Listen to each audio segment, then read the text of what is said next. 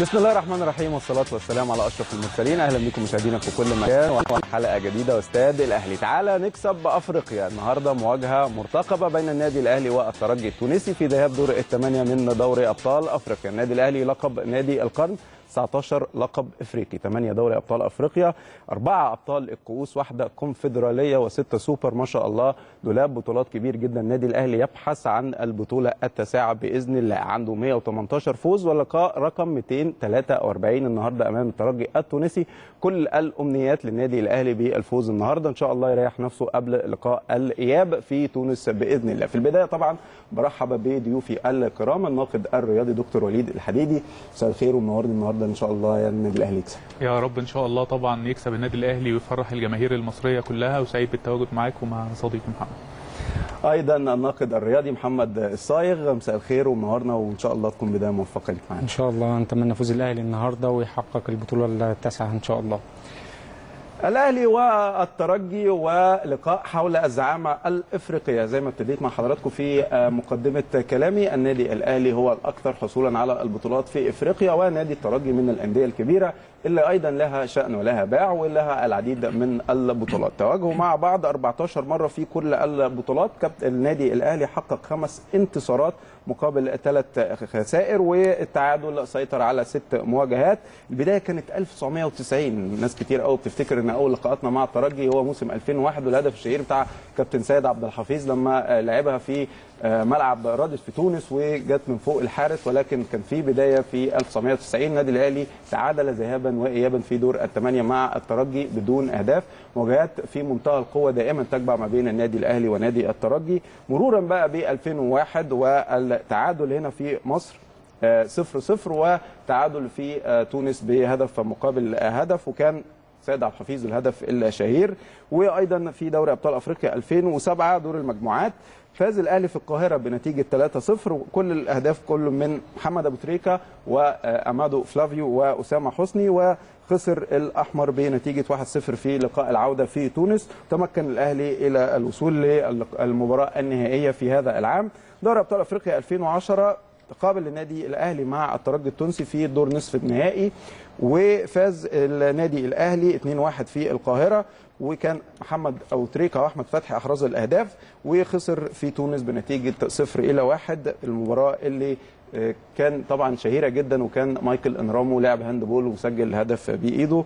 بعد كده في 2011 تقابل النادي الأهلي مع الترجي التونسي في دور المجموعات من البطولة وخسر النادي الأهلي في لقاء الذهاب بتونس بهدف مقابل لا شيء وتعادل في القاهرة بهدف مقابل هدف أحرزه محمد أبو تريكة. نروح لا لبطولة 2012 بطولة من أجمل البطولات اللي النادي الأهلي لعبها وكان كابتن حسام البدري هو المدير الفني للفريق وتقابل في الدور النهائي تعادلوا في مصر واحد واحد ثم فاز في تونس بهدفين مقابل هدف.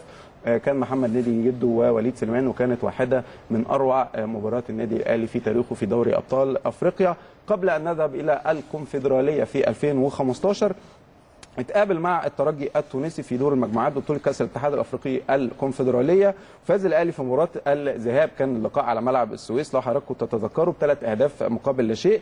كان عبد الله السعيد أحرز هدفين ومؤمن زكريا ثم قرر الفوز في تونس. فاز ذهابا وايابا وكان الهدف اللي أحرزه جون أنتو. وده كان حتى سؤال الحلقة مع حضراتكم في حصاد الأهلي. واعلنا على الفائزين وخدوا التيكتس وذهبوا ليشجعوا النادي الأهلي في لقاء اليوم. دكتور وليد الاهلي والترجي مواجهات كتيرة. دايما التعادل نتيجة التعادل بتبقى الأغلب ست تعادلات ولكن النادي الأهلي له الجانب الأكبر من الفوز. دايما مواجهة الترجي ما بتبقاش سهلة.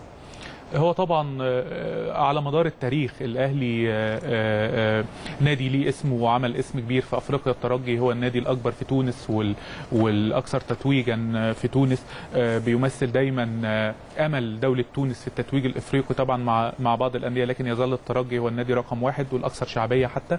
فدايما مواجهات الفريقين بتحمل ندية كبيرة.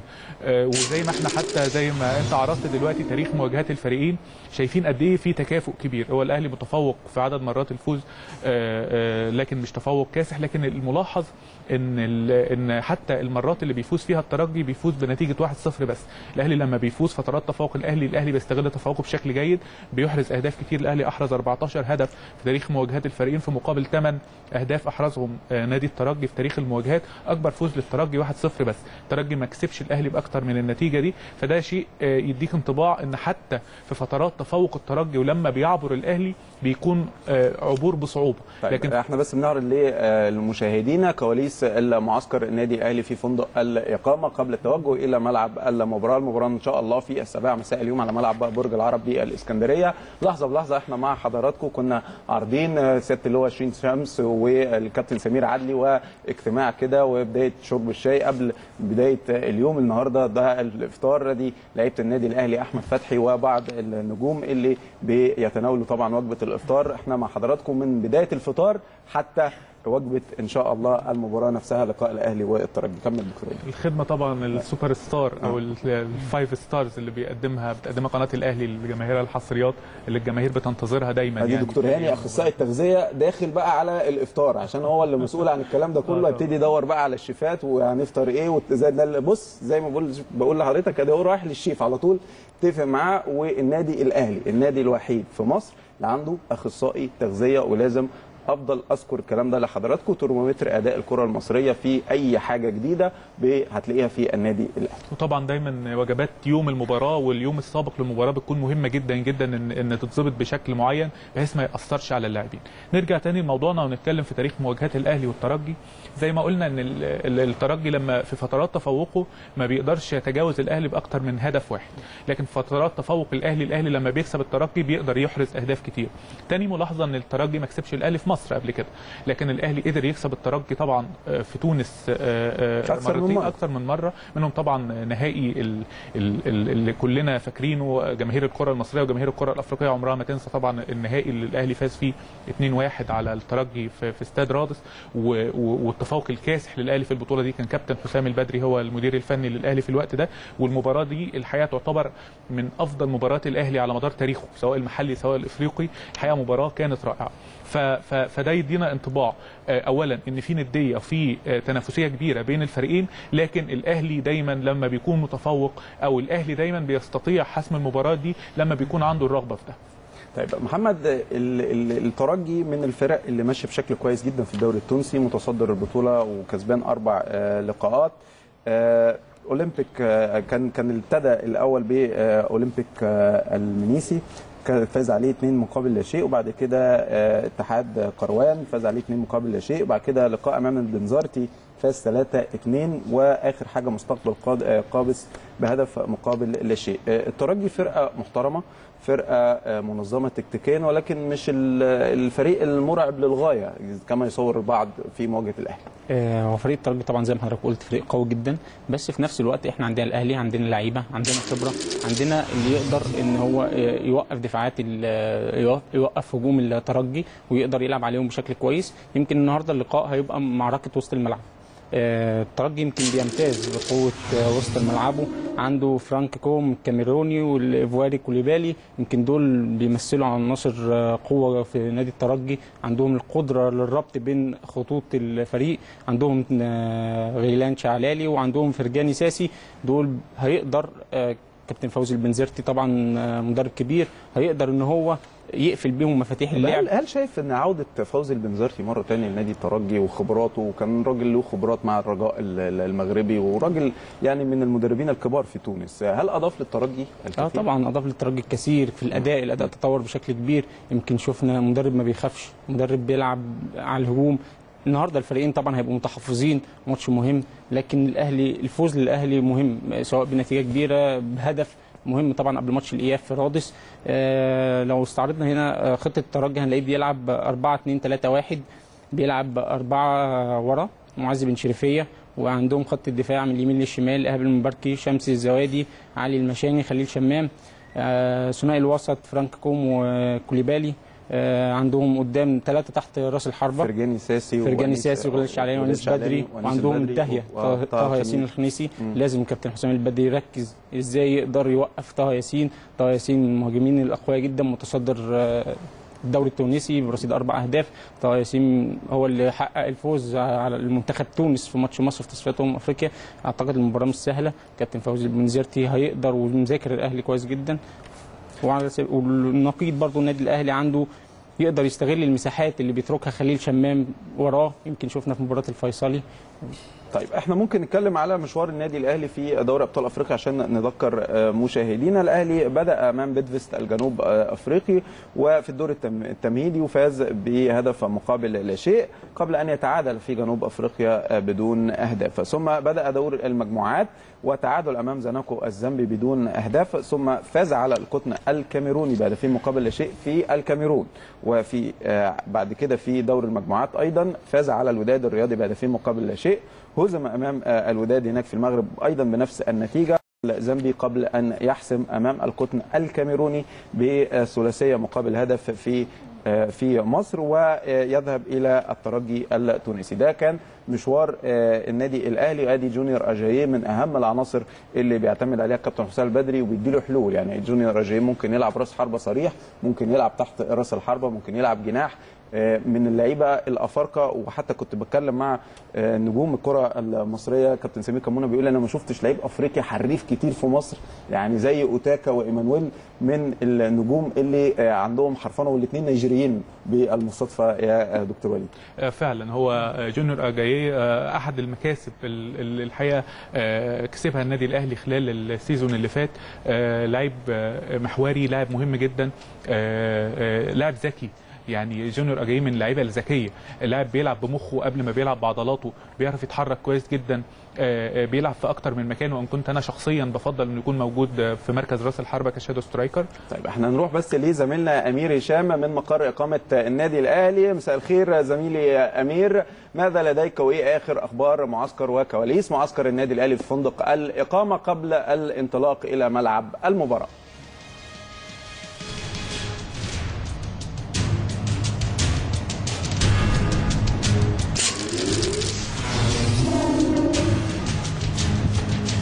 تحياتي لضيوفك ولكل مشاهدي ومتابعي قناه الأهلي في كل مكان. خلاص النادي الأهلي أنهى استعداداته لأداء مباريات الأهلي والترجي في دور الثمانية أو ذهاب دور الثمانية من دوري أبطال أفريقيا. أكيد مباراة هامة جدا جدا للنادي الأهلي لاعيبه النادي الأهلي وكل جمهور النادي الأهلي. خلاص الفريق آه، مستعد بشكل جيد جدا. في تركيز كبير جدا واضح على وجوه اللاعبين سواء اللاعبين أو الجهاز الفني. أكيد هي مباراة مهمة. البداية خلال هذه المباراة مهم جدا. النادي الأهلي إن شاء الله يقدر آه، يفوز على فريق الترجي النهارده بأكثر من هدف خصوصا إن أكيد الأمور هتحسم من خلال مباراة العودة في تونس وبالتحديد في ملعب آه، رادس لكن بشكل عام خليني أتكلم عن أجواء الفريق آه، استعداداته بالتحديد من خلال آه، النهارده. يمكن النهارده كان في الفطار صباحا لفريق النادي الأهلي. بعديه توجه اللاعبين للغرف الخاصة بيهم. أيضا كان في ميعاد للغدا في تمام الساعة 2:30 خليني أقول لك إن حوالي بعد حوالي بالظبط نص ساعة من دلوقتي يا محمد هيكون في المحاضرة الأخيرة للكابتن حسام البدري للاعبين واللي هيتكلم فيها عن الشكل النهائي اللي هيبتدي بيه النادي الأهلي خلال هذه المباراة وهيدي بعض التعليمات الأخيرة طبعا للاعبي النادي الأهلي والتشكيل اللي هيبتدي آه، بيه خلال هذه المباراة. كل لاعبي النادي الأهلي جاهزين ده واضح من خلال التدريب الأخير للنادي الأهلي امبارح في استاد آه، جيش ببرج العرب. الفريق كله بحالة بدنية حالة فنية جيدة جدا وده اللي كان واضح بشكل كبير طبعا خلال آه، التدريبات آه، بالأمس. خليني أتكلم شوية على التشكيل يا محمد وتوقعات التشكيل وخصوصا كل جمهور النادي الأهلي عايز يعرف التشكيل الأقرب اللي ممكن يبتدي بيه كابتن حسام البدري. طبعا هيكون متواجد آه، شريف اكرامي كحارس مرمى الفريق النهارده امامه رباعي خط الدفاع علي معلول آه، سعد سمير رامي ربيعة أحمد فتحي. أمامهم اثنين في نص الملعب حسام عاشور وعمرو السولية أمامهم بشكل مؤكد آه، عبد الله السعيد آه، جونيور أجاييه ك wing النهارده مش هيبتدي كمهاجم. هيكون wing يمين أيضا ممكن يكون يا إما أحمد الشيخ يا إما وليد سليمان. لسه كابتن حسام بدري هو أكيد مستقر لكن إحنا لسه مش عارفين آه، هي- هيبتدي بمين. لكن الأقرب حتى الآن هو أحمد الشيخ. لكن خليني أقول إن وليد سليمان أيضا جاهز بشكل كبير آه، جدا للبدء في هذه المباراة. طبعا على حسب آه، تعليمات كابتن حسام بدري أو على حسب التشكيل اللي هيبتدي بيه كابتن حسام البدري. المهاجم الوحيد النهارده إن شاء الله هيكون آه، وليد أزار المهاجم الدولي المغربي للنادي الأهلي واللي إن شاء الله نتمنى له التوفيق النهارده. خليني أقول إن وليد أزار أو ازارو طبعا خلال آخر تدريبين للنادي الأهلي بيأدي بشكل جيد جدا أحرز أكثر من هدف في التقسيمة طبعا آه، اللي كانت بتخصص اللاعبين مع نهاية آه، كل مرام بشكل عام كل لاعبي النادي الأهلي إن شاء الله جاهزين لأداء مباراة كبيرة خصوصا في حضور آه، عدد من جماهير النادي الأهلي عدد يعتبر لا بأس به طبعا هو 20000 متفرج. طبعا كلهم بيتوافدوا في هذه اللحظات على استاد الجيش ببرج العرب هنا في مدينة الإسكندرية. طبعا هيكون ليهم مفعول السحر وأكيد هيكونوا أحد العناصر الأساسية إن شاء الله جمهور النادي الأهلي بالنسبة للفريق إن هم يحققوا فوز مهم ومريح إن شاء الله النهارده على فريق الترجي التونسي. كل الأمور ماشية بشكل جيد مش ناقص خلاص غير توفيق إن شاء الله بالنسبة للاعبي النادي الأهلي إن هم يحققوا نتيجة جيدة النهارده قبل العودة لتونس ومباراة الترجي التونسي في ملعب رودس. خليني أقول لك إن الفريق بعد نهاية المحاضرة هيتحرك بالظبط في تمام الساعة خمسة ونص في الت...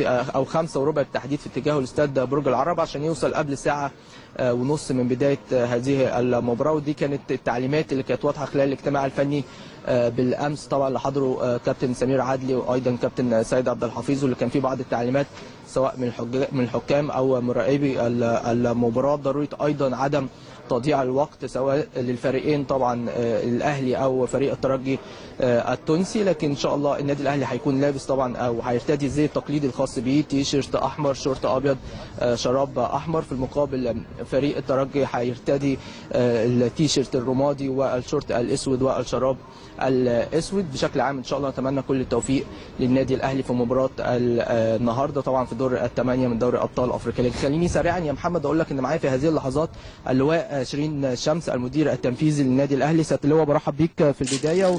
وأكيد ده يوم مهم جدا بالنسبة لنا النهارده كأهلاوية. مباراة مهمة جدا أمام فريق الترجي. لكن عايز في البداية بس أتكلم معاك عن التنسيق الأمني الخاص بهذه المباراة وحضور جمهور النادي الأهلي. وأنا عارف إن أنت كنت متواجد من أول امبارح هنا عشان تنسق طبعا مع آه، مديرية أمن اسكندرية. آه تمام. ولا إحنا نسقنا كل حاجة. الحقيقة الدخول والخروج والبوابات وكل مدرجه هتخش من من من أنهي بوابة وتحددت كل حاجة.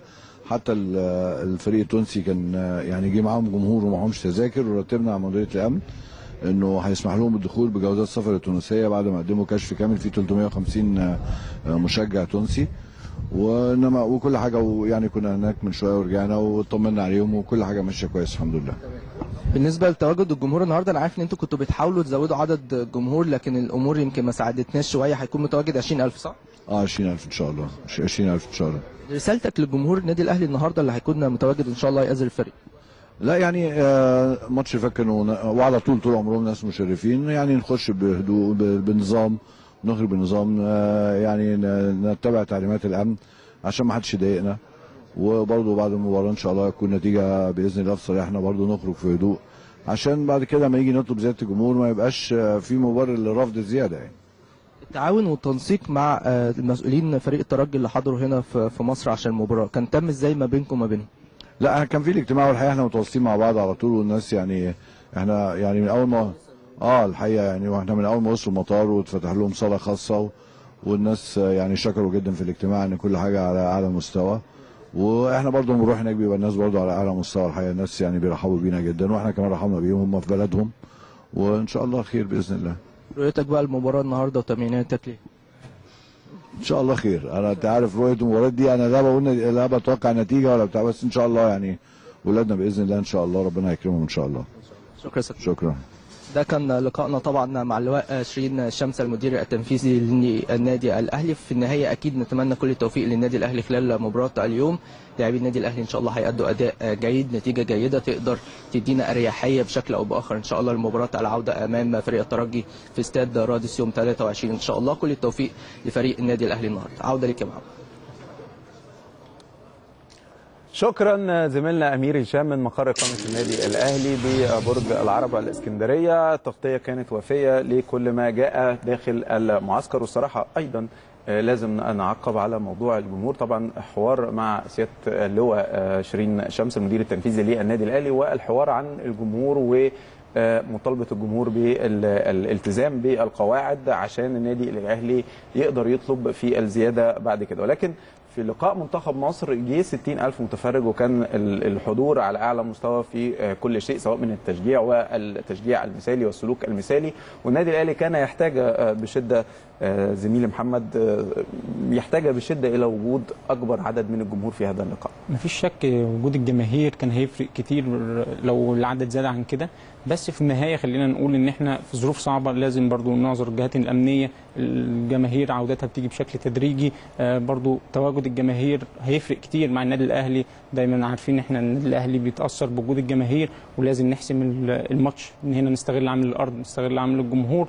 نحاول نضغط على فريق الترجي من البداية نحاول نقفل مساحاتنا طبعا كابتن البدري وكابتن فوزي هيبقوا متحفظين في بداية المباراة لكن في أول 10 دقائق ربع ساعة الضغط على فريق الترجي مبكر هيفرق كتير مع النادي الأهلي هيخلي النادي الترجي يفتح خطوطه وده هيساعدنا إن إحنا نحرز أكتر من هدف خلال بإذن المباراة. الله. إحنا خلينا برضو نستعرض مع مشاهدينا النهارده في آه، لقاء آخر في ربع نهائي آه، بطولة دوري أبطال أفريقيا في الذهاب.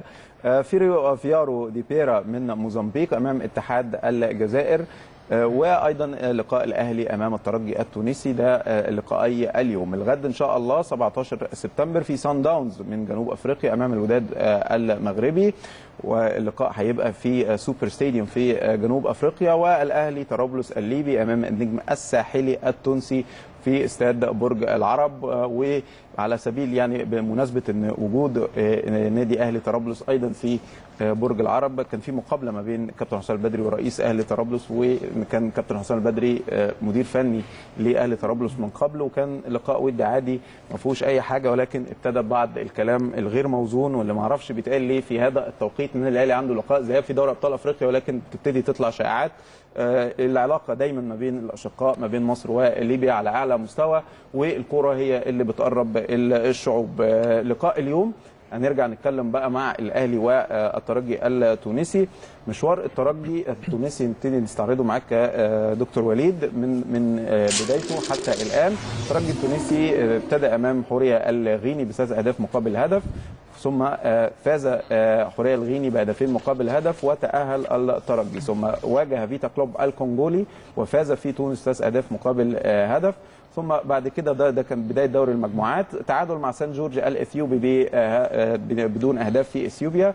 ثم فاز على صن داونز الجنوب أفريقي في جنوب أفريقيا بهدفين مقابل هدف وتعادل في تونس آه، بدون أهداف. بعد في أيضا نتيجة ال- ال- العودة في دوري المجموعات أمام فيتا كلوب الكونغولي تعادل 2-2 في الكونغو. وفوز على سان جورج الإثيوبي بأربع أهداف مقابل لا شيء قبل أن يواجه النادي الأهلي. الترجي التونسي في آه، مواجهاته لا يكسب كثيرا خارج ميدانه بيلعب على التعادل ثم يحسم في تونس. هو يعني من من من من أوجه ال- التشابه بين الأهلي والترجي حتى مشوارهم في في في بطولة أفريقيا لحد دلوقتي الاهلي تلقى خسارة واحدة قدام الوداد آه، خارج أرضه. آه، الترجي نفس الشيء تلقى خسارة واحدة قدام حورية كوناكري آه، خارج أرضه. فبقيه المباريات لا الأهلي خسر ولا الترجي خسر. الترجي آه، دايما يعني باستثناء المباراة اللي كسب فيها آخر مباراة قدام سان جورج طبعا. قدامنا برضو مشوار النادي الأهلي. أنا كنت استعرضته ولكن إحنا هننزله على الشاشة لحضراتكم مرة ثانية الدور التمهيدي كان فاز على بيتفست بهدف مقابل لا شيء ثم تعادل في جنوب افريقيا بدون اهداف. بداية دوري المجموعات تعادل امام زناكو الزامبي في في مصر بدون اهداف.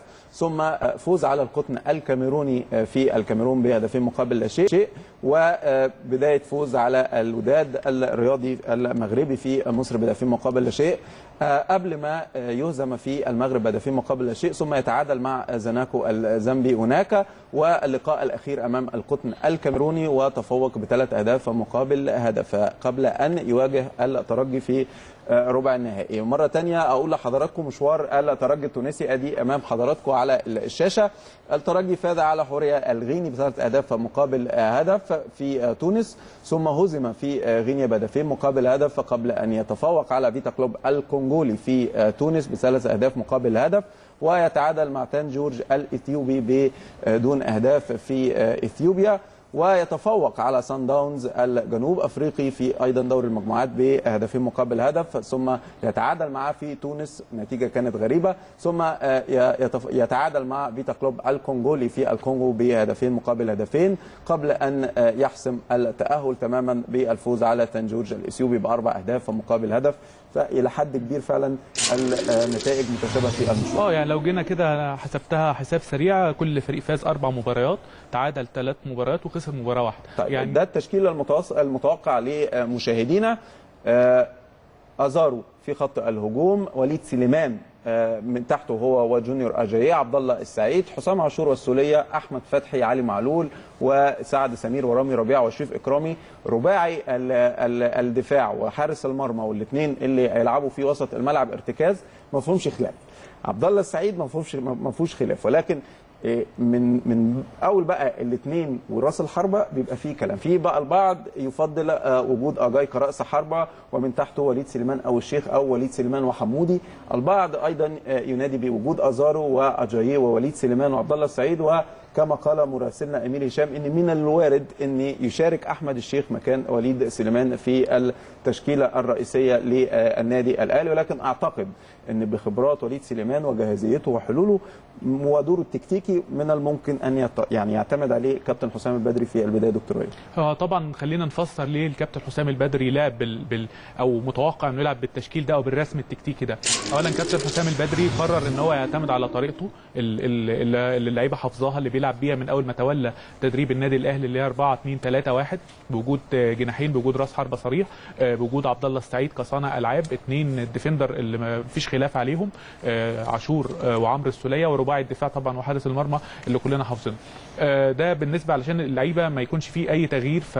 فيحصل زي دربكة أو يحصل ارتباك فقرر يلعب بنفس طريقته ليه قرر يدفع باجاييه أنا أعتقد إن كابتن حسام البدري عايز يوقف الظهيرين بتوع الترجي من التقدم خليل شمام وإيهاب لومباركي. فقرر إنه يبقى فيه لعيب مهاري زي جونيور أجاييه يلعب تحت إيهاب لومباركي في الناحية اليمين ووليد سليمان يلعب تحت خليل شمام في ال في ال آه، في الناحية الشمال. آه. ووليد سليمان في الناحية اليمين عشان يمنعوا تقدم الظهيرين لأن تقدم الظهيرين آه، بيمثل لما بيعملوا إضافة لل- لل- للأجنحة بيعملوا خطورة كبيرة جدا. آه، تاني حاجة علشان هم كمان عندهم مشكلة دفاعية لما بيتقدموا. ففكرة إن اجاييه يستغل تقدم آه، مباركي ووليد سليمان يستغل تقدم خليل شمام ده ممكن يمثل خطورة. ليه وليد سليمان؟ أنا متفق في وليد سليمان بشكل كبير جدا ومن اللعيبة اللي اللي أنا آه، لما بتكون في حالتها وخصوصا في المباريات الكبيرة بتمنى دايما- خصوصا المباريات الإفريقية الكبيرة اتمنى دايما إن وليد سليمان يكون موجود لأن وليد سليمان من أكتر لاعبي النادي الأهلي حاليا آه، من ناحية قوة الشخصية ومن أكتر لاعبي النادي الأهلي تعاملا مع المباريات الكبيرة. دايما وليد سليمان ظاهر في المباريات الكبيرة عنده خبرات المباريات الكبيرة وده شيء بيميزه عن بقية المجموعة بشكل كبير جدا. فدايما وجوده مهم. آه، طيب إحنا هنكمل كلامنا ولكن عندنا لقاء مع الكابتن شريف عبد المنعم نجم النادي الأهلي السابق من فندق الإقامة الآن مع زميلنا آه، أمير هشام. أمير تفضل إليك الكلمة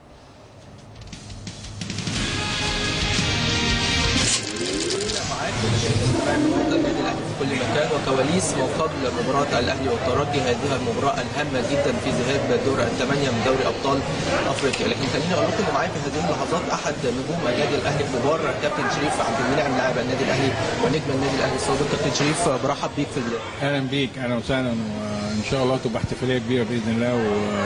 وأنا عايز أقول لك وأنا جاي على الطريق.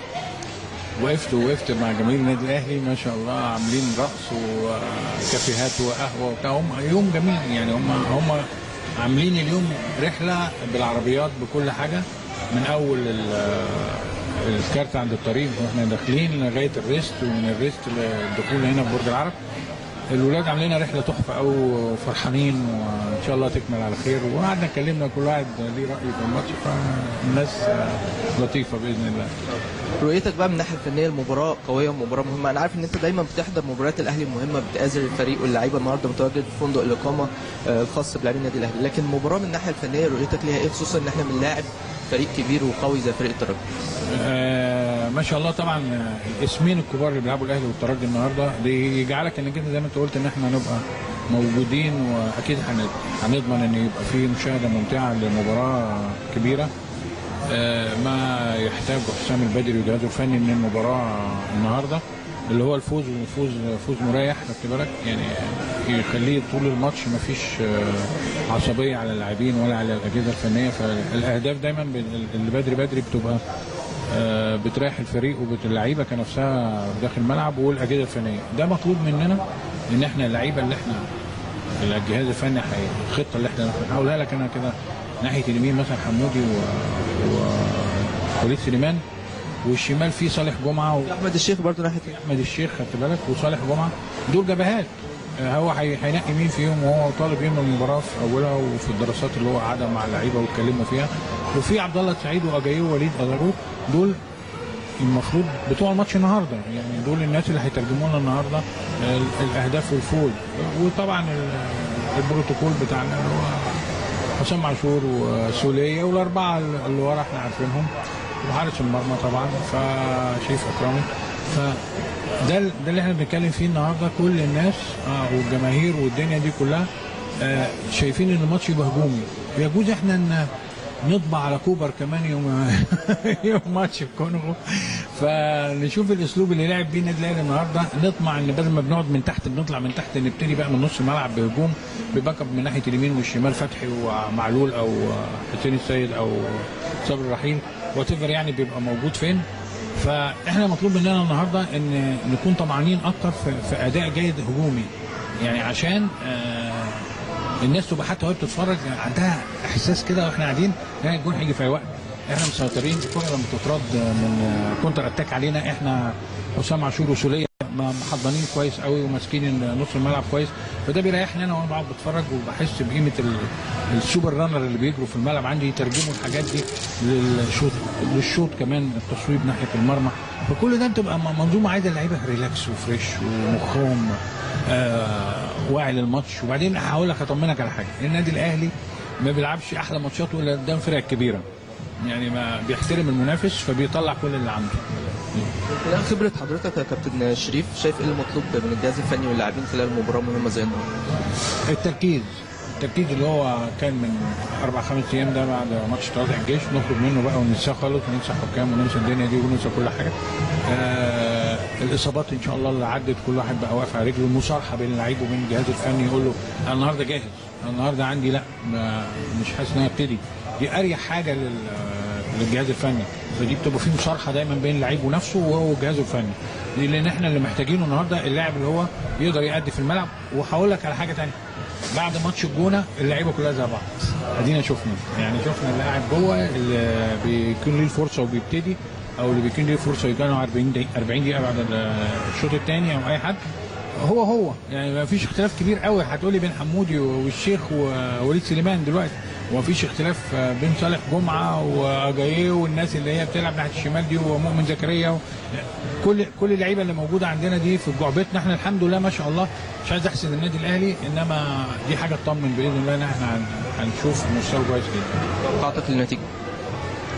ما أعرفش إيه اللي جاي على لساني 2 1 دلوقتي بس أنا عايزها 3 0 إن شاء الله بنشكر زميلنا أمير هشام ولقاء مهم جدا مع الكابتن شريف عبد المنعم ترافولتا الكرة المصرية ونجم النادي الأهلي طبعا في الثمانينات. آه، خلينا أقول لحضراتكم إن طا- الطاقم التحكيم النهارده سنغالي آه، بقيادة مالانج ديديو ده من السنغال وبيساعده اثنين جبرائيل والحاج مليك آه، وماجيت نضاي حكما رابعا ومراقب المباراة هو فريدريك كرينسل.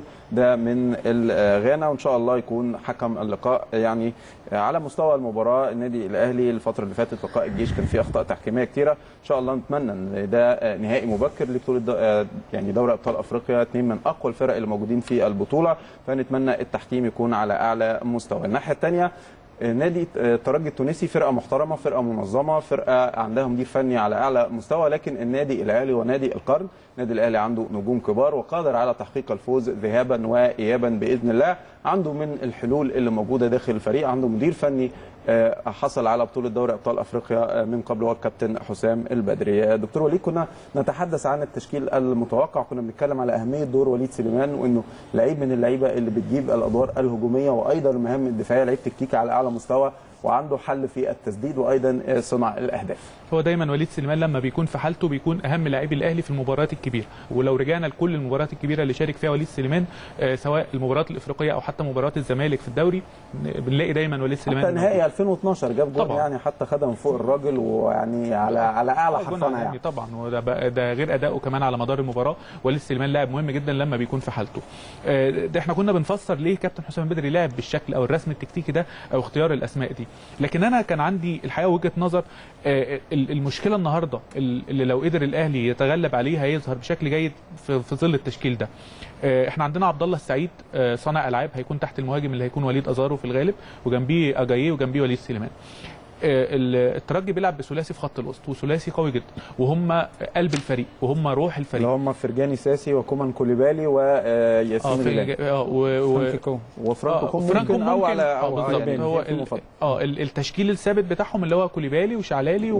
وشعلاني آه. وفرجاني ساسي. فرجاني هو ده. اللي ممكن يدفع بفرانك كوم لو عايز يزود الناحية الدفاعية شوية. فأنت بتتكلم في كل الأحوال في ثلاثي وسط ملعب. وثلاثي وسط ملعب ده هو. قوة فريق الترجي لأن ده اللي بي... أول حاجة بيصد عن الدفاع ثانيا كمان بيوصل الحزام لل- الرابط ما بين الدفاع والهجوم. بالظبط. فأنت المشكلة الأساسية هتبقى عند النادي الأهلي النهارده إن عمرو آه، السولية وحسام عاشور في وسط الملعب هيقابلوا ثلاثي. هنا دور عبد الله السعيد هيكون مهم جدا. عبد الله السعيد هيبقى مطلوب منه يقوم بواجبه الهجومي بشكل كامل يرجع في الناحية ويرجع يكمل. عشان ما فهل زيادة. الأداء البدني لعبد الله السعيد هيساعده؟ والتركيز بتاع عبد الله السعيد ده نقطة الفيصل النهارده. إذا عبد الله السعيد كان جاهز بدنيا وجاهز آه، فنيا الأهلي هيبقى شكله جيد جدا النهارده. بس هو عبد الله يعني بيجيد ال- ال- الدور الدفاعي وبيرجع برضه إلى حد كبير في المساندة. ولو آه، المخزون البدني في صالح جمعة موجود برضه على دكة هاخد دي. دي من ال- الحلول اللي موجودة. خلينا ناخد منك سريعا. حتة صالح جمعة طبعا أنت لعيب كورة وعارف ده مجهود بدني رهيب إن لاعب يقدر يسد في الهجوم قدام الترجي ويرجع نص الملعب يغطي كمان ويبقى مع ثنائي وسط ملعبه. ده مجهود كبير جدا على عبد الله السعيد أنا كنت بتمنى إن صالح جمعة يكون موجود مع عبد الله السعيد والتجربة دي نجحت قبل كده مع النادي الأهلي وانه يستغنى عن أحد الأجنحة مع وجود صالح جمعة مع عبد الله السعيد. الاثنين يكونوا موجودين آه، تحت رأس الحربة. وأعتقد ده كان هيمثل قوة للأهلي في وسط الملعب سواء على مستوى الهجوم أو مستوى الدفاع. محمد ديك تعقيب أكيد على التشكيل المتوقع النادي الأهلي. أنا هبدأ من بتاع عليه زميلي وليد بس أنا بتكلم على وليد سليمان. يمكن وليد أفضل من الشيخ كمان في ناحية الالتحامات. نعم. يمكن الالتحامات المباراه منتظر إن يكون فيها خشونة كبيرة طبعا نهائي مبكر زي ما حضرتك. طبيعة لعب شمال أفريقيا. بالظبط فأكيد هيبقى فيها خشونة. يمكن وليد في الالتحامات بيبقى أقوى شوية من الشيخ. آه، بخلاف ذلك وليد من نوعية اللعيبة اللي هي بتخلص. آه، الشيخ مهارة في تمريرة فده أعتقد المباراة دي مش محتاجة غير اللعيب اللي يخلص. وليد كمان ممكن يقدر يستغل المساحات اللي ورا خليل شمام. خليل شمام يمكن بيتقدم كتير آه، في ماتش الترجي فوليد ممكن يستغل كده. بخلاف ذلك عندنا لما فريق الترجي آه، بيرجع هجوم بيرجع لناحية الدفاع آه، الدفاع عنده بيرجع يقفل الباكات مع فرانك كوم أو كوليبالي بيرجعوا يقفلوا فبيدي مساحة لعبد الله السعيد إنه يمرر ويخش ويشوط ويراوغ ويعمل تمريرات بينية. الهجوم وليد أزارو يمكن شفناه في ماتش الجيش آه مع حراس أهداف بس ظهر بشكل جيد. هو آه، بي بيروح, متعب. بيروح للمرمى بيخلق لنفسه الفرص ولكن هو عنده مشكلة اللمسة الأخيرة بس. آه بس هو مهاجم متعب آه بيتواجد جوه الصندوق بشكل كبير. يمكن الأهلي كان مفتقد يمكن عمرو جمال قبل ما يحترف كان بينزل كتير بيسقط وسط الملعب. وليد أزارو بيقدم بشكل مختلف شوية عن نوعية المهاجمين اللي, اللي هي موجودة. آه خط النص عاشور والسوليه آه مطلوب منهم بس إن هم ما يقفوش على خط واحد يبقى في توزيع وتفاهم وتجانس بينهم عشان يقدروا يقابلوا آه نص ملعب آه، الترجي. لأن آه، عندهم هنا فرجاني ساسي. طب أنت شايف إن هو هيبدأ بكوليبالي وغيلاني الشعلاني وفرجاني ساسي ولا ممكن آه، يخلي فرجاني ساسي بس وكوليبالي ويلعب بفرانك كوم بحيث إن هو بيلعب زي كابتن حسام البدري باثنين ارتكاز وقدامهم واحد. أنا شايف إن هو هيبدأ بفرانك كوم وكوليبالي الماتش مش عارف مش في ملعبه في نعم. برج العرب. وسط جماهير غفيرة. فأعتقد إن هو مش هيهاجم بالشكل ده. مش هياخد ال risk مش هياخد ال risk. ممكن كبير. على. مجريات المباراة لو حس إن هو محتاج إن هو يطلع ارتكاز وينزل. لعيب بصير زي غيلان الشعلاني نعم. وعايز يقف على الكورة. عنده سعد بكير برضو بره. لعيب من نوعية اللعيبة اللي هي بتعرف تقف على الكورة تعرف تمرر. فرجاني ساسي من من أكتر اللعيبة اللي عندها دقة التمريرات عالية جدا. فده برضو هيتعب دفاعات النادي الأهلي وهيرهقهم بشكل كبير.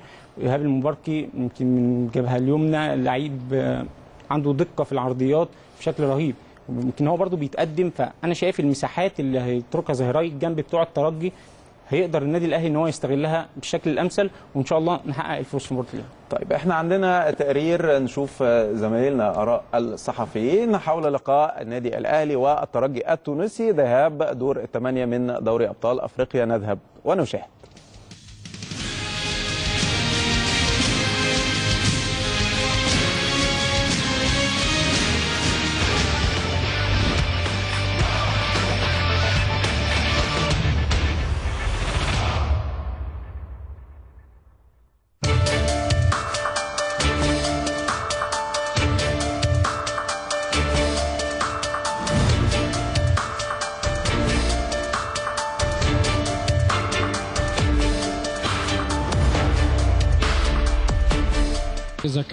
الترجي دولة فالأهلي أمة يعني مجموعة من الدول. آه، المباراة زي ما أنت عارف آه، صعبة جدا لكن الأهلي دايما آه، المباريات الصعبة بيظهر فيها معدنه وخبراته الكبيرة اللي موجودة آه، سواء في المدير الفني سواء في اللاعبين الموجودين سواء في الطموحات سواء في الدوافع الموجودة إن الأهلي آه، دي محطة من المحطات دور ثمانية بعدها دور قبل نهائي بعدها دور نهائي. للفوز ببطولة دوري أبطال أفريقيا والعودة مرة أخرى إلى آه، كأس العالم للأندية. الماتش هيبقى صعب قوي خصوصا إن بطولة زي دوري أبطال أفريقيا بطولة قوية وكمان قدام خصم قوي خصم الترجي لكن برضه النادي الأهلي نادي كبير وفريق قوي إن شاء الله قادر إن هو يقدر يعدي فريق الترجي ويوصل للدور قبل النهائي بإذن الله.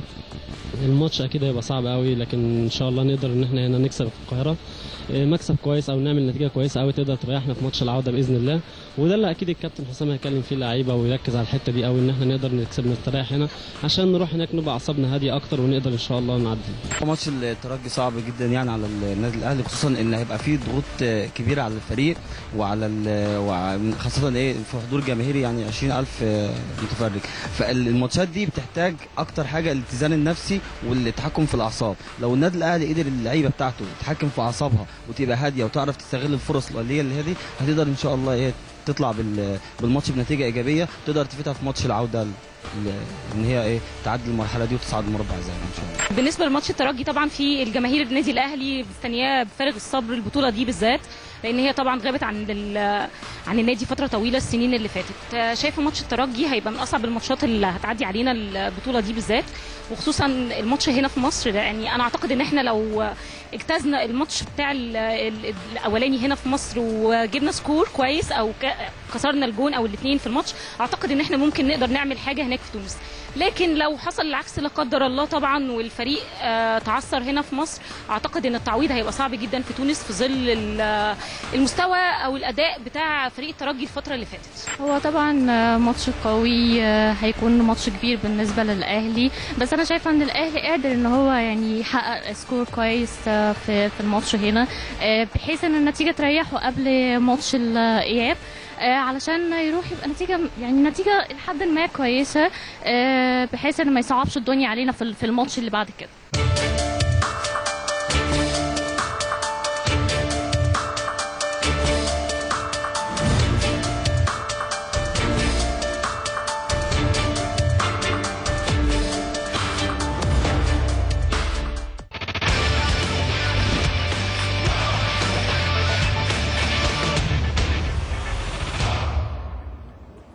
نكمل كلامنا عن النادي الأهلي والترجي التونسي. هنخش في طريقة لعب النادي الأهلي.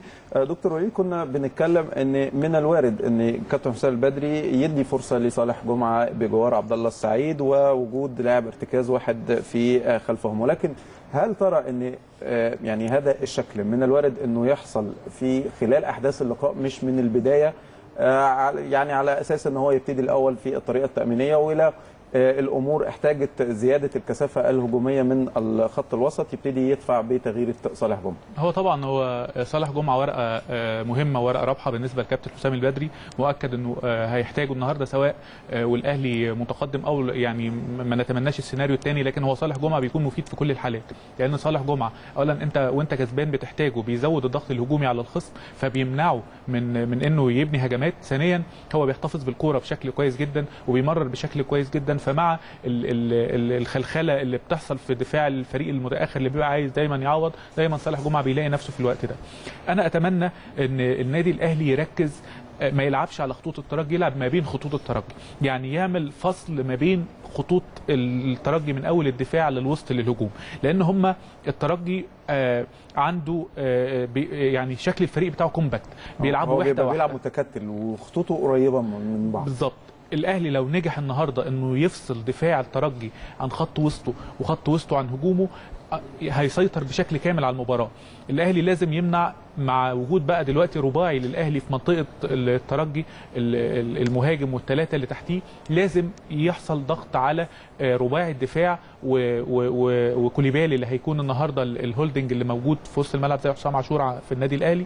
لازم تمنع يمنع الكورة إنها تطلع بشكل صحيح من لأن ده اللي هيعمله الترجي النهارده. لازم الأهلي يمنع الكورة إنها تطلع من قلبين الدفاع للاعب يعني خط الوسط. تقصد تقصد إن مثلا طه الخنيسي وفرجاني ساسي هيبقوا بيضغطوا على حسام عاشور والسوليه أنا هقول لك اللي هيحصل النهارده بالظبط. الخنيسي هيدخل على آه، سعد ورامي ربيعة طول ال 90 دقيقة. هتلاقي الخنيسي بيضغط عليهم. يعني يلعب علشان- ضغط عالي. حتى لو بلاعب واحد. يعني مش لازم الفريق كله يلعب ضغط عالي. وطبعا مؤكد إن بداية المباراة مش هتكون بالشكل ده بالنسبة للترجي يعني هو أكيد هيكون لسه في الفترة الأولى لسه الفريقين هيبقوا بيستكشفوا بعض. مش هيكون الضغط اللي إحنا اللي الترجي مثلا بيعمله في مباريات الدوري التونسي. ده مش هيحصل. لكن على الأقل ال- الثلاثي اللي هيلعب قدام لو لعب بثلاثي لو لعب ب- بالمهاجم اللي هو آه، الخنيسي الخنيسي و- آه و- وانس وساسي، البدري وفخر الدين نعم. بن يوسف لو لعب فخر أو ما لعبش الثلاثي اللي هيبقى قدام هتلاقي الخنيسي بيضغط على آه، رامي ربيعة وسعد سمير عشان ما يطلعوش الكرة لحسام عاشور. ولو طلعت الكرة لحسام عاشور هتلاقي في لاعب على حسام عاشور سواء آه، هيكون فرجاني ساسي أو كوليبالي عشان يمنع حسام عاشور من إنه يستلم بشكل كويس وينقل الكرة لأن هو بشكل من كويس. الناس اللي بتمر بشكل كويس. طب محمد آه، النادي الأهلي دايما بكابتن حسام البدري بيعتمد على اختراق الظهيري الجنبي لدفاعات الخصم والترجي من الفرق اللي بتلعب بتكتل دفاعي خطوطها دايما قريبة وتقدم أحمد فتحي وارسال العرضيات أو معلول وهو راجل تونسي وأكيد حافظ فرقة الترجي بشكل كبير جدا. برضو من الحلول اللي بتدي للنادي الأهلي أفضلية خاصة إن سواء في وجود آه، اللاعب وزير آه، وليد أزارو سواء في وجود اللاعب آه، جونيور أجاييه بيبقوا محتاجين عرضيات كتير. هي الفكرة عندنا إن جونيور أجاييه ووليد سليمان هيقدروا يستغلوا المساحات بشكل كبير جدا. عندهم الاثنين عندهم سرعات. أجايو يمكن عنده مهارة إن هو يراوغ ويعدي ويعمل عرضية. هيجي من وراه علي معلول. معلول واجاييه هيعملوا جبهة قوية جدا على آه، نادي الترجي الناحيه الثانية وليد وأحمد فتحي. وليد بالظبط كده وليد وأحمد فتحي. الاثنين خبرات كبيرة طبعا. الاثنين يقدروا إن هم يوقفوا آه، خليل شمام. لأن خليل شمام برضو من اللعيبة اللي هي بتتقدم بشكل كبير. وهيقدروا في نفس الوقت يفككوا آه، آه، خط نص نادي الترجي آه، ما يبقاش عنده اتزان. لو النادي الأهلي نجح إن هو يحرز هدف مبكر في أول 10 دقائق أعتقد ده هيفرق كتير جدا مع بداية المباراة. الترجي هيفك هيفتح. لحد ما. آه هيفك هيبتدي يفتح خطوطه وده ممكن يخلي النادي الأهلي يحرز مزيد من الأهداف.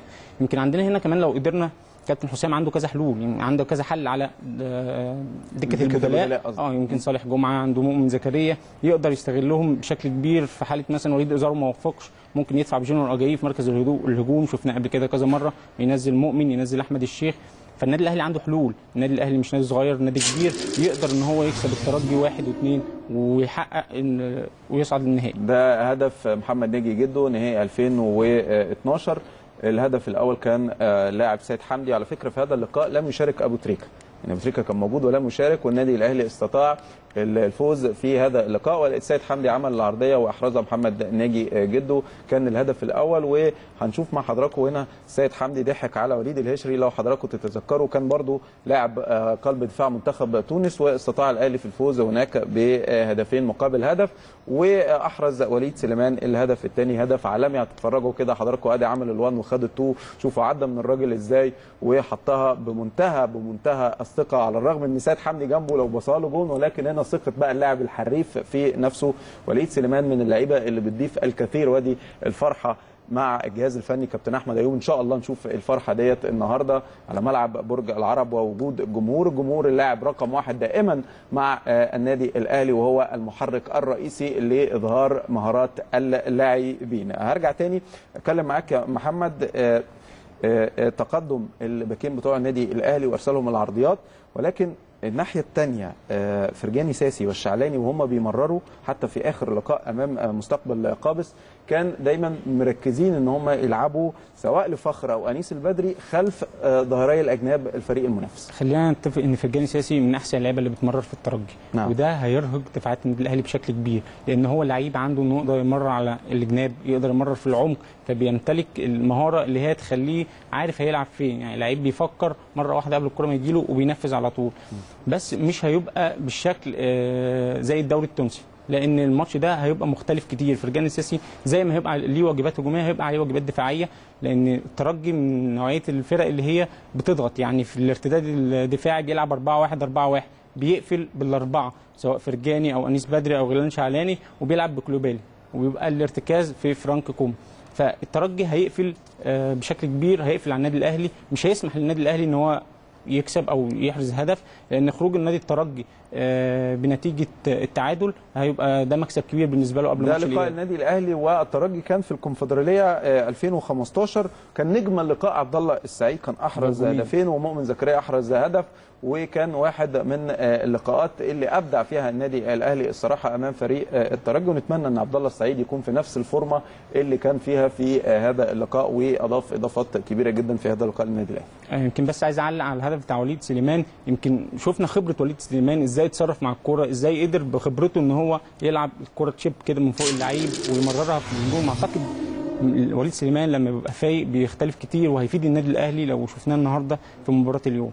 آه، نرجع النهارده إن إحنا لو حسينا إن إحنا مضغوطين في نص الملعب ممكن كابتن حسام آه، يستغنى عن عاشور أو السولية ويدفع بمحمد هاني باك يمين وأحمد فتحي لزيادة نص الملعب بالظبط نعم. لزيادة آه، قوة آه، وسط الملعب وده أحمد فتحي في وسط الملعب هيفرق كتير برضو لأنه طب ليه مش هشام محمد؟ هشام محمد برضو من اللعيبة اللي بتجيب التمرير ولعيب ارتكاز على أعلى مستوى وعامل موسم رائع مع مصر المقاصة وابن النادي الأهلي ومتأسس في النادي الأهلي. يمكن أحمد فتحي يمتلك خبرات أكتر من هشام محمد هشام محمد ما ينفعش إن أنا اخده بماتش زي ماتش الترجي هو لعيب آه طبعا عنده خبرة لعيب بصير وكل حاجة بس أحمد فتحي ظروف المباراة مهيئة لأحمد فتحي عن هشام محمد.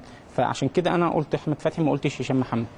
آه وليد هل شايف إن النادي الأهلي في بدايته؟ بالتأكيد هيذهب إلى الهجوم هيلعب إن هو يحاول آه، لقاء على ملعبه هيحاول إن هو آه، يفك خطوط الترجي يحاول بداية التسجيل وطبعا وجود الجمهور والدعم الجماهيري. فريق الترجي من الأول هل هيبدأ آه، بضغط ولا هيبقى متراجع؟ منكمش عايز يشوف النادي الأهلي ماذا سيفعل في البداية. هو الحقيقة أنا متطلع أشوف ال- ال- المباراة التكتيكية اللي هتكون بين كابتن حسام البدري وكابتن فوزي البنزرتي. المدربين آه، عاملين فرقتين كويسين بيلعبوا بتكتيك كويس بيغيروا التكتيك بتاعهم من مباراة لمباراة آه، وأكتر من مرة في المباراة الواحدة. طبعا زي ما أنت قلت طبيعي إن الأهلي هيكون آه، بيلعب ضاغط النهارده من بداية المباراة لكن كمان أنا متأكد ان ده مش هيكون بشكل عشوائي ومش هيكون بشكل متهور لأن الل- اللاعب اللاعب الأهلي عندهم خبرات وعارفين إن دي مباراة النفس الطويل والمباريات اللي زي دي اولا ما بتتحسمش بفرق كبير من الأهداف وثانيا ممكن الهدف اللي يحسم لك المباراة يجي في آخر دقيقة. فدايما هل هل يعني هاخد برضو من كلامك هل الاستعجال ممكن يكون له دور آه، آه، سلبي على ال- الفريق؟ موضوع إن الفرقة مستعجلة وعايزة تحرز ممكن ده بيضيع بعض من الفرص؟ مؤكد. استعجال اللاعبين واستعجال الجماهير أكيد بي- بيعود بشكل سلبي. أحيانا السيناريوهات ربنا بيديك كده سيناريو إلهي من عنده توفيق من عند ربنا إنك تحرز هدف في أول المباراة ده بيفتح لك كل شيء وبيسهل لك كل الأمور. لكن لما ال- الهدف بيتأخر شوية حتى لو بتضيع فرص دايما بيكون في ضغط من المدرجات وده شيء متوقع وده شيء متعودين عليه. لكن لاعبي الأهلي أنا متأكد إن عندهم الخبرات اللي تسمح لهم إن هم ما يتأثروش بأي نوع من أنواع الضغوط سواء ضغوط الجماهير المتوقعة أو أو ضغوط لاعبي الترجي اللي إحنا كلنا عارفينها مش بس الترجي كل الفرق الشمال الإفريقية اللي بتعرف تتعامل في المباريات دي بشكل آه، معين. فلازم لاعبي الأهلي يطلعوا كل الخب... كل خبرات السنين في طب مباراه هل مؤمن زكريا ممكن يبقى ليه دور في هذا اللقاء؟ مؤمن زكريا لاعب مهم جدا في النادي الأهلي من أحسن لاعبين في مصر اللي بتعرف تتحرك من غير كورة. آه، يمكن يعيبوا شوية حتة الفينشنج لكن هو دايما هو بيحرز أهداف كتير. طبعا هو ما هو ليه بيحرز أهداف كتير؟ وليه الناس واخدة عنه انطباع إنه بيضيع كتير؟ لأنه بيحط نفسه في المكان الصح كتير فبتجيله كور كتير. فلما يجيب هدف من ضمن أربع خمس فرص كل مباراة الناس بتعتقد إن ده قليل لكن هو بيظل أحد هدافي الفرقة من ساعة ما انضم للاهلي واحد من الهدافين. أنا شايف إن مؤمن أحد أهم لاعبي التشكيلة الحالية يعني للنادي مؤمن هو هداف آه، الأهلي هو وعمرو جمال في دوري أبطال أفريقيا حتى الآن ولكن آه، مؤمن آه، مستمر مع الفريق. أحرز خمس أهداف هو وعمرو جمال في دوري أبطال أفريقيا وهداف الفرقة في دوري الأبطال حتى الآن. طبعا دايما مؤمن بيقدم الحل لزميله. دايما مؤمن بيكون في مكان عشان كده بياخد الكرة كتير جدا. هيكون ليه دور أعتقد النهارده في مباراة النهارده مؤمن زكريا و- وبرضه مؤمن من الناس اللي بتظهر في المباريات الكبيرة. شأنه شأن وليد سليمان.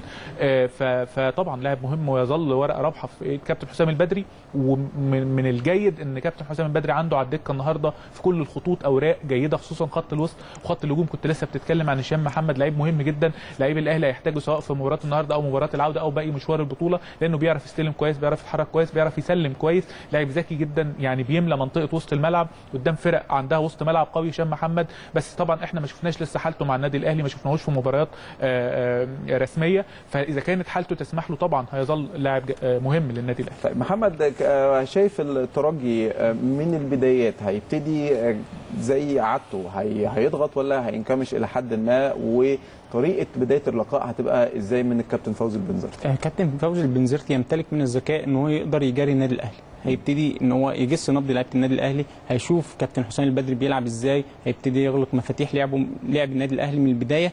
لكن خليني أقول لحضرتك إن لما الأهلي بيضغط يمكن إحنا شفنا الترجي بس أنا أنا آسف هقطعك بس لأن في آه، آه، صورة لماتش الأهلي وكوتوكو.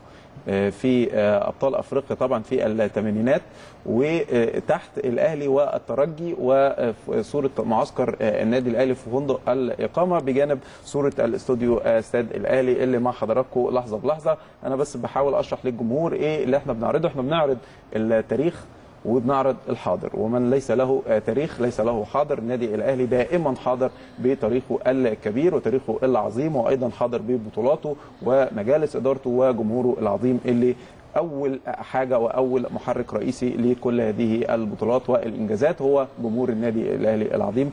كمل أستاذ محمد كنا بنتكلم على كابتن فوزي البنزرتي. فزي ما بقول لحضرتك كابتن فوزي البنزرتي هيأمن بشكل كبير مش هيدفع بكل أوراقه الرابحة لازم يحتفظ بلاعب أو اثنين على دكة البدلاء يقدر يستغلهم في الشوط الثاني يمكن الترجي عنده آه، نقطة ضعف كبيرة جدا إن أنت لما بتضغطه آه، بيبتدي يفكك خطوطه اللعيبه بتفقد تركيزها. ده شفناه يمكن في نهائي البطولة العربية بين الترجي والفيصلي. كان الفيصلي متأخر بهدفين ولما بدأ فريق الفيصلي يستعيد توازنه ويبدأ يضغط على الترجي شفنا يمكن نادي الترجي عانى كتير في في المباراة. لقاء الإياب. كان النادي الأهلي فاز بهدفين مقابل لا شيء في آه، كوتوكو. طبعا دي بطولة 82 كابتن محمود الخطيب كان أحرز الهدفين وأحرز الهدف ال- آه، طبعا التعادل هناك. كان النادي الأهلي تعادل واحد واحد وحصل على البطولة. منظر جميل جدا. نتمنى إن إحنا نشوفه دائما للنادي الأهلي. وهو طبعا أكبر ممثل للكرة المصرية في دوري أبطال أفريقيا وأكبر النادي حصولا على هذه البطولة. وإحنا بنعرض أهداف للتاريخ. النادي الأهلي محدش يقدر يحسفه ومحدش يقدر إن هو آه، يبتعد عنه ومحدش يقدر إن هو يتجاهله. آه، في لعيبة آه، كبيرة جدا في تاريخ النادي الأهلي أدوا الكثير للنادي الأهلي ومن أهم عوامل النادي الأهلي في حصوله على هذه البطولات. وما فيش حد يقدر ينكر هؤلاء اللعيبة. أبرزهم طبعا كابتن محمود الخطيب وأدي فرحته ده نهائي 87 أمام الهلال السوداني و يعني أدي وهو شايل كأس البطولة. إحنا هنا في قناة النادي الأهلي بندي تاريخ وماضي وحاضر ومستقبل النادي الأهلي عبر تاريخه ما بنقدرش نشيل أي إنجاز لأي حد. أدي تمريرة آه، زميلي كابتن محمد فاروق اللي هيكون مع حضراتكم في الفقرة الثانية من استاد الأهلي لسيد عبد الحفيظ أو سيد فيجو في سان داونز وده نهائي 2001 واحدة من البطولات الجميلة للنادي الأهلي. كان في ظروف مشابهة إلى حد ما آه، زميلي محمد في آه، إلى ظروف هذه المسابقة. آه، النادي الأهلي كان في فترة أحلال وتجديد كان في تغيير مدير فني آه، جديد للنادي الأهلي. طبعا وهو كان قدوم مانو جوزيه وكان في لعيبة شباب كتير في هذه الفترة. لكن النادي الأهلي وروح الفنانه الحمراء استطاع إن هو يحقق هذه البطولة. هل شايف إن روح النادي الأهلي وروح الفنانه الحمراء وإن إن شاء الله 11 لاعب يكون 11 مقاتل في لقاء اليوم تقدر تدي الأفضلية للنادي الأهلي؟ يمكن دايما أنا كنت بسمع آه، الماتش ما ينتهيش غير بعد صفارة الحكم. النادي الأهلي فعلا هو النادي الوحيد اللي قدر يفهمنا الجملة دي. النادي الأهلي طول ما المباراة شغالة تحس إن لسه الجماهير لسه في الملعب. ما تعرفش الأهلي ممكن يجيب جون في أي وقت ممكن يكسب في أي لحظة. فروح الفنانه الحمراء والأهلي ذات نفسه بي- بيظهر في المباريات القوية. يمكن ماتش الترجي أنا أعتقد إن الأهلي النهارده هيظهر بشكل قوي جدا. عايز يصالح جماهيره. يمكن أفضل من الناحية البدنية من نادي الترجي. يمكن نادي الترجي لعب أربع ماتشات في الدوري الأهلي لعب ماتش واحد. آه، يمكن شفنا كابتن فوزي البنزرتي اتكلم عن الحالة البدنية للاعبيه وقد إيه هم في حالة إرهاق نتيجة ضغط المباريات. يمكن في البطولة العربية شارك نادي الترجي بالقوام الأساسي ليه. بعد كده دخل في الدوري لعيبته عنده حوالي سبع لعيبة أو ست لعيبة في المنتخب التونسي. برضو دول من العناصر الأساسية في الترجي. فاعتقد ان العامل البدني هيكون في صالح النادي الأهلي النهارده ده خلال المباراة. هدف أبو تريكة الشهير معانا على الشاشة في لقاء الصفاقسي. وحتى أنيس بوجلبان لو حضراتكم تتفكروه كان جه لعب فترة في النادي الأهلي قال لك إحنا خلاص بنستعد إن إحنا ناخد كأس البطولة وابتدت ال- الأفراح تبقى في الجمهور وأنا خلاص قلت أنا هطلع أشيل دوري أبطال وأنا بفكر إزاي هشيل الكأس. لقيت أبو تريكة رايح جاب هدف الفوز وقلب الموازين كلها على الكل والنادي الأهلي دائما. زي ما شفتوا حضراتكم في نهائي كأس مصر أمام المصري كما حدث أيضا أمام المصري وأمام فرق كتيرة جدا تحس إن النادي الأهلي البطولة بعيدة عنه ولكن في اللحظة الحاسمة النادي الأهلي يلعب للنفس الأخير. وزي ما قال الكابتن حسام البدري امبارح في المؤتمر الصحفي صراحة بحيي الكابتن حسام البدري كلامه كان موزون جدا وكان عظيم جدا في المؤتمر الصحفي لما قال إن آه، إحنا عارفين قيمة نادي الترجي التونسي ولكن أنا آه، بدرب النادي الأهلي واحد من أكبر الفرق ومرشح للبطولة. وأيضا في شوط تاني في آه، تونس أنا لسه هلعب عليه ده الشوط الأول. ده لقاء نهائي بقى القطن الكاميروني في بطولة 2008 برضو من البطولات اللي كانت صعبة آه، زميلي وليد على النادي الأهلي وكان بدايته هنا في القاهرة مش على المستوى لكن راح وحسم البطولة في الكاميرون. أنا هاخد من من شاشة قناة النادي الأهلي ومن كلامك ومن تاريخ النادي الأهلي. عايز أقول إن الأهلي من من الطبيعي إن هو يخشى فريق الترجي النهارده لكن إذا كان الأهلي خايف من الترجي فالترجي مرعوب من النادي الأهلي. تأكد إن كل لاعب من لاعبي النادي الأهلي من لاعبي نادي الترجي ومدربهم وإدارتهم وكل فرد وإعلامهم جمهورهم- وجمهورهم. وإعلامهم وكل فرد من جمهورهم حافظين تاريخ النادي الأهلي كويس جدا. حافظين النادي الأهلي بياخد بطولاته إزاي عارفين النادي الأهلي كسب الترجي إزاي أكتر من مرة وراح لما تعثر في مسرح خد البطولة من تونس أو راح كسب في تونس فتأكدوا إن نادي الترجي نازل مرعوب من النادي الأهلي. الأهلي لازم يستغل آه، الحالة دي لازم الأهلي ينزل النهارده وعارف إنه الفريق الأقوى والفريق ال- المرشح بعقل باتزان من غير تهور من غير اندفاع من غير استعجال. الأهلي لو عمل ده هيكسب وتاني أ- لو في ختام ال ال ال آه، كلامي حابب أقول حاجة حابب أقول إن النهارده يا جماعة مهما كانت النتيجة المباراة لم تحسم. التاريخ علمنا إن الأهلي حتى لو لا قدر الله تعثر أو بيتعثر في مصر بيقدر في خارج مصر إن هو يرجع تاني لل- لل- لل- للطبيعي ويكسب. فمهما كانت نتيجة مباراة النهارده اللقب هي... آه، مش اللقب يعني ال- المباراة أو الصعود هيحسم في المباراة القادمة إن شاء الله في رادس. ف... فمهما كانت النتيجة لسه في جولة تانية. الأهلي قادر على الفوز. و... و... وكل المقومات وكل المعطيات بتقول إن الأهلي قادر على الفوز وده اللي أتوقعه إن شاء الله في مباراة النهارده. طيب زميلي وليد عايز أسألك هل الأهلي هيكون عنده ورقة رابحة آه، هتكون لها ع- عنصر الحسم من وجهة نظرك في خط وسط أو خط هجوم النادي الأهلي أو حتى آه، على ظهري الاجناب مين اللي من وجهة نظرك شايف إن ممكن يبقى الورقة الرابحة أو ال- اللاعب اللي هيكون له دور إيجابي جدا ومؤثر جدا في على الفكرة الأهلي فريق جماعي. ولكن أنا بسألك كده من وجهة نظرك يعني. أهم لاعب في التشكيلة الأساسية للنادي الأهلي هو عبد الله السعيد. إذا كان عبد الله السعيد في حالته النهارده فهو هيكون آه، محور أو مصدر فوز الأهلي سواء هو اللي أحرز أو هيكون سبب في في, في التمريرة أو في اللعبة اللي الأهلي هيحرز منها. عبد الله السعيد يظل أهم ورقة في تشكيل النادي الأهلي الأساسي النهارده بالنسبة لدكة ال- النادي الأهلي فأنا شايف إن صالح جمعة أحد أهم اللاعبين اللي ممكن يكون ليهم دور. أحمد الشيخ كمان لو لو في حالته الطبيعية ولو في حالته ال ال ال ال ال ال البدنية والفنية الطبيعية هيكون ليه دور كبير في مباراة النهارده. طيب زميلي محمد هل برضو شايف في لعيبة هو هيبقى الورقة الرابحة النهارده؟ يمكن أختلف مع زميلي وليد بس أنا شايف إن جونيور أجاييه هيبقى الورقة الرابحة. يمكن أنا شايف إن العنصر البدني لأجاييه هيكون أفضل من السعيد فبالتالي هيدفعه إن هو يقدر يكمل من بداية المباراة إلى ما- لحد ما بس هو تنتهي ده مركز وده مركز. يعني ولكن هو بدنيا فعلا جونيور من اللعيبة الأقوياء وحريف وهو قوي فدي مش معادلة ما تبقاش موجودة كتير. وعنده كذا ميزة يعني ممكن يخش جوه ال 18 يلعب لك head يجيب جون يخلص الماتش. عنده بصير لعيب بصير لعيب جناح آه، هيجهد ال- المدافعين. فلعيب عنده رؤية لعيب تكتيكي. ممكن كابتن حسام يوظفه في أي حتة يعني يمكن ممكن يشيل وليد أزارو يدفع في- اجاييه في مركز الهجوم الهجوم. فعنده كذا فكرة إن هو ممكن اجاييه يبقى الورقة الرابحة للنادي الأهلي في مباراة اليوم. طيب إحنا ممكن ناخد التشكيل المتوقع أيضا لفريق الترجي أقوله لحضراتكم قبل ما نعقب عليه. في حراسة المرمى الحارس الدولي معز بن شريفية علي المشاني آه، قلب دفاع وشمس الدين الزوادي إيهاب المباركي وخليل شمامي آه، على الأجناب وكوليبالي غيلان الشعلالي أو فرانس كوم وأمامهم فرجاني ساسي وفي الأمام أنيس البدري فخر الدين بن يوسف أو طه الخنيسي. ممكن فخر ما يبتديش دي التشكيلة الأبرز والمتوقعة لفريق الترجي التونسي وكان بيلعب أو مركز عليها الكابتن فوزي البنزرتي في العديد من المباريات. شايف آه، وليد هل آه، برضو آه، غير فرجاني ساسي في ورقة يعني هتبقى قوية جدا النادي الأهلي لازم يركز معاها؟ بدون خلاف أنيس البدري طبعا آه، مع طه ياسين الخنيسي الاثنين دول أهم مصادر قوة فريق الترجي أنيس البدري لاعب بيلعب جناح وبيلعب playmaker بيعرف يتحرك كويس في المنطقة اللي تحت في ثلث آه، دفاع الفريق المنافس. هي هيضغط النهارده على على على خط وسط وعلى ال- ال- الظهير الأيسر للنادي الأهلي آه، اللي هو هيكون علي معلول.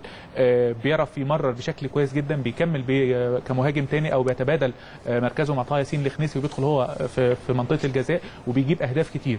أنيس البدري محور من محاور لعب منتخب تونس ومحور مهم من محاور لعب الترجي الحقيقة الثلاثي الأمامي اذا لعب بالثلاثي الطبيعي بتاعه اللي هو فخر الدين بن يوسف آه، أنيس البدري آه، طه ياسين الخنيسي هم دول آه، أحد أهم أضلاع منتخب تونس كمان مش بس نادي الترجي ثلاثي مهم جدا. ال- المسؤولية هتكون كبيرة جدا على خط وسط النادي الأهلي. عشان كده بنرجع نقول تاني خط الوسط ونرجع نقول تاني عاشور والسوليه ومعاهم عبد الله السعيد. إضافة إلى قلبي الدفاع رامي ربيعة وسعد سمير لازم يكونوا في ال 90 دقيقة أو الوقت بدل الضيع في في قمة تركيزهم، ما ينفعش يسهوا لحظة، وبعدين فكرة كمان إنه لازم يفوقوا بعض ولازم ينادوا على بعض أثناء المباريات وكابتن حسام البدري مش من النوع اللي بيعمل man to man يعني ما ما بيحطش لاعب بيحطهم مع هو بيبقى فيه تبادل. فتبادل ال- الرقابة ده محتاج إن اللعيبة تكلم بعض ومحتاج إن اللعيبة تفوق بعض طول المباراة. فأعتقد لو لو الأهلي في تركيزه في قمة تركيزه النهارده أعتقد ال- الأمور هتمشي بشكل كويس. طيب سريعا محمد وجهة نظرك كده عن اللقاء. سريعا آه، قبل ما آه، نختم ونسلم الاستوديو لزميلنا أنا هتكلم على الترجي آه، أخيرا كده. أنا شايف إن فرانك كوم وكوليبالي هم هيبقوا محاور ارتكاز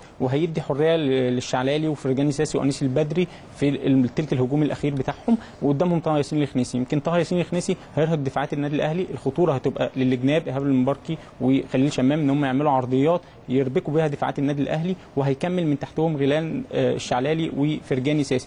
ممكن فخر الدين بن يوسف يحتفظ بيه على مقاعد البدلاء باعتباره ورقة رابحة في الشوط الثاني. وعندنا كمان اللاعب سعد بقير وهيثم الجويني يمكن سعد من اللعيبة اللي بتقدر تحتفظ بالكوره تقف على الكوره كويس في حالة إن المباراة انتهت زي ما فوزي البنزرتي عايز. طيب أنا في النهاية في الفقرة الأولى بشكر ضيفي الكريمي طبعا دكتور وليد الحديدي الناقد الرياضي. كنت بشكرك ويعني مشرفنا وإن شاء الله الأهلي يكسب النهارده. يا رب إن شاء الله يبقى يوم سعيد على النادي الأهلي وعلى الجماهير المصرية بشكل عام. وسعدت بالتواجد معاكم مع زميلي محمد. أيضا الزميل العزيز محمد الصايغ الناقد الرياضي مشرفني النهارده وإن شاء الله الأهلي يكسب. إن شاء الله الأهلي يكسب ووشنا يكون حلو على النادي الأهلي إن شاء الله. قبل ما أسيب حضراتكم هنذهب إلى تقرير للكابتن محمد شرف المدير الفني لفريق 2001 بقطاع ناشئين النادي الأهلي. ثم تستمر التغطية المتواصلة لقناه النادي الأهلي للقاء الذهاب دور الثمانيه الترجي التونسي والنادي الأهلي على ملعب برج العرب بالإسكندرية الساعة السابعة. تروحوش بعيد نادي الأهلي حبيبي.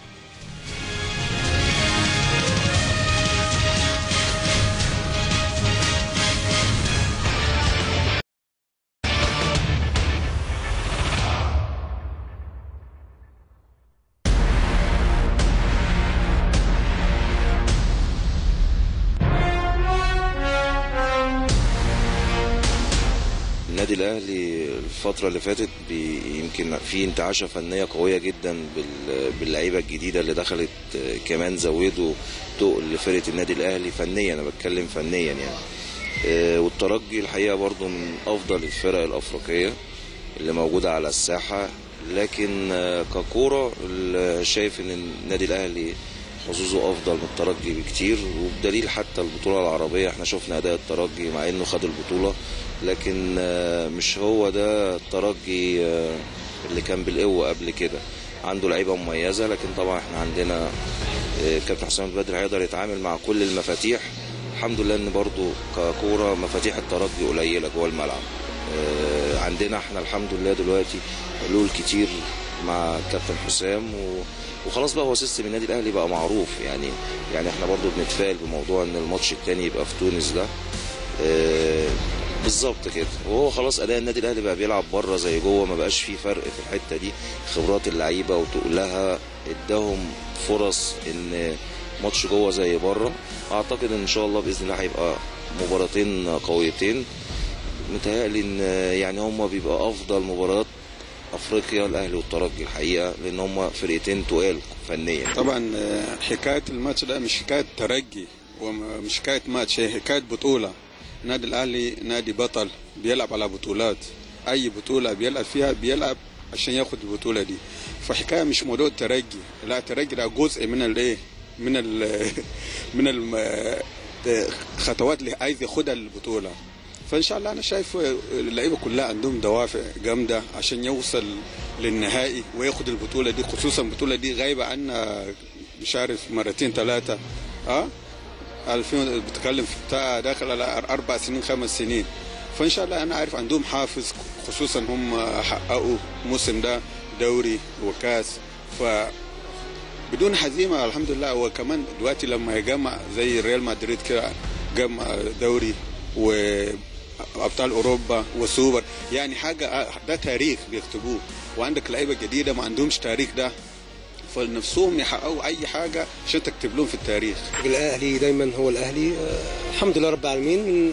واخدين الدوري والأيام قليلة جدا واخدين بطولة الكاس. آه، الفريق بيعيش حالة معنوية عالية جدا. آه، بسم الله ما شاء الله جميع اللاعبين مش ما فيش صف أول صف تاني إنما جميع اللاعبين اللي بيشاركوا حتى في البطولة العربية آه، كل الجماهير مطمنة على كل اللعيبة في كل المراكز آه، بنعيش حالة من الاستقرار الفني آه، طبعا الجهاز الفني ال- القدير كابتن حسام وكابتن أحمد وجميع وكابتن طارق سليمان وكابتن سيد نتمنى ليهم التوفيق. إنما المباراة من ناحية التوقعات إحنا دايما الحمد لله يعني بفضل من ربنا ربنا يديمها نعمة. إحنا دايما في المواجهات مع تونس الحمد لله بيبقى ربنا بيكرمنا فيها. آه، المباراة الأولانية هنا إن شاء الله بإذن الله نحقق نتيجة مرضية. يعني تحط رجلينا بنسبة كبيرة جدا في الدور اللي بعده. وأنا شايف إن شاء الله بإذن الله الأهلي يعدي من المباراة دي. أعتقد إن هي أصعب مواجهة لحد إن شاء الله ما ناخد البطولة ممكن تقابل النادي الأهلي. إنما أنا من الناحية الفنية ومن الناحيه ومن ناحية شخصية لعيبة النادي الأهلي اللي بتظهر دايما في. في الأوقات الصعبة إن شاء الله بإذن الله ما حدش يقف قدامنا.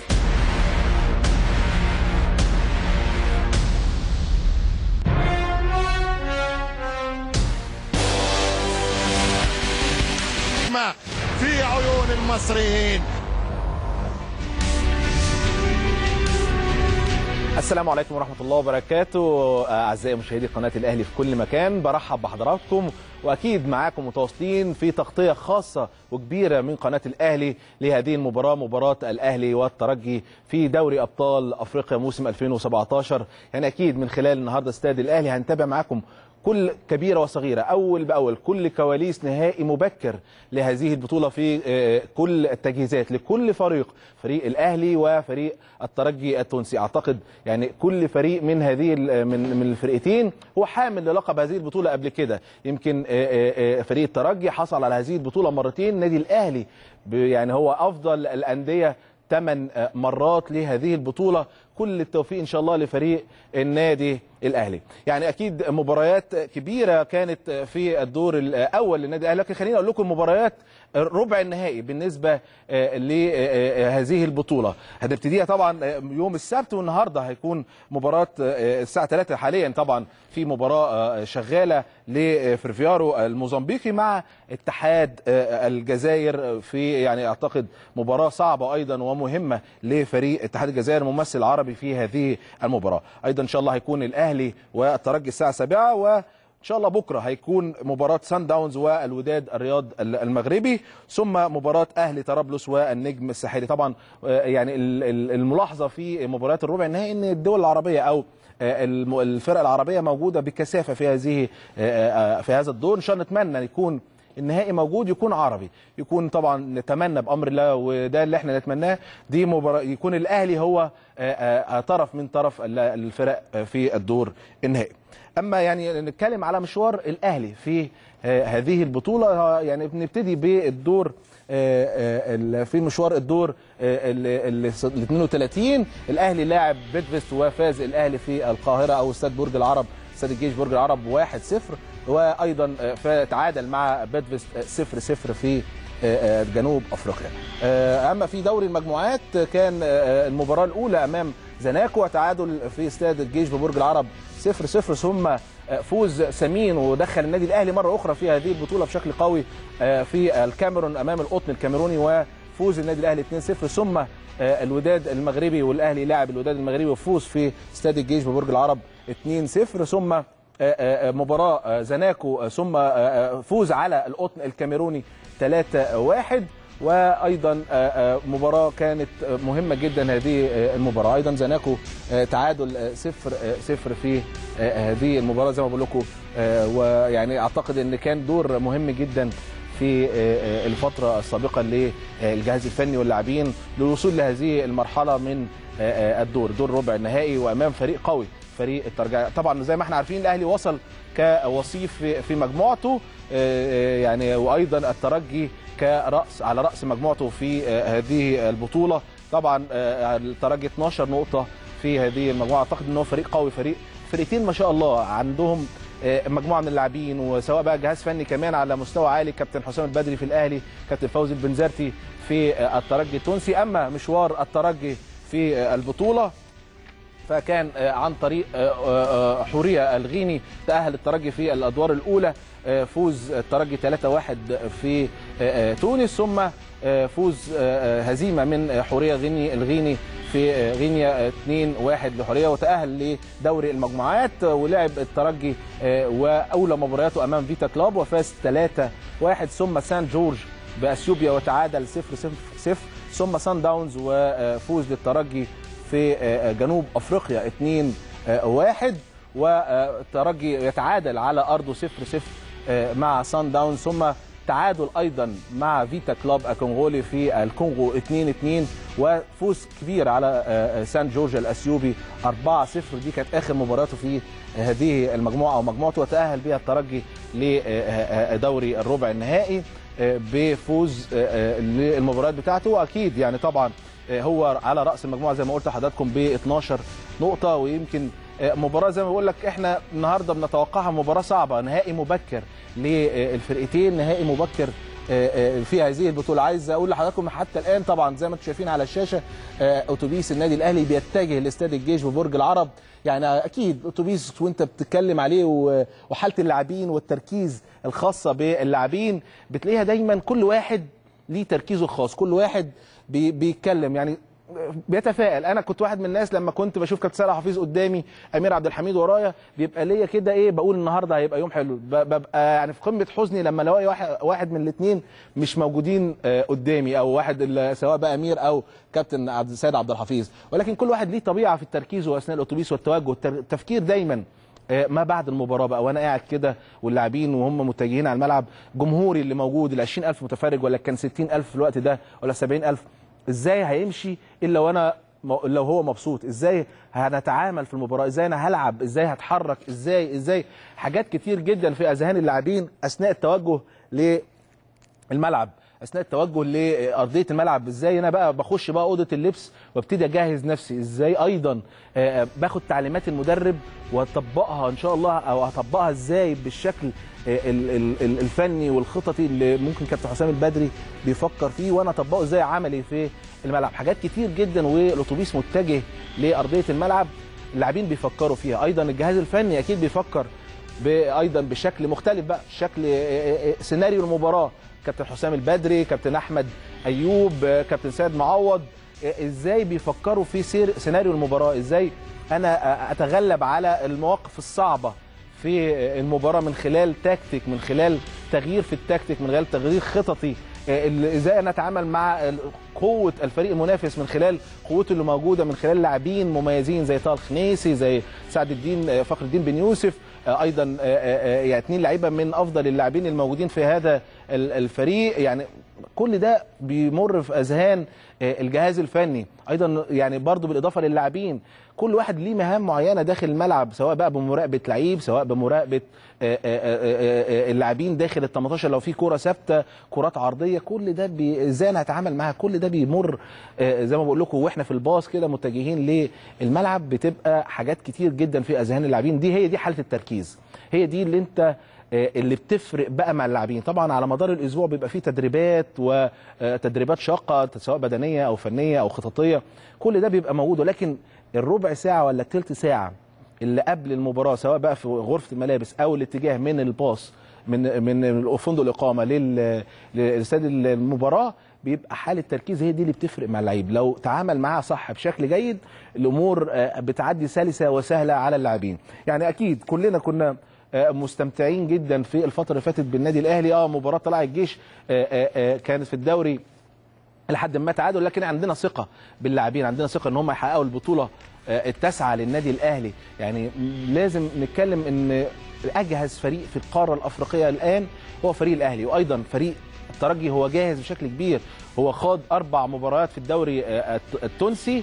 يعني فاز في كل ال- ال- ال- المباريات اللي خاضها في بطولة آه، بطولة الدوري التونسي.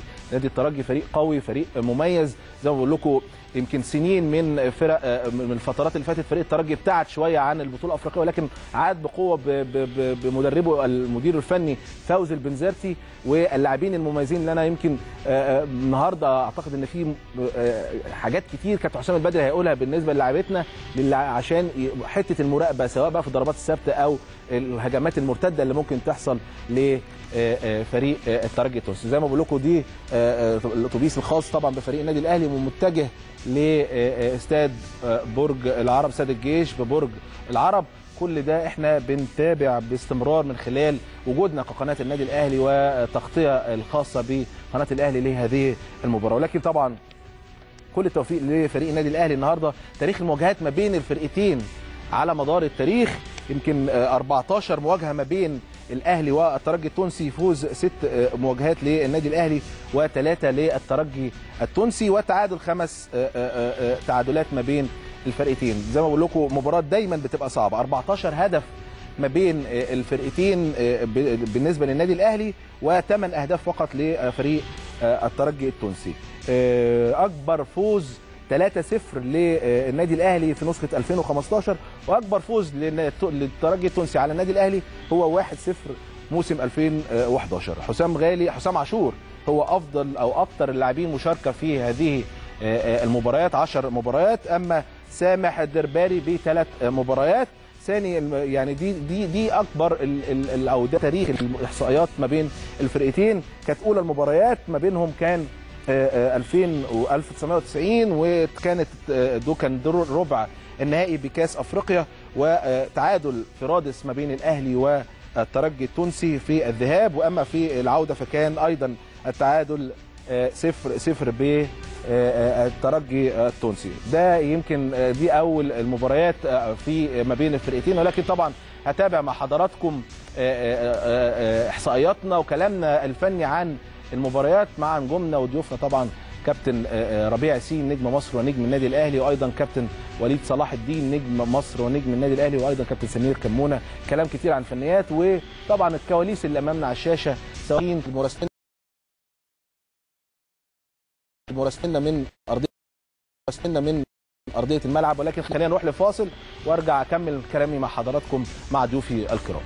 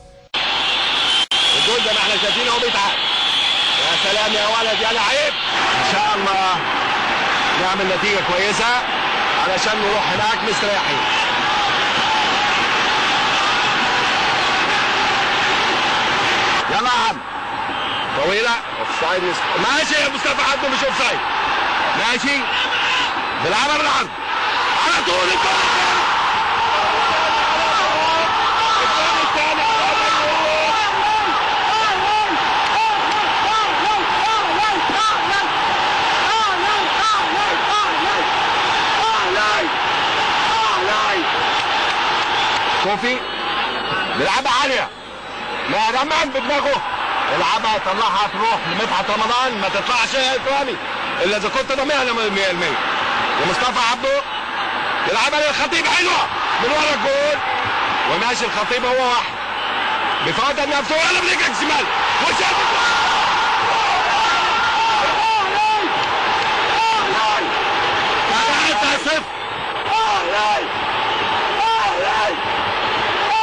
في الدقيقة 35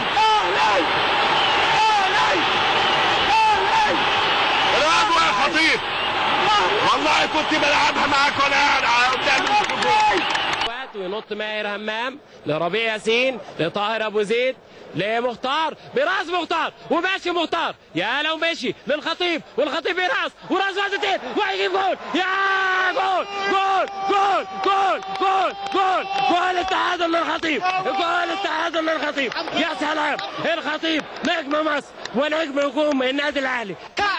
كأس أفريقيا مع أبطال مصر وأبطال النادي الأهلي. حسام حسن وبيلعب الكرة العرضية آه! وبيحطها في جوله بيحطها في جوله الثعلب الثعلب يغلط ويحط الجول الأول. الثعلب يغلط ويحط كرة حسام حسن العرضية على شمال يور. وطاهر أبو زيد لعبها قصيرة الحمدي حمد أبو راضي لطاهر أبو زيد. وبيلعبها بالعرض إنما بيطلع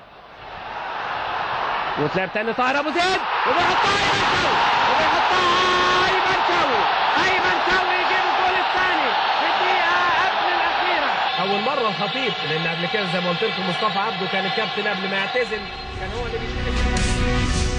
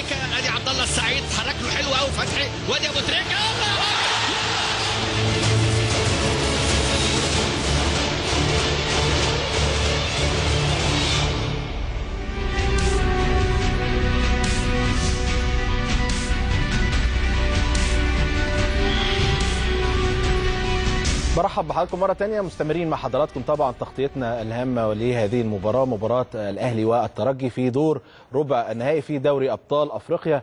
كلام كتير طبعا عن هذه المباراة. أكيد زي ما كنا بنتكلم هو نهائي مبكر في هذه البطولة بطولة أفريقيا. يعني أعتقد أنها بطولة مميزة لجمهور النادي الأهلي وكل محبين النادي الأهلي والفرق وأكيد الأجهزة الفنية. آه، يا رب إن شاء الله تبقى هي دي البطولة التاسعة. بداية من النهاردة لأن مباراة صعبة. المباراة لو تخطيتها تبقى الأمور بالنسبة لك كنادي أهلي للوصول للدور النهائي هتبقى أسهل لأن دائما الفرق التونسية أو فريق الترجي بشكل كبير ما بيبقى منافس ليك بتقابله بتبقى مباراة صعبة لكن نتمنى إن شاء الله وثقتنا في آه، آه، لاعبتنا والجهاز الفني وفريق النهارده ثقة كبيرة جدا ان يخلص المباراة بشكل جيد.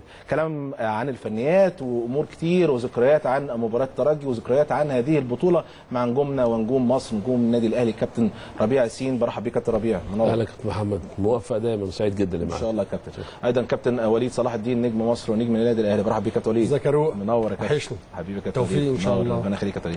أيضا كابتن سمير كمونة نجم مصر ونجم النادي الأهلي. برحب بيك يا كابتن سمير حبيبي يا روح موافق منور إن شاء الله جود لك إن شاء الله. كابتن خلينا نبتدي مع حضرتك طبعا.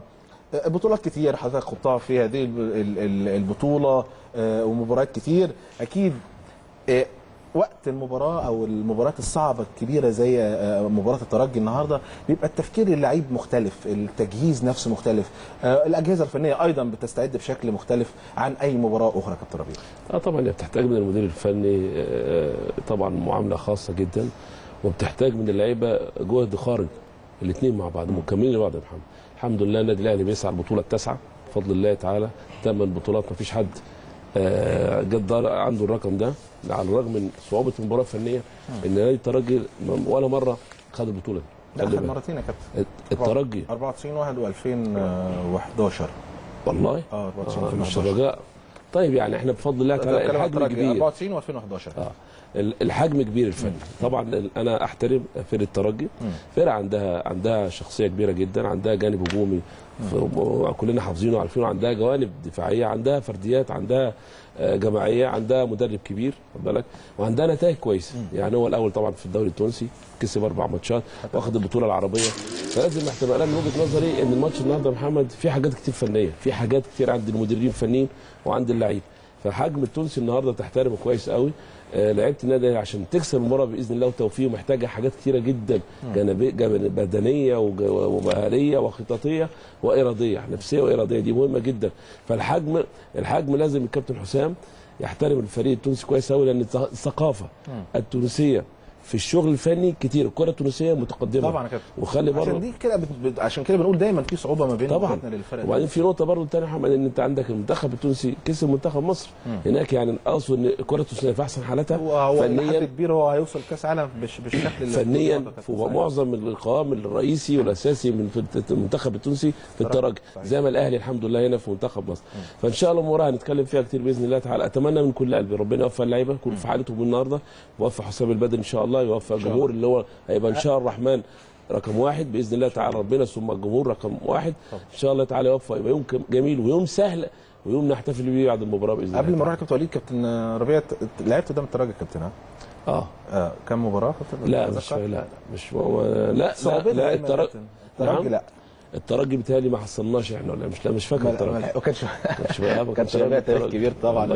لازم تنسى طبعا يا كابتن ربيع. مباريات كتير. كابتن وليد يعني برضو نفس الوضع كابتن وليد والسؤال لحضرتك المباريات دي بيبقى ليها اختلاف دايما في التجهيز. اللاعبين يا كابتن وليد وانت قاعد يمكن حضرتك واحد من الناس اللي أخذوا 2001 وكنت موجود هنا في القاهرة وتعادل سلبي ثم التعادل الإيجابي هناك في مباراة الترجي بهدف كابتن حفيظ.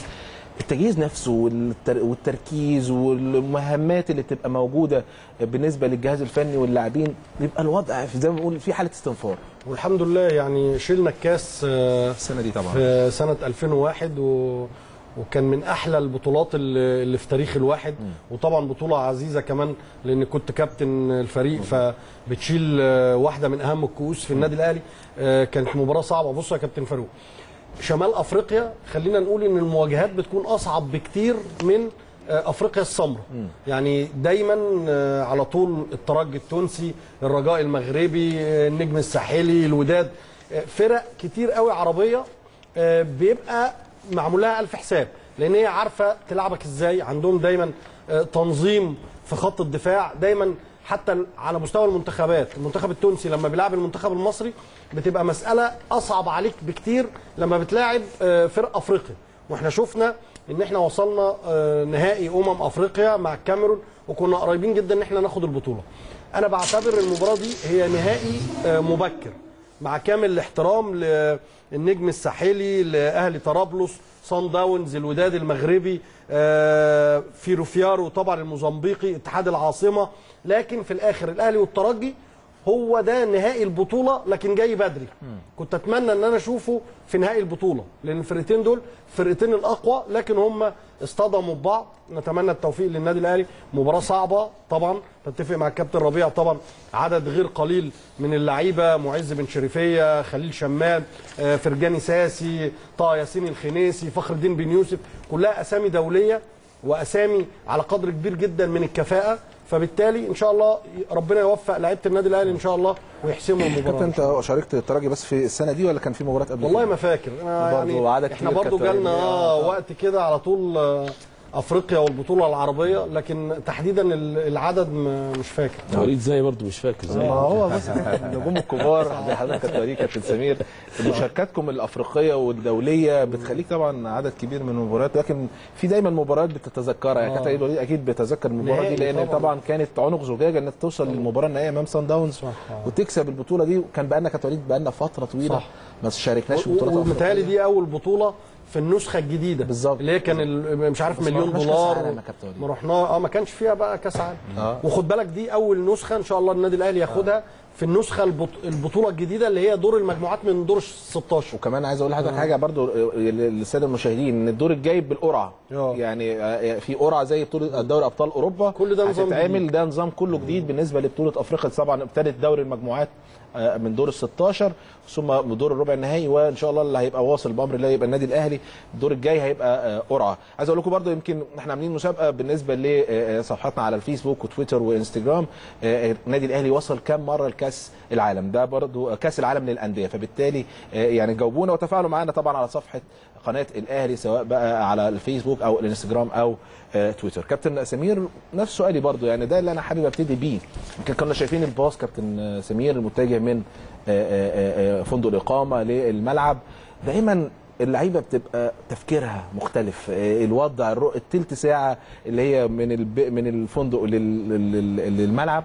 أو التلت ساعة اللي هي من الملعب لت... للتسخين أو من غرفة الملابس للتسخين.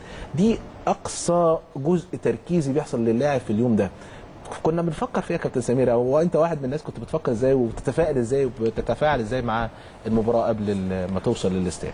بسم الله الرحمن الرحيم. طبعا اولا بنتمنى التوفيق للنادي الأهلي. طبعا. والجماهير إن شاء الله تبقى دفعة قوية النهارده. حاجة جديدة هيبقى في عدد إن شاء الله. نتمنى يبقى في توفيق للاعبين ويكونوا في حالتهم. طبعا آه، زي يعني الاستوديو ما شاء الله كلهم يعني طبعا استوديو جامد، استوديو- قوي، يعني استوديو دولي. أكيد حاسين بالشعور اللي قبل المباراة ولاعيبه كورة وعارفين. إحنا هنتكلم برضو يمكن ناس في ناس مش واخدة بالها إن إحنا هنتكلم التركيز بيبقى قبل الماتش بيوم برضو مش آه، يعني آه، ليلة المباراة آه، sorry الصبح أو قبل الماتش بساعة أو ساعتين لا. بيبقى أسبوع كامل تركيز يا كابتن بس في وقت معين اللي هو ال peak نفسه آه يعني اللي هو حالة التركيز اللي هو إيه؟ أول يوم المباراة الصبح يعني كلنا بنصحى بدري بيبقى فيه فطار وتجمع وبعدين محاضرة كل ده بيبقى تركيز بيبقى load عليك جامد قوي خصوصا في الماتشات التقيلة ماتشات زي الترجي فرقتين تقال فرقتين ليهم تقولهم في, في أفريقيا. ف وانت رايح كده بتبقى يعني متحمل مسؤولية صحيح. عامل حساب الجماهير آه، بتتمنى انت تعمل مباراة كويسة جدا. فكل دي العوامل دي بتؤدي للتركيز والتركيز بيخليك ان انت تكسب. فانا عايز اوصل برضو سهل- رسالة ان اللعيبة آه آه، عليك يعني ال- الجماهير اللي تبقى موجودة اللعيب بيبقى داخل على المباراة عنده شحنة قوية جدا.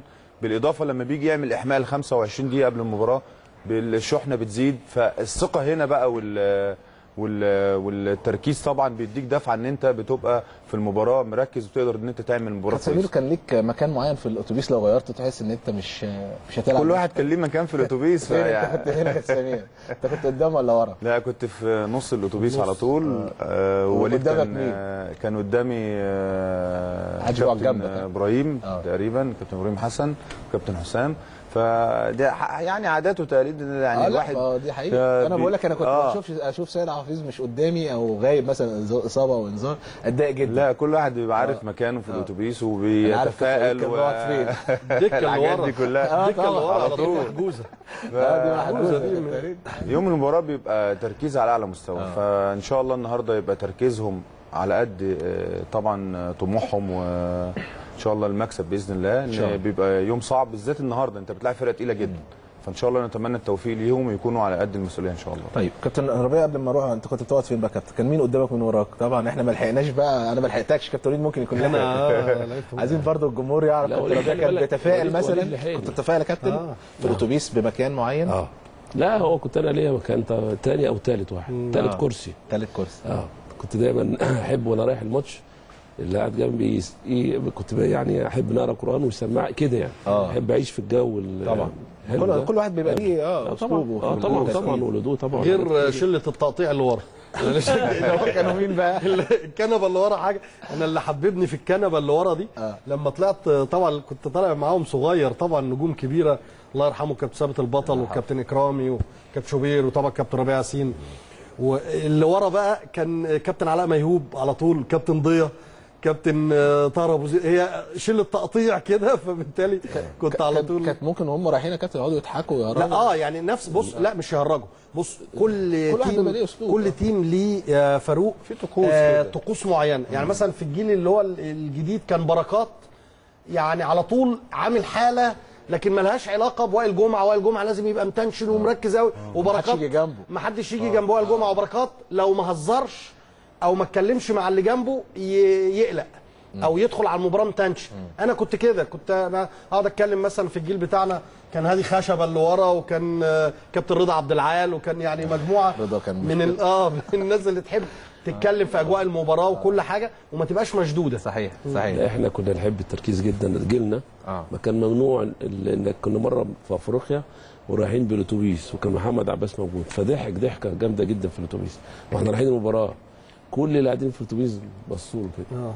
واخد بالك؟ آه. فجيلنا كان زي ما قال وليد بتختلف. آه، لجيل. بتختلف يا كابتن. بتختلف. طب وانت كابتن مدير كنت مدير فني كنت بت... اللعيبة كنت بت... لا. يعني في الجيل الجديد ده؟ لا أنا نزلت بقى وعرفت الجيل الجديد ده عاوز إيه ودخلت له من سكة عاوز إيه آه. يعني لو كنت صممت على أجيال قديمة وتصرف لا الجيل ده بيختلف. أنا خدت واحد عنده 15 سنة 16 17 18 لحد ما خد كأس أفريقيا. فبقيت معاه في كل حاجة. اعرف انت هرج معاه واقفل عليه الاوضه واقول له اضحك وامتى بقى نام وامتى كنت ماشي معاهم واحدة واحدة عشان أقدر احقق الهدف اللي أنا عاوزه. انما العافيه طبعا. العين والعقل. صح. مهمين جدا عند المدير. الفني. والخبرات طبعا. صحيح يا كابتن. خلينا أكلمك كابتن على وصول الفرقتين للدور الربع النهائي. يمكن الترجي وصل كأول مجموعته 12 نقطة وكان وراه طبعا فريق سان داونز فريق قوي أيضا فريق سان داونز كان في هذه المجموعة. النادي الأهلي وصل كثاني هذه المجموعة برصيد 11 نقطة. الوداد كان هو في آه، آه، آه، المركز الأول في هذه المجموعة. خليني أقول لك النهائي المبكر ده دائما إحنا كنادي أهلي تعاملاتنا أو المباريات في القاهرة مع فريق الترجي بالذات أو الفرقة التونسية بالذات بتبقى النتيجة بتبقى بنقول أو بت- بتبان في في السابق لمصلحة الفريق التونسي. ولكن النادي الأهلي في الآخر لما بيروح هناك بيتأهل على حساب الفرقة التونسية. شفنا ده أمام الترجي في 2001 شفنا ده أمام صفاقسي آه، وطبعا مباراة أبو تريكة الشهيرة والهدف في اللحظات الأخيرة.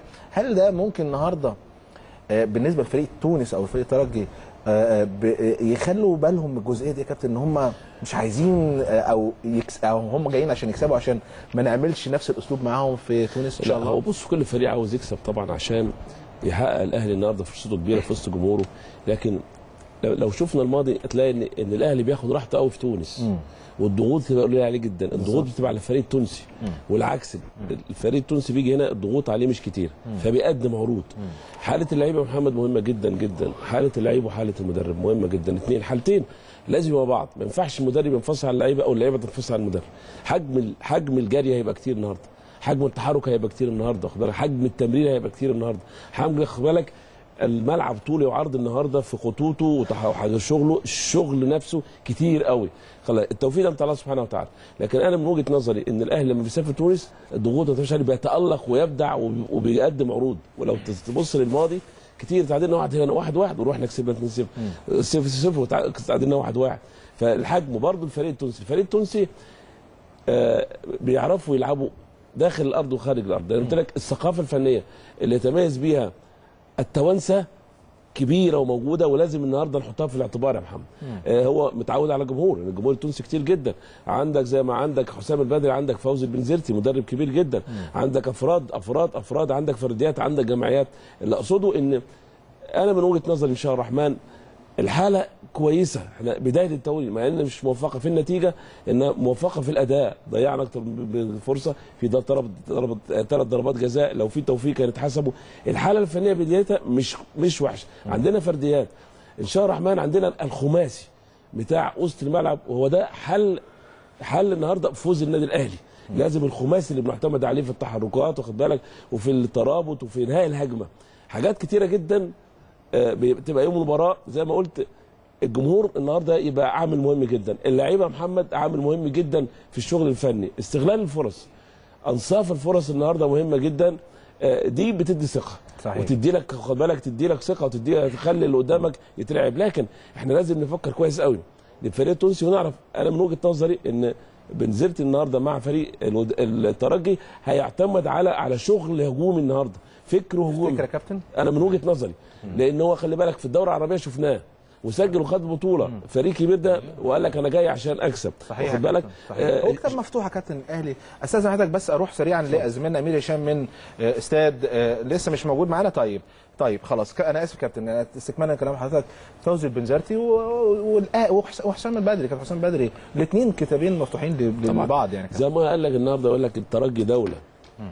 تصريحه بخبراته الكبيرة بشغله واخد بالك؟ البنزرتي لازم تفكر له كويس قوي الكرة التونسية حتى لو مش هم عندهم عندهم مساحة هجومية كبيرة جدا خلال أحداث المباراة. صحيح. الدفاع تبقى أقل. ولو تلاحظ لو لعبنا على الحتة دي كويس قوي هتلاقي الترجي سهل يدخل فيه. واخد بالك؟ اهداف وسهل توصل له. اتفضل. أستاذنك يا كابتن معلش يعني زميلنا أمير هشام أكيد من استاد الجيش برج العرب وموجود في الملعب. تفاصيل الدنيا يا أمير وأكيد يعني الجمهور أكيد موجود بشكل كبير شكل آه، جميل. ده اللي إحنا كنا بنستناه. وقول لي يعني قول لي لو أنت التشكيل معاك كمان يا ريت تبلغنا بيه. اتفضل يا أمير. تحياتي ليك يا. كابتن فاروق. تحياتي لضيوفك طبعا كل مشاهدي ومتابعي قناة الأهلي في كل مكان. خليني سريعا في البداية أقول لك تشكيل النادي الأهلي لسه حالا. كان دلوقتي في حراسة المرمى شريف إكرامي. امامه رباعي خط الدفاع علي معلول سعد سمير رامي ربيعة أحمد فتحي نص الملعب حسام عاشور عمرو السولية امامهم عبد الله السعيد جونيور اجاييه وأحمد الشيخ والمهاجم الوحيد للنادي الأهلي وليد أزار. ده التشكيل الرسمي 11 لعيب. معلش ممكن تقوله لنا تاني يا أمير؟ بعد إذنك قوله لنا التشكيل تاني. شريف إكرامي. في حراسه المرمى علي معلول في خط الدفاع هو سعد سمير رامي ربيعة أحمد فتحي نص الملعب حسام عاشور عمرو السوليه عبد الله السعيد جونيور اجاييه أحمد السيف ووليد ازارو تمام. ده تشكيل النادي الأهلي الرسمي للمباراه خليني أقول لك دكه البدلاء برضه سريعا. بعد إذنك يا أمير. اتفضل. محمد الشناوي صالح جمعة. أيوه. محمد نجيب. مؤمن زكريا. هشام محمد. وليد سليمان. وعماد متعب. دي دكه البدلاء الخاصة بالنادي الأهلي لكن خليني سريعا أتكلم عن الأجواء هنا في ملعب المباراة. يا كابتن فاروق ويمكن. خليني أقول لك جمهور النادي الأهلي متواجد من بدري النهارده. بيقولوا بعض طبعا الانتخابات الحماسية آه، للاعبي النادي الأهلي. لاعبي النادي الأهلي حتى الآن لسه في كورة بخلع الملابس آه، دقائق وهينزلوا آه، طبعا أداء عمليات الاحماء قبل هذه المباراة. خليني أقول لك أيضا من الكواليس وأتوبيس الأهلي وهو داخل ملعب المباراة كان متواجد جمهور الترجي. خليني أقول لك جمهور الترجي النهارده هيبقى فيه أعداد كبيره بالنسبة لهم يعني حوالي 1000 1000 متفرج أو 1000 مشجع من جمهور الترجي التونسي كانوا بيقولوا بعض الهدافات أثناء دخول آه، أتوبيس النادي الأهلي. لكن خليني أقول لك الهتافات دي لعيبة النادي الأهلي خدتها بشكل حماسي بالنسبة لهم إن هم إن شاء الله يقدروا يردوا على هذا الجمهور خلال أرضية الملعب. إن شاء الله إن هم يحققوا نتيجة آه، إيجابية خلال مباراة النهارده بإذن الله. لكن بشكل عام كل الأجواء ماشية بشكل جيد جدا. وإن شاء الله نتمنى كل التوفيق للنادي الأهلي خلال مباراة النهارده. نتيجة مناسبة ونتيجة مريحة قبل مباراة العودة إن شاء الله. إن شاء الله أمير. يعني طبعا جمهورنا أكيد متواجد بشكل كبير وحقهم. حق جمهور الترجي يبقى متواجد ويشجع فريقه. ولكن طبعا إحنا يعني أكيد من خلال لعبتنا اللي عندها قدر كبير من المسؤولية وفاهمه يعني إيه النادي الأهلي وإن المباراة في هنا في مصر. يعني تحقيق النتيجة الإيجابية واللي تريحك هناك هتفرق كتير جدا جدا مع نفسياتهم وطبعا مع نفسية جمهورنا بامر بشكرك يا أمير. معاك باستمرار كل كبيره وصغيره يا ريت يا أمير إحنا متواجدين معاك تقولها لنا بأمرنا. يمكن ده تشكيل فريق النادي الأهلي. يعني آه، كنا بنتكلم يا كابتن ولكن طبعا التشكيل مهم إن إحنا نعلق عليه سريعا كابتن وليد. يعني تشكيل كابتن حسام بدري متوقع. متوقع. لو كان في مفاضلة ما بين واحد ولا اثنين ولكن هو التشكيل آه، متوقع. إحنا كل ال كل ال الناس اللي اتكلمت في التشكيل خبراء ومحللين وقنوات فضائية كله ما خرجش عن نفس التشكيل. قلنا إن ممكن يبقى في ورقة أو ورقتين. كان في مفاضلة ما بين وليد سليمان وأحمد الشيخ. حسمها أحمد الشيخ لصالحه لكن الاثنين لعيبة كويسة. الاثنين ما بيخلوش بالطريقة. 4 2 3 1 الاثنين عندهم طبعا وليد خبرته أعلى وليد هدف قدام الترجي وليد طبعا دايما حاضر في المباريات الكبيرة لكن آه، كابتن حسام البدري اختار أحمد الشيخ بيديله ثقة عايزه يبقى ليه يا كابتن؟ آه، بص أنا يعني متأكد انت قلت وجهة نظر الخبرات وليد يمكن كان هدف الترجي قبل كده. إشمعنى آه، يعني أحمد شيخ برضو لسه لسه راجع آه كان موجود في الدوري الممتاز لكن لسه إلى حد ما في ناس من وجهة نظري من وجهة نظري سببين ثلاثة. السبب الأول إن هو عايز يدي لأحمد الشيخ ثقة إن أنت اللي هتبقى نمرة واحد في المكان ده. فشد حيلك آه، كابتن لعبه أول مباراة في الدوري في الجيش آه، الراجل جاب جون وكان عنده حسن ظن كابتن حسام البدري. فالكابتن بيديله على المباراة الثانية الأقوى. دي ده سبب. السبب الثاني إن وليد سليمان كان جاي من إصابة أو من كدمة كبيره شديدة جدا لدرجة إنها طلعته بين شوطي مباراة الأهلي والجيش. فده سبب مهم جدا. آه، السبب الثالث إن هو عايز يدخل أحمد الشيخ شوية بشوية. يعني برضو أحمد الشيخ آه، اتلام على الجهاز الفني قبل كده في السنة اللي جه فيها أحمد الشيخ إن الجهاز الفني ما اداش لأحمد الشيخ. وأحمد الشيخ قعد سنة كاملة ما بياخدش آه، غير ده طبعا هدف وليد الرائع. الرائع في معز بن شريفية وكان واخدها من فوق وليد الهشري ويعني كان واحد من نجوم المباراة طبعا آه، كمان الهدف ده ريح قوي لعيبه النادي الأهلي وخلى كابتن حسام يبتدي ينزل أبو تريكة وينزل بركات ويغير في تكتيك المباراة. عامل 1 2 مع جده حلو قوي شالها من فوق وليد كمان وعاملينها بشكل كويس قوي وثقة كبيرة. وليد واحد من ال- الناس اللي بيعتمد عليهم النادي الأهلي. لكن ممكن يبقى ليه دور الشوط الثاني كمان أتمنى من أحمد الشيخ إن هو يبقى عارف بقى الجزئية دي. أنا بلعب مكان واحد مش عادي في مركز مش عادي فبالتالي أنا كمان لازم أحط بصمة. يعني لازم آه، أحاول أهدف لازم كمان أحمد الشيخ بيلعب الضربات الثابتة بشكل كويس قوي. آه، كمان لازم يعمل جبهة هو وأحمد فتحي. وليد بيعمل حاجة كويسة قوي إنه بيرجع مع أحمد فتحي لغاية خط ال 18 خد بالك هم عندهم كمان آه، الجبهة دي جبهه صعبة جدا. إذا كان آه، خليل شمام أو فخر الدين بن يوسف لو لعب أو فرجاني ساسي لو مال في الحتة دي فكل ده محتاج آه، ال half ال defender وال half اللي بيلعب حر لازم يرجع مع ال back بتاعه. كبير طبعا. فلازم أحمد الشيخ النهارده نشوفه مع أحمد فتحي في خط ال 18 أحمد فتحي لما يدخل لجوه ودي المشكلة اللي كانت بتواجهنا في مباراة مصر وتونس إن كان علي معلول هو ال back left وكان قدامه آه، يوسف المساكني واحد من أحسن اللعيبة اللي في المنتخب التونسي لكن ما كانش محمد صلاح بيرجع مع أحمد فتحي. عشان كده إحنا قلنا إن في توقيتات وفي مباريات معينة مفيش مشكلة إن أدخل محمد صلاح لجوه ولاعب لعيب بيرجع لغاية آخر الملعب. اللعيب ده مين؟ وليد سليمان. وقلنا إن وليد المفروض يكون موجود في منتخب مصر ومؤمن المفروض يكون موجود في منتخب مصر عشان الحتت دي. فالنهاردة أحمد الشيخ ثقة كبيرة جدا من الكابتن حسام البدري. ثقة آه، يعني بتخليه أحمد الشيخ يبقى واثق جدا في نفسه ويبقى واثق إن هو نمرة واحد في المكان ده. ال- الورقة الثانية اللي هي وليد أزارو. يعني توقعنا انه ممكن يكون آه، أجاييه هو اللي راس حربة ومؤمن زكريا هو اللي على الطرف الشمال. فالكابتن حسام آه، احتفظ بالورقتين إن هم يكونوا معاه الشوط الثاني سواء وليد سليمان أو مؤمن زكريا مع طبعا الوافد الجديد هشام محمد ومع اللي إحنا كلنا متأكدين إنه هيكون ليه دور صالح جمعة في الشوط الثاني يعني عندك أربع خمس أوراق بره هتختار منهم ثلاثة. آه، اتنين من الثلاثة أنا بأكد لك وليد سليمان ومؤمن زكريا. لأن دايما الكابتن عودنا إن الأطراف بأي شكل من الأشكال لازم هتتغير. حتى حتى كابتن لو النتيجة بنتكلم إنها مرضية كابتن حسام آه. هيشتغل ال- ال- الهجومي بالنسبة لوليد ومؤمن. بص عشان نسهل على السادة المشاهدين. أي طرفين في النادي الأهلي مع الكابتن حسام البدري. كابتن حسام بيخليهم يعملوا مجهود مضاعف.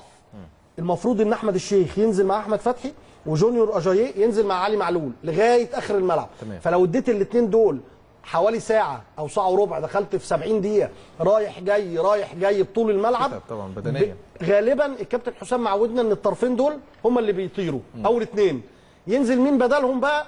ممكن كذا بقى مليون حل. يعني وليد أزارو مثلا لو مش موفق يروح مدخل جونيور اجاي راس حربة ومنزل مؤمن زكريا. أحمد الشيخ لو مش موفق يروح منزل وليد سليمان على حساب آه، أحمد الشيخ على طول. تمام. طيب لو أنت زي ما أنت بتقول النتيجة إيجابية والنادي الأهلي ماشي كويس وكسبانين واحد أو اتنين مفيش مانع إن أنا أروح مخرج أحمد الشيخ ومنزل صالح جمعة وألعب بثلاثه في نص الملعب وأقفل بزيادة. يعني عندنا من الأوراق اللي يقدر الكابتن حسام يتحكم في تكتيك المباراة زي ما هو. تمام كابتن يمكن آه، كابتن حسام ما غيرش. يعني طريقة اللعب هي واحدة. بتلاعب بيلاعب فريق على الورق بيلعب 4 3 3 عنده قوة هجومية عنده مجموعة من اللاعبين في وسط الملعب مميزين. آه، يعني أعتقد إن كابتن حسام آه قاري بشكل كبير فريق الترجي التونسي. عشان كده لما جه يختار تشكيل اعتمد على لاعبين يمكن هم اللي بيعتمد عليهم. ولكن في أكيد مواصفات معينة أو تعليمات معينة هتبقى موجودة من خلال اختيار هذا التشكيل. كابتن حسام بيدي- بيديها للاعبين. مفيش شك طبعا التشكيل بالنسبة للكابتن حسام البدري النهارده آه، يعني ما اتغيرش كتير. يمكن زي ما إحنا اتكلمنا يمكن وليد خرج ودخل مكانه احمد الشيخ لأنه كان آه، مباراة الجيش كان متألق وأحرز هدف فالكابتن بيديله فرصة وعايز يشوفه تاني. وبيعتمد على التجانس وال... وال... والطريقة واللي بيطبق هو اللي بيبقى موجود بصفة مستمرة. فعشان كده كابتن حسام في الماتشات ال- القوية أو الماتشات الحاسمة مع الفرق الثقيله بيعتمد على التشكيله الأساسية اللي ما بيغيرهاش. فالنهاردة آه، التشكيل آه، بنسبة 95% هو هو اللي بيلعب. فأنا أنا شايف إن الجهاز الفني بقيادة الكابتن حسام البدري بيعتمد على الخبرات في الماتشات الثقيله على وليد سليمان وعلى عبد الله السعيد وعلى آه، مؤمن زكريا وعلى أجاي وعلى سولية وعاشور. كل دول موجودين في كل الماتشات ال- القوية أو الحاسمة.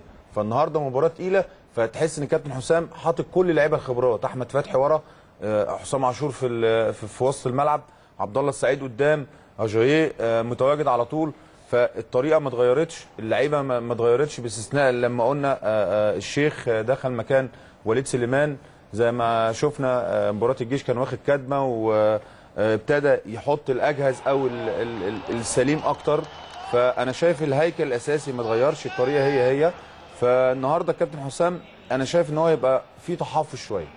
تحفظ من الناحيه الهجومية لأن فرقه ال- ال- الترجي بتعتمد على آه، قوة آه، لعيبة وسط الملعب. عندهم لعيبة كويسة جدا ولعيبة دولية زي طبعا آه، فخر الدين بن يوسف وأنس البدري. كل دي لعيبة كويسة جدا. النهارده شايف إن الكابتن حسام زي ما قلت لك من شوية هيبقى متحفظ شوية لأنه مش عايز يخسر كل حاجة. لا لا قدر الله يتغلب أو يتعادل. هو ممكن يبقى متحفظ يشوف فرقة الترجي بتلعب إزاي عندهم قوة الضعف والقوة يقدر يستغلها ويقدر يدرسها أول 45 دقيقة. كل دي أمور هتبان مع فرقة تقيلة زي فرقة الترجي إن هم عندهم لعيبة دولية يا فاروق. عندهم لعيبة دولية ممكن تفاجئك في أي لحظة بيهاجموا بشراسة.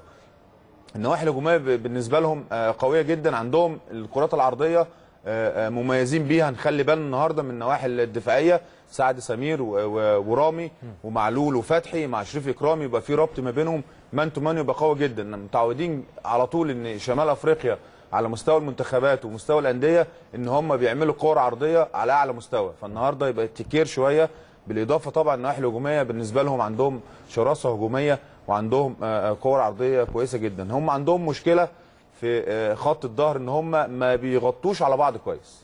يعني في أي لحظة لو عبد الله السعيد في انطلاقات من العمق مع آجاييه ووليد أزار وال- والشيخ جاي من تحت فتحس إن في خطورة على على مرمى آه، الرجاء. طبعا والحارس بتاعهم طبعا آه، معز بن شرفية آه، يعني إمكانياته محدودة شوية. خصوصا إن هو آه، قصير. ما بيعرفش يتعامل مع الكرات العرضية بشكل جيد. فدي نستغلها عن طريق معلول وأحمد فتحي لما نتطرف كويس ونعمل ربط ما بين معلول واجاييه والناحية الثانية ما بين فتحي والشيخ هنستفيد استفادة قوية جدا من الاطراف آه، وليد ازار بيلعب دماغه كويس فدي عندهم ممكن تكون تسبب لهم مشكلة داخل ال 18 طيب كابتن ربيع كابتننا الكبير طبعا. إيه، وإحنا بنتكلم ودائما حضرتك كنت بتقول أنا عارف كابتن حسام البدري لحد كبير بيفكر حد كبير بيفكر إزاي. النهارده هو ما كالعادة ما بيغيرش ما بيحاولش يخاطر طبعا بأي شيء. إيه، يعني كان دائما إحنا بنتكلم في اليومين اللي فاتوا على تغيير أحمد الشيخ ووليد سليمان. مطلوب بقى يعني كابتن وليد كان بيتكلم مجهود كبير من أحمد الشيخ. مطلوب بقى من مثلا عمرو السولية آه، آه، آه، ناحية شمال آه، علي معلول لو هيكون ناحية أحمد الشيخ. مطلوب منهم يساعدوا إزاي أحمد الشيخ النهارده في هذه المباراة. طبعا وراي حضرتك في التشكيل يعني. هو التشكيل ما خرجش. زي ما قلنا يعني كان وجهات نظر بإن كان في ناس بتقول يعني وجهة نظر فنية إن آه، أزارو يبقى موجود بره وممكن اجاي ي- يجيد لأن أنت النهارده بإذن الله وتوفيقه عاوز أي فرصة تجيلك تسجلها. الفترة الأخيرة أزارو برضو بيضيع كتير جدا لكن بيوصل. وده كلها وجهات نظر. ووليد سليمان يبقى موجود لأن وليد يملك الخبرات ويملك الترابط ويملك ال- الانسجام والتفاهم وبيروح على الجول كتير جدا. ممكن أحمد الشيخ عشان لسه راجع من فترة كبيرة جدا. دي وجهات نظر لكن هو طبعا آه، أحسن واحد. يقول الكلام آه، كابتن آه، حسام بدري هو الأدرى هو الأفضل هو الأحسن هو اللي شايف قدامه. ربنا يوفقهم إن شاء الله تعالى ويبقى تبقى كله مع عموما النادي الأهلي في عدد كبير جدا من وفرة في وفرة من من القدرات اللي ممكن يعني إن شاء الله تبقى محتار. فالوفرة دي آه، إن شاء الله تكون في صالح الفوز وفي صالح الإيجابيات النهارده. إحنا موضوع محمد إيجابيات كتيرة. أنت بتتكلم على معلول. معلول له دور كبير جدا النهارده في المسانده معلول والشيخ الشيخ ومعلول دي جابها اثنين ضد اثنين عشان تقفل الملعب دفاعيا الاثنين الباك ووسط الملعب وفي نفس الوقت يبقى في دور هجومي عند الشيخ وعند معلول. معلول له دور في الكورسات. النهارده العرضيات يا محمد مهمة جدا جدا. هم للقلب وحارس المرمى. مهم جدا. وإحنا شفنا آه، ال- السلبيات دي كانت عندهم في البطولة العربية. والسلبيات دي من الأجناب. انت الأجناب دي مهمة جدا. ودورها النهارده يمكن في العمق هتلاقي زحمة. وسط الملعب كلوبالي واللي جنبه آه، كلوبالي و الخماسي وشمام وال الشعلاني. الشع- يعني المجموعة ال- وفرجاني. الخ- الخماسي ده الخماسي ده يا محمد مهم جدا نبعد عنه. لكن على فترات فأنت عندك الجنب الثاني فتحي واحمد فتحي وهيبقى آه، أجاي. هي ثنائيات الماتشات الكبيرة دي بتاع ثنائيات اثنين ضد فمكملين لبعض. فمعلول له دور هجومي ودفاعي ال- ال- الشيخ دور هجومي ودفاعي الاثنين. الشيخ بس عنده ميزات كتيرة جدا إنه بيسجل من الثوابت إنه بيروح إنه بيعمل ترابط مع الرباعي عشان يروح على الجول عنده تمركز كويس في ال 18 الجنب الثاني طبعا فتحي واجاي مهم جدا أو العكس يعني خد بالك. آه، أدوار الاطراف النهارده مهمة جدا. دور السو- السولية مهم جدا زي ما أنت قلت. آه، طبعا حسام بيعتمد على عاشور في الر... في المثلث ده الثلاثي ده ده واقف طول الماتش عنده وظيفة واحدة خلال احداث المباراه عاشور ورامي وسعد ده مثلث دفاعي طول الوقت. خد بالك وبينضم ليهم الباك العكسي اللي ما عندوش الكورة. يبقى الرباعي- دول واقفين في أثناء الهجمة. الأهلي بيهاجم بالسبعه يا محمد بيروح بستة ووقف أربعة عشان المرتدات السريعة. فده دور مهم جدا لكن الأسماء اللي أنت قلتها دي بيعتمد عليها حسام وفي نفس الوقت حلولك الفردية اللي بتخلص بيها في خماسي.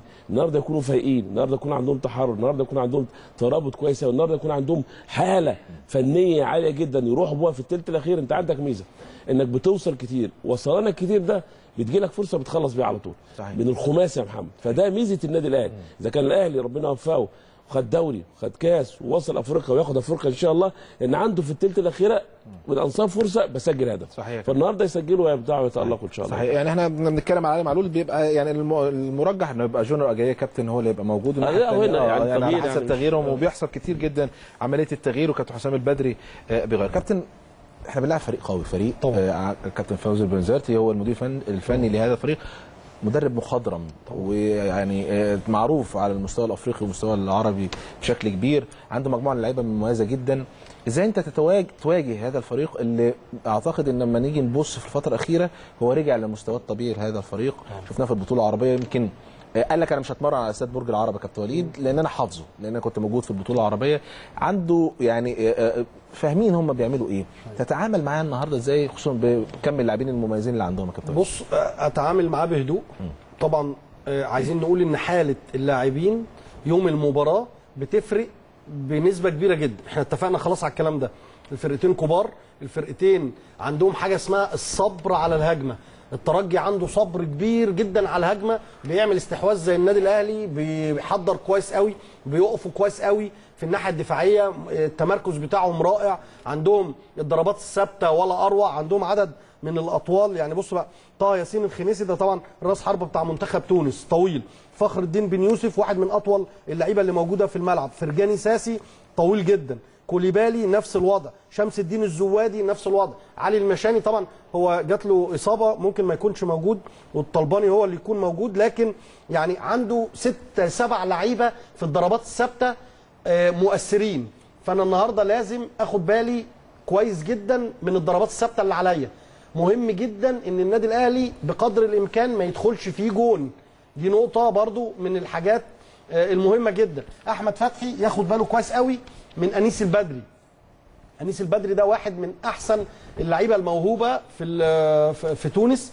ولعيب بيقف على الكوره كويس وبيرقص وبياخد فاولات وممكن يدبس الباك بتاعه في انذارات. فبالتالي أحمد فتحي مش عايزين برضو إيه تهور.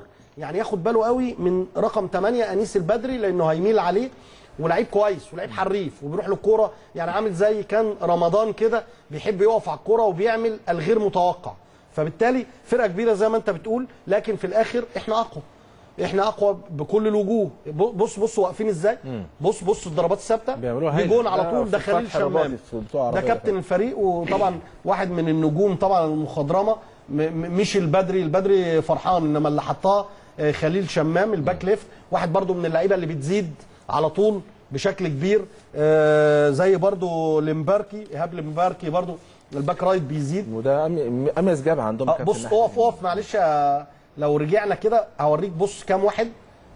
بس اقف هنا بص كام ست لعيبة جوه ال 18 كلهم أطوال كلهم. طه ياسين آه، الخنيسي وفرجاني ساسي وفخر الدين بن يوسف بتعتمد على الجزئية دي بشكل. كبير. وزي ما إحنا عندنا علي معلول هم عندهم خليل شمام. برضو back left اللي بيروح لكل الحاجات اللي من اليمين وبيحطها على طول آه، عاملة swerve كده تروح على ده طه ياسين الخنيسي وبرضو واحدة بيلعب ضربات الجزاء لازم.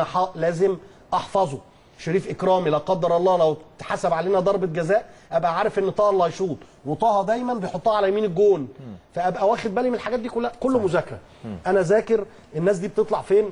آه، بيعملوا ضربات ثابتة إزاي؟ لو جالهم ضربة جزاء هيعملوها إزاي؟ لو جالهم فاول على ال 18 هيتعمل من مرة واحدة؟ الحيطة تبقى واقفة إزاي؟ كل ده تلعب على تفاصيل التفاصيل. وده اللي قاله الكابتن فوزي البنزرتي مباراة الأهلي تفاصيل التفاصيل.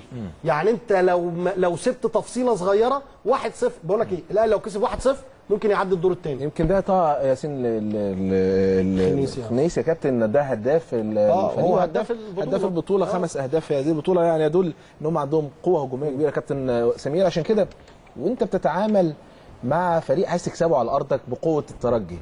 التعامل بيبقى بشكل كبير حذر. يعني كابتن حسام أكيد في واجبات بالنسبة للاعبين الهجوم لأن أنت محتاج إنك تكسب عشان تحقق نتيجة إيجابية. لكن جزء برضو الدفاع بالنسبة له وأنت كنجم كبير في هذه الجزئية التعامل هيبقى أو التعليمات تبقى عاملة إزاي للكابتن آه، حسام بدري للاعبين. هو رقم واحد. هدافين النادي الأهلي طبعا عمرو جمال ومؤمن زكريا كل واحد منهم هدفين.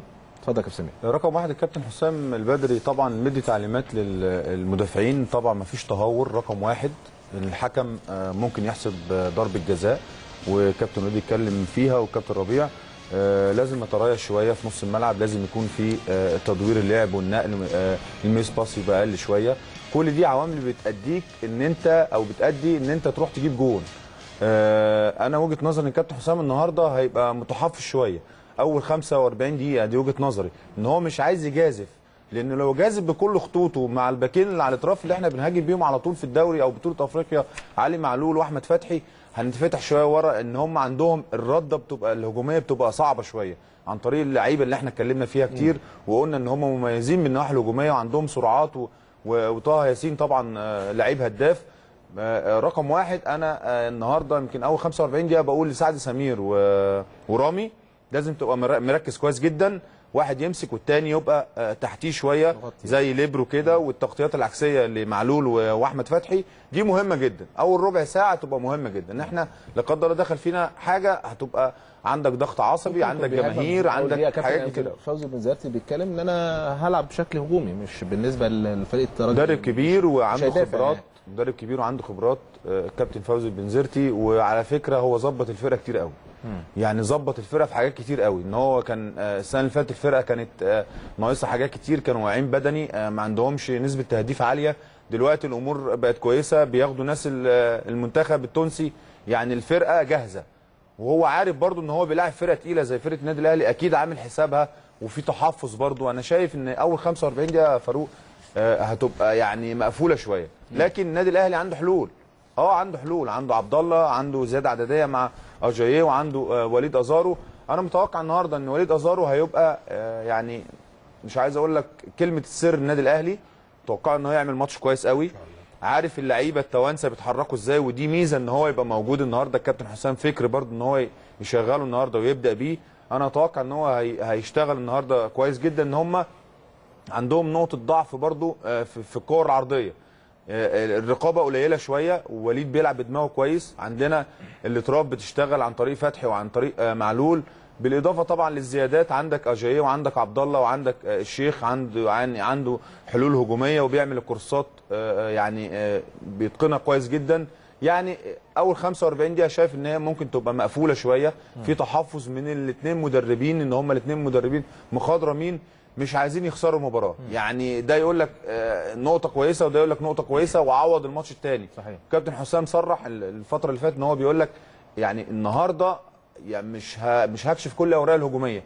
والعودة ماتش العودة هيبقى مفاجأة لل... للتوانسة. أنا أتمنى يكون الكلام ده تصريحات صح إن شاء طبعا الله. لكن طبعا فبإذن الله. الموضوع أنا عايز أكسب آه. اكشف كل الأوراق الهجومية. يعني آه، ولكن طبعا تصريحات طبعا إن إحنا. نشوف آه، مباراة هجومية. آه. آه، مباراة طبعا آه، يعني تليق بالروح الرياضية إن إحنا طبعا بنرحب طبعا آه، بإخواننا التوانسة آه، يعني منورين بلدنا وإن شاء الله يعملوا آه، يعني روح رياضية كويسة. وده اللي إحنا متعودين عليه من النادي أنا الأهلي هتكلم مع البدايات يعني كابتن ربيع خليني أروح لفاصل بدايات خصوصا لمباراة زي كده. التعامل مع البدايات ده مهم جدا. يعني سؤالي لحضرتك ده ولكن خليني أروح لفاصل وتقرير عن مباريات الأهلي في دور الثمانيه على مدار طبعا هذه البطولة. وأرجع أكمل كلامي طبعا مع نجوم مصر في الاستوديو.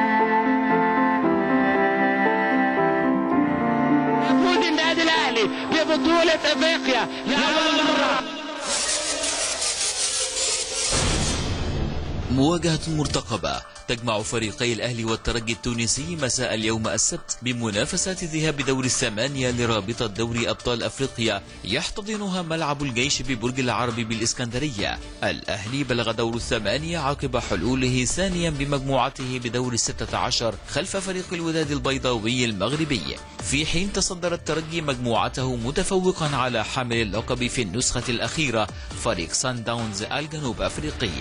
المارد الأحمر له تاريخ طويل باعتباره ملك القارة السمراء ومحتكر البطولة الأفريقية في دور الثمانية لرابطة دوري أبطال أفريقيا خلال المواجهة التي أقيمت بنظام الذهاب والإياب. ويحقق الأهلي العبور الأول له لدور الثمانية على مدار مشواره الأفريقي بدوري الأبطال وذلك في نسخة عام 81 على حساب فريق نيزامبي الجابوني بنتيجة 4-1 في مجموع المباريتين. ويواصل الأهلي التفوق في دور الثمانية الأفريقي ويطيح ببافالوز الزامبي من نسخة 82 والفوز بمجموع المباريتين ذهابا وإيابا بنتيجة 3-2 فوز عريض أيضا للأهلي بذهاب دور الثمانية لدور الأبطال نسخة 83 على حساب كانون ياوندي الكاميروني بالقاهرة بخماسية نظيفة وخسارة بهدف نظيف في ياوندي ليجتاز بطل مصر منافسه في نسخة 88 لم يتأثر الأهلي بخسارته إيابا بهدف دون رد أمام ماتدينج الموزمبيقي معتمدا على فوزه بالقاهرة بهدفين نظيفين ليتأهل المارد الأحمر للدور التالي من المسابقة القارية. المواجهة الأخيرة للأهلي بدور الثمانية لبطولة أفريقيا للأندية أبطال الدوري دوري أبطال أفريقيا بنظام الذهاب والإياب.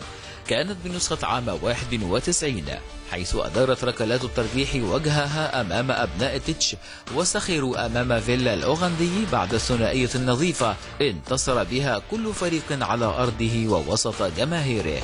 الليلة نتمناها ليلة سعيدة لجماهير الأهلي والجهاز الفني واللاعبين. الباحثين عن فوز مطمئن ومريح للعبور للنصف النهائي والمنافسة على اللقب الأفريقي واستعادة الكأس من جديد.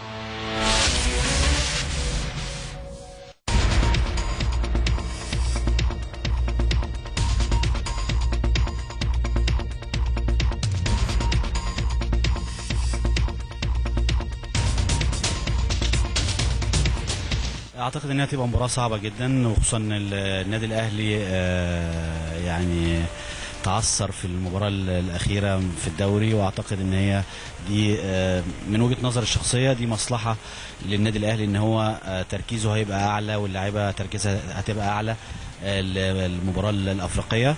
النادي الأفريقي طبعا إحنا عارفين إن هو من الأندية ال- الكبيرة في آه، في ال- الوطن العربي ومعاه مدرب قوي جدا وهو المدير الفني آه، للمنتخب التونسي السابق آه، فوزي البنزرتي. وأعتقد إن هو عنده خبرات في في ال- البطولات الإفريقية وعنده دراية كاملة عن الفرق العربية كلها.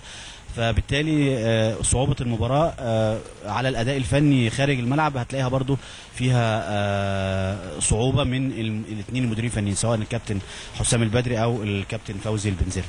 فبالتالي المباريات الأفريقية يعني في في السنوات الأخيرة آه في تفوق واضح جدا للنادي الأهلي على المستوى الإفريقي آه، سواء عن طريق لاعيبته أو آه، المدربين اللي بيمسكوا ال- النادي الأهلي. أعتقد إن هم بيعملوا طفرة على المستوى الإفريقي قوية جدا بداية من آه، مانويل خوزيه ثم كابتن حسام البدري ثم كابتن محمد يوسف ثم رجوع كابتن حسام البدري. فبالتالي النادي الأهلي من وجهة نظر الشخصية يملك كل المقومات اللي تؤدي إلى النجاح في المباراة دي آه، بالتحديد. آه، المقومات هي متمثلة في اللعيبة. اللعيبة عندنا لعيبة الحمد لله بفضل ربنا. بدل ال- ال- اللاعب اتنين في كل مركز لو جينا نبص ناحيه الشمال هتلاقي علي معلول فوز آه علي معلول حسين السيد عمل مباراة ولا أجمل ولا أروع المباراة الأخيرة ضد النادي ال- الجيش. فبالتالي آه، في نص الملعب هتلاقي صالح هتلاقي آه، أكتر من لعيب مميز عبد الله السعيد آه، عاشور. عندنا خبرات الحمد لله تؤهل النادي الأهلي إن هو يعمل مباراة قوية. وإن كنت أنا عندي تحفظ في المباراة الأولى إن هي هنا في القاهرة فلازم يبقى في نتيجة إيجابية سكور أعلى آه، أداء آه، يبقى مقنع بالنسبة للجماهير المصرية. عشان تروح هناك تبقى في ارتياحية بالنسبة للمباراة. والمباراة أعتقد إن هي الوصول. لازم آه، اللعيبة تحط في دماغها كويس قوي إن هو هنا من القاهرة مش من من تونس. فبالتالي إن شاء الله تمنياتنا بالتوفيق للنادي الأهلي واللعيبة وإن شاء الله يعملوا نتيجة إيجابية إن شاء الله. كابتن حسام بدري عامل شوية شغل محترمين مع الفرقة وعامل يعني أنا شخصيا آه، آه، من الموسم اللي فات وبقول إن كابتن حسام قدر إن هو يحل مشاكل كانت بتقابل بتقابل النادي الأهلي والمشاكل الدفاعية. حلها وقدر إن هو ينهي موسم بشكل جيد دفاعيا. وعليه بقى إن إحنا نتفرج السنة دي على التطوير الهجومي لل- لل- للفريق. طبعا هو اتعمل بشكل كويس جدا إنما اختيارات الهجومية السنة دي بقت كتير قوي يعني أنا لو خرجت شوية من بطولة أفريقيا اختيارات كتيره قوي بالنسبة لك جبتهم وضمتهم لصفوف الفريق. فنتمنى إن شاء الله إن إحنا يعني نح- نحصل على البطولة و. ودايما فرقة النادي الأهلي تسعد جماهير النادي الأهلي عشان هم يستحقوا وجمهور الأهلي ده يستحق آه، إن أنت زي ما بيقولوا تموت نفسك لأن هم ادونا كل حاجة يعني فلازم تديهم أقل حاجة وهي البطولة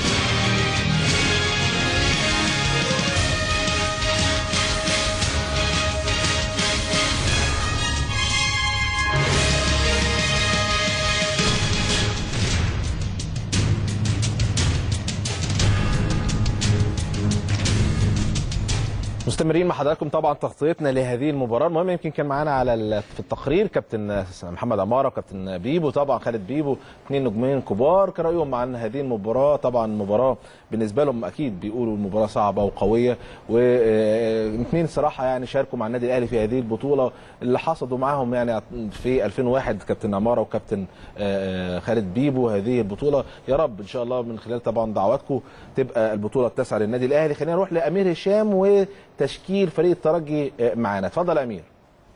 بجد التحيه كابتن فاروق كابتن حكيم كابتن صليب وكابتن سمير وطبعا كل الفريق. الاهلي خليني سريعا أقول لك آه، تشكيل الفريق التونسي مرمى وعز رقم واحد.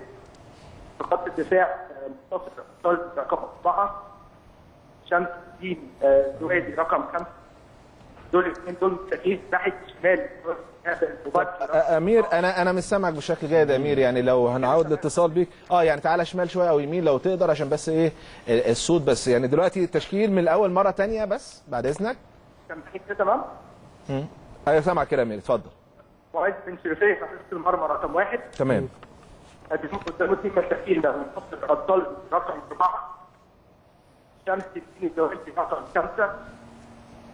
ناحية الشمال ايهاب رقم 24 ناحيه اليمين رقم 12 مم. طيب امير أمير الصوت مش واضح يعني حتى الآن الصوت فيه مشكلة يعني هنحاول نعود الاتصال بيك عشان برضو نعرف ونطمن على آه، آه، الجماهير والأجواء عاملة إزاي في الملعب ولكن خلينا نعود معاك الاتصال يمكن كابتن وليد تشكيل أكيد برضو إلى حد ما إحنا عارفينه كابتن ربيع عارفين ال- الجزئية دي بشكل كبير. فوزي بن زرت يلعب إزاي؟ إلا كان برضو أيضا لو كان في تغييرات طفيفة. لكن سؤالي الأول كابتن أو قبل ما الفاصل البداية بالنسبة لكابتن حسام البدري وبدايته في المباراة عاملة إزاي؟ هل هيخاطر كابتن حسام من البداية ويهجم وي- ويضغط بشكل كبير على فريق الترجي؟ وطبعا إحراز هدف فريق الترجي مبكر هتفرق كتير قوي مع النادي الأهلي لو كان ده دماغ كابتن حسام البدري كابتن ربيع. بص يا محمد إحنا اتكلمنا على الجانب المهاري. ليه بنقول اللاعب المهاري؟ عشان نقدر نسيطر على الكورة. حاجتين مهمين جدا. خلال أحداث المباراة الفنية من المدير الفني واللعيب؟ يبقى عشان النهارده أقدر أسيطر على الكورة بنختار الج- الجوانب الفردية المهارية. تمام. واخد بالك؟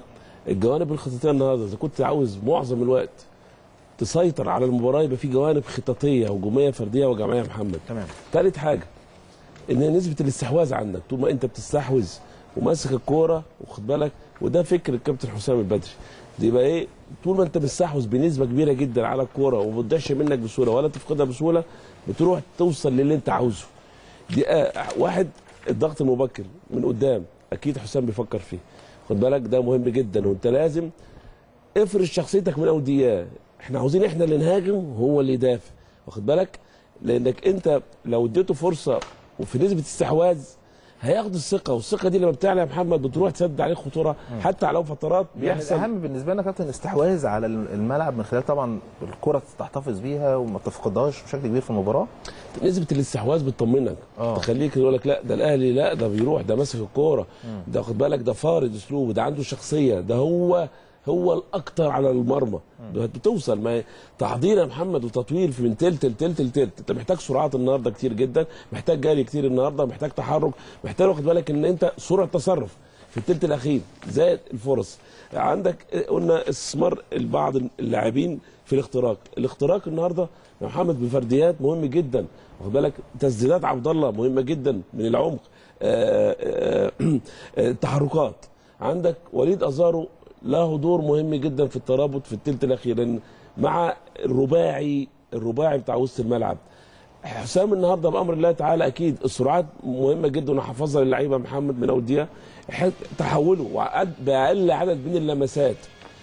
مهم جدا جدا جدا. الجوانب زي ما قلنا طول ما أنت بتشتغل بثنائيات وبتدافع صح واقف صح وعندك مين صح وعندك رقابة صح وعندك انتشار صح وعندك ترابط دفاعيا صح ما حدش يقدر يتفوق عليك. الحتة الثانية اللي هي بقى إن شاء الله لازم تكون موجودة النهارده من أول محمد زي ما قلت إنك تفرض أسلوبك خد بالك؟ إنك تمسك الكورة كتير جدا إنك تقف على الكورة إن السرعات السرعات في الجناب السرعات في الجناب السرعات في نهايه الهجمة السرعات بأقل عدد من اللمسات هو ده زائد التحركات. تحركاتك النهارده لازم حسام كتير تحرك تحرك تحرك وخاصة اللي معهوش الكورة يا محمد. من غير الكورة طبعا الزون بتاعي عشان أقفل الثنائيات وأقفل الجناب وأقفل أقفل الملعب فرديا وجماعة. بعد كده من دفاع لهجوم دي حاجات كتيرة جدا فنية مهمة بأمر الله تعالى إن حسام يحفظها وزي ما قلنا إن يعني نسبة النسبة الفنية بتاع الش- الشقين الدفاعي والهجوم الفردي والجماعي عند الأهلي كتير ال- ال- ال- الترجي الخبرات ترجي الفرديات ترجي فتقابل كل ده يعني مهارة بالمهارة واخد بالك والخطط بالخطط وجري بالجري حاجات كتيرة جدا يا محمد لازم صفات ارضيه بالصفات الارضيه لكن من وجهة نظري أنا إحنا بنلعب عامل الجمهوري مهم جدا لينا مهم طبعا. جدا نستغله. وزي ما قلت ده مهم جدا. الحماس للعيبة. حاجات كتيرة جدا فنية يا محمد أنا أعتقد إن كابتن حسام يبتدي بيها بمشيئة الله. طيب خليني يمكن وإحنا بنستعرض كل لاعب من لاعبين النادي الأهلي والإمكانيات وعدد البطولات مع الفريق. يمكن وصل لنا من زميلنا أمير هشام طبعا كان في مشكلة في الصوت عبر التليفون ولكن معانا تشكيل فريق الترجي اللي هيبتدي بيه فوزي البنزرتي كابتن فوزي البنزرتي هذه المباراة. حراسة المرمى معاذ بن شريفة وفي الدفاع إيهاب المباركي وشمس الدين الزوادي ومنتصر الطلبي خليل شمام. ده خط الدفاع أما خط الوسط فرانكوم وفوسيني كوليبالي. أما الوسط الهجومي غليان الشعلالي وفرجاني ساسي. أما الهجوم فأنيس البدري وطه ياسين الخنيسي. ده تشكيل فريق الترجي. كابتن وليد يمكن تشكيل برضو زي ما كنا بنتكلم كتاب مفتوح بالنسبة لنا إحنا كمحللين بنستعد لهذه المباراة. وأيضا لكابتن حسام البدري نفس تشكيل إلا ما كان تغيير أو مفاضلة ما بين لاعبين أو اثنين يا كابتن. عمل حاجة كابتن فوزي البنزرتي يعني طبعا منتصر الطلبي ده شاب عنده 19 سنة لازم نقول إنه دخل على حساب علي المشاني السردباكي الكبير لكن كان اتصاب علي امبارح في التدريب فبالتالي دخل منتصر الطلبي ودي, ودي فرصة. لعيب برضو شاب لسه صغير خبرته مش كبيرة. فرصة لوليد أزار وأحمد الشيخ وعبد الله وأجاييه إن هم يستغلوا إن تواجد لعيب شاب. طبعا إمكانياته كبيرة لكن في الآخر هي مباراة برضو صعبة بالنسبة له. فدي نقطة ممكن نستغلها. وجهة نظر إنه عشان كده كابتن يوسف البنزرتي أو كابتن فوزي البنزرتي زود نص الملعب. يعني طلع آه، فخر الدين بن يوسف وده واحد من الأوراق المهمة عنده طلعه من التشكيل وحطه على دكة البدلة في مقابل إن هو يزود نص الملعب. فخلى قلب الطريقة ل 4 4 1 1 هنلاقي طه ياسين الخنيسي الراس حربة تحتيه أنيس البدري فقط. وبعد كده عنده أربعة يحق الفرجاني ساسي أو عايز يمتلك نص الملعب هو كده كابتن. آه طبعا. عايز يزود نص الملعب عشان يقفل مفاتيح النادي الأهلي تماما. وفي نفس الوقت يعمل جبهات. يعني يخلي لك هو عارف قوة النادي الأهلي في جبهاته. عندك علي معلول قدامه أجاييه والناحية الثانية أحمد فتحي قدامه الشيخ. الأربعة دول يعني هو عارف إن علي معلول بيزيد وأحمد فتحي بيزيد وهو اتقرص حتى من النادي الأهلي وعارف إن النادي الأهلي عنده قوة هجومية كبيرة. فهو تصريحاته يقول لك أنا هاجم النادي الأهلي وهلعب آه، هجوم ضاغط آه، الكلام ده. التصريحات التصريحات. حاجة. وعلى أرض الواقع حاجة ثانية على أرض الواقع هيقفل كويس قوي هي هيرد في نص الملعب. لما النادي الاهلي يمتلك الكوره هتلاقي طه ياسين الخنيسي بس على منتصف الملعب وبقيه التسعة كلهم خمسة في نص الملعب وأربعة ورا. فبالتالي عايز يقفل كل مفاتيح النادي الاهلي. الفكرة إن هو فريق كبير لما هيقطع الكورة عنده من الأنياب إنه يقدر يضايقك. يقدر أنيس البدري ياخد الحتة اللي ورا أحمد آه، فتحي ولعيب كويس ولعيب حريف يقدر يعمل فيها جبهة. نفس الوضع بالنسبة لغيلان الشعلاني يقدر يروح ناحية علي معلول وياخد من وراه. نفس الوضع فرجاني ساسي لعيب حريف قوي لعيب كويس قوي. آه بيلعب على الهادي بيفكرني كده بكابتن سامي الشيشيني نجم نادي الزمالك ومنتخبنا الوطني. آه، هادي قوي بيعرف يطلع الكورة من رجله بشكل كويس قوي حريف يعني عنده رؤية بيعرف يقف على الكورة. وعندك بقى اتنين وحوش فوسيني كوليبالي أو فرانك كوم هو دول. قال هو هيلعب بيهم يا كابتن حتى في نص هو عايز الملعب. يزود الجزء الدفاعي من. خلال الاثنين اللعيبه الأفارقة دول. بالظبط. فبالتالي ه... لكن في الآخر برضو النادي الأهلي قادر على اختراق كل الكتيبة دي. يعني يقدر النادي الأهلي؟ برضو آه إزاي إن أنت اولا لازم اللعيبة تكون في حالتها. يعني من غير ما يكون كل لعيب في الحالة اللي إحنا عارفينه عنها هيبقى المسألة صعبة. لازم عبد الله السعيد يبقى عبد الله السعيد اللي إحنا عارفينه. ما تتقطعش الكوره كتير. يقدر يلاعب الناس كلها. أجاييه لازم يكون أجاييه في الحالة اللي إحنا عارفينها عنه إنه بيدخل راس حربة تاني أول ما إحمد فتحي يعمل جبهة ناحية اليمين ويبتدي يعمل اوفر هتلاقي وليد أزارو على القريبة. تلاقي أجاييه على آه، النص هتلاقي عبد الله السعيد جاي من تحتيهم. نفس الوضع الناحية الثانية لما علي معلول يكون بيعمل جملة مع أجاييه أو مع عبد الله لازم أحمد الشيخ يخش كراس حربة تاني. مهم جدا إن عمرو السولية يزيد وتقلب الطريقة ل 4 1 4 1 مش هقدر أنا أدافع بست لعيبة يكونوا تحت خط الكورة وهسيب الأربع لعيبة اللي هم أجاييه وعبد الله السعيد وأحمد الشيخ ووليد أزارو يتعاملوا مع سبع ثمان لعيبة. المسألة هتبقى صعبة. صعبة طبعا. لازم عمرو يزق ورا عبد الله السعيد. لازم أحمد فتحي وعلي معلول يزيدوا. فبالتالي تبقى أنت بتهاجم بالسبع لعيبة اللي إحنا اتفقنا عليهم. إن أنت عندك آه، أزارو وأجاييه وعبد الله السعيد وأحمد الشيخ دول أربعة. وعمرو السولية خمسة وأحمد فتحي وعلي معلول سبعة. يبقى أنت عندك قدرة هجومية قوية. وسايب حسام عاشور للتأمين في نص الملعب وسايب سعد سمير ورامي ربيعة للخط الدفاعي. هتقول لي طب وأنا هاجم بسبعة؟ طب ما أنا كده ممكن اضرب هقول لك ما أنا لما هاجم بسبعة هم لازم هيدافع بتسعة. مظبوط. أنت مش هتلاقي غير بس طه ياسين الخنيسي فقط. هي فكرة إيه إيه اللي بيفرق بين فرقة وفرقة؟ إن أول ما الفرقة دي تقطع الكره عندها التحول من الدفاع للهجوم عامل إزاي؟ وفي نفس الوقت أول ما أنا كنادي أهلي بفقد الكره عندي الارتداد من الهجوم للدفاع عامل إزاي؟ أنا عندي آه، المفروض يعني أحمد الشيخ يرتد قوي جدا المفروض إن أجاييه عنده من القدرات إنه يرتد بسرعة قوي المفروض إن عبد الله السعيد واحد بيلعب ساعات ديفندر فعامل حسابه برضو للناحية الدفاعية. الثلاثه دول لو ارتدوا بشكل كويس أنا بقيت بدافع بتسعة برضو صحيح. فهي الفكرة إن اللي يقطع الكورة يروح للهجوم إزاي؟ أو اللي تتقطع منه الكورة يرتد للدفاع إزاي؟ طيب كابتن سمير خليني أقول لك من خلال التشكيل يعني اللي موجود لفريق الترجي هو ممكن يكون بيجبرك على طريقة لعب معينة؟ هل فعلا ممكن مدرب يجبر فريق آخر أمامه إن هو يلعب بطريقة معينة؟ طبعا حتة إن يبقى مستولى على نص ملعب أو مراقب نص ملعب يبقى زحمة أنت بتضطر في وقت من الأوقات إنك تلعب كرات عالية. هم عندهم القدرات دي بشكل مميز جدا حتة اللعب بالكرات العالية خصوصا خط دفاعهم كابتن سمير. أنت في الحالة دي ممكن كابتن حسام البدري يتعامل إزاي؟ خلينا نتكلم بس نقول على التشكيل آه، التغييرات اللي حصلت هو طبعا آه، الكابتن فوزي البرزن- البرزنتي طبعا آه، عنده خبرة عالية جدا. النهارده غير تغييرة في, في طريقة اللعب وغير لعيب مكان لعيب. إحنا شفنا إن طلع فخر الدين بن يوسف لعيب تقيل قوي لعيب كويس جدا عنده استحواذ على الكورة بيخلق لنفسه مساحة في وسط الملعب ونزل لعيب مكانه إفريقي اللي هو كلوبالي مكانه تقريبا إن هو عشان آه، يضغط على آه، وسط ملعب النادي الأهلي. فهو آه، عنده ذكاء إن النادي الأهلي عنده ميزة وعنده حلول في وسط الملعب عن طريق عبد الله السعيد والشيخ وأجاييه. كل دول بيعملوا نواحي هجومية كويسة جدا. وعنده مشكلة في خط الظهر. فابتدى يحل مشكلته إن هو يطلع فخر الدين يعيده آه، احتياطي معاه. ممكن يكون ورقة هجومية وينزل واحد بيعرف يدافع ويزود لعيب في وسط الملعب أو زيادة عددية في وسط الملعب إن هو يفسد الهجمة على النادي الأهلي عشان ما توصلش لل 18 بتاعه فالكابتن حسام آه، ممكن يستغل دي. إن إحنا اتكلمنا من شوية قلنا أول 45 دقيقة اتنين مدربين عندهم خبرات هيبقى في تحفظ هنا وتحفظ هنا. ممكن يعمل زيادة عددية وزيادة عددية وينطلق على الهجمات المرتدة ويبقى في حذر شوية في الهجوم. إنما دلوقتي كابتن حسام عنده فرصة إن هو يهاجم عن طريق أحمد الشيخ ويخلي عبد الله السعيد تحتيه الانطلاقات من الشمال مع اجاييه زي ما اتكلمنا من شوية وعلي معلول والناحية الثانية مع الشيخ وأحمد فتحي يعملوا ربط جبهتين جبهة ثنائيات زي ما الكابتن ربيع بيقول من الجبهة الي- اليمين والجبهة الشمال. هتساعدنا جامد جدا من التكتل الدفاعي إن إحنا آه، نلعب من على الأطراف. طول ما في تكتل دفاعي تقدر تستغل الأطراف وتعمل كرات عرضية والمدافعين بتاعتهم عندهم تقل شوية في الحركة وما عندهمش رشاقة ولا مرونة والهيدرز مش قوي قوي نقدر نستغل ال- ال- ال- الكرات العرضية.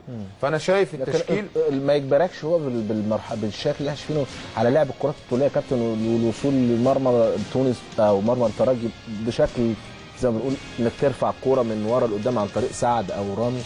بالشكل اللي أنا شايفه ده هو- هو عايز يعمل كده. يعني عايز يعمل الجزئية دي.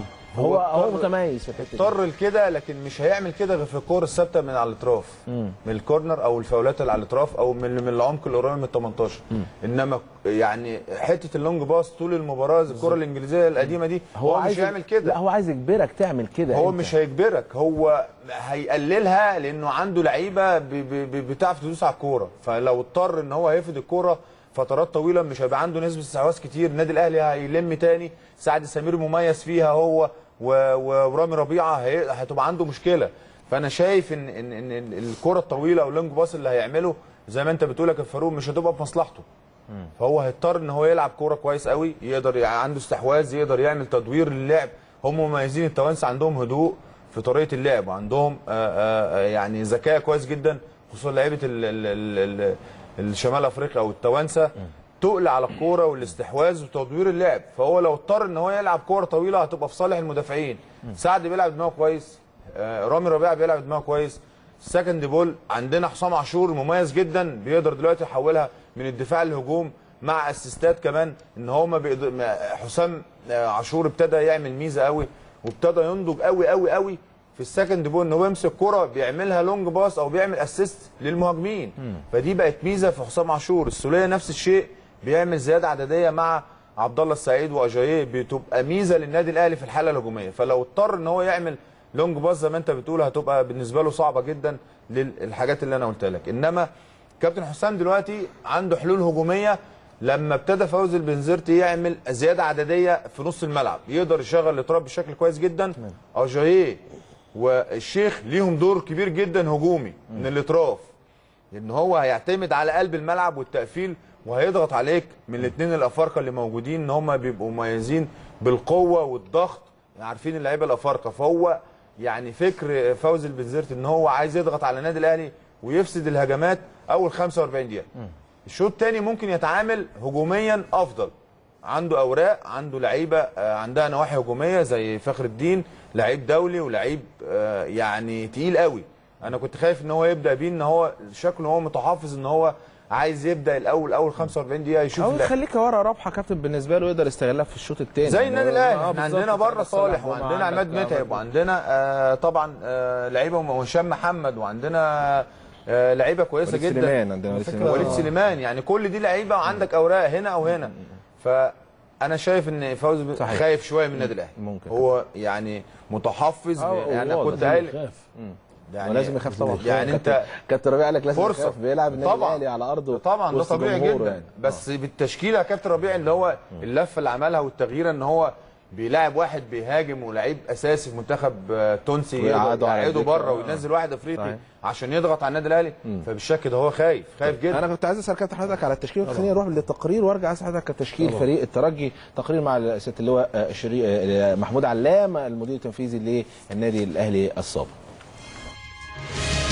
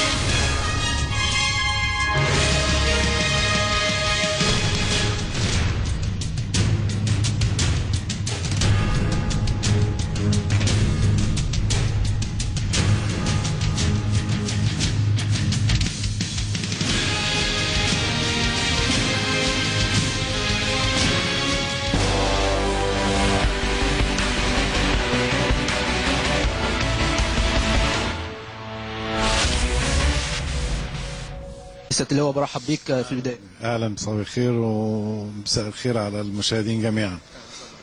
متواجد أنت النهارده أكيد بتآزر الفريق إن شاء الله في مباراة مهمة زي دي. شايف المباراة إزاي؟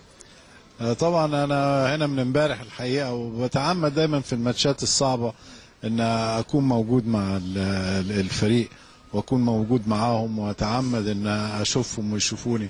دي بت بت بترفع معنويات قد ترفع معنويات انهم بيشوفوا الناس القدام في النادي جايين وبيقفوا معاهم وبي روح جيدة الحقيقة. طبعا دي ناس كتير وفي ناس كتير قدام معانا في النادي بيجوا بيصروا إن هم يجوا يحضروا ال- ال- المباراة دي. هي طبعا مباراة صعبة وأصعب مباراة تقريبا في هتبقى في البطولة الأفريقية. ودي الفريق اللي هيفوز فيها هو اللي هيوصل النهائي إن شاء الله.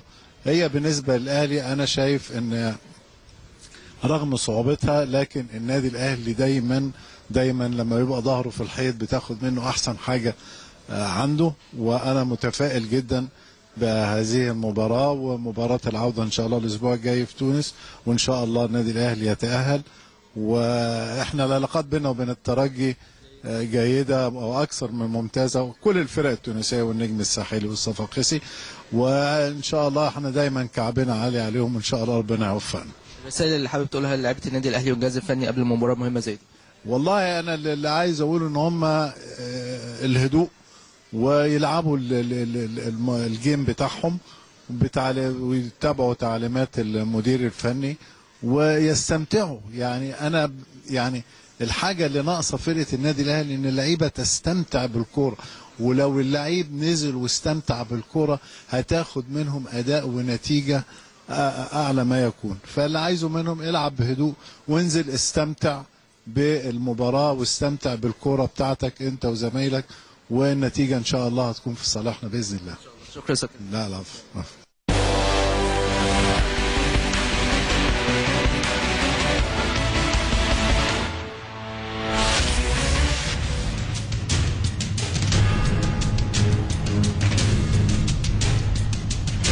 دقائق إن شاء الله وتبتدي مباراة الأهلي والترجي. كابتن ربيع توقعات حضرتك للمباراة؟ ويمكن يعني رأي حضرتك أيضا في تشكيل الترجي وكابتن فوزي هو آه، على حساب وسط الملعب النهارده المباراة في وسط الملعب. خمسة ضد خمسة. هو عنده ساسي وكولوبالي وفرانكو كوم والشعلاني وأنيس البدري. دول خمسة مهمين جدا. هو بيلعب 4 2 بالنسبة 3 1 4 4 1 1 إحنا برضو إن شاء الله الخماسي بتاعنا دورهم مهم جدا في التحول من دفاع لهجوم وهجوم أعتقد إن شاء الله بإذن الله تعالى إن إحنا الأحسن إحنا الأفضل إحنا الخبرات إحنا الاقدر بمشيئة الله تعالى خبراتنا كبيرة جدا.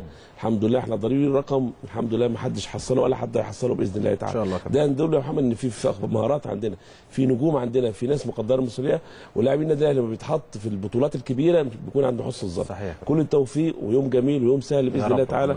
وأتوقع كل خير الشوط الأول إن شاء الله. كابتن ربيع كابتن وليد توقعات حضرتك كابتن؟ إن شاء الله الأهلي يكسب بإذن الله. عايز أقول ملاحظه كابتن حسام عامل دكة نارية.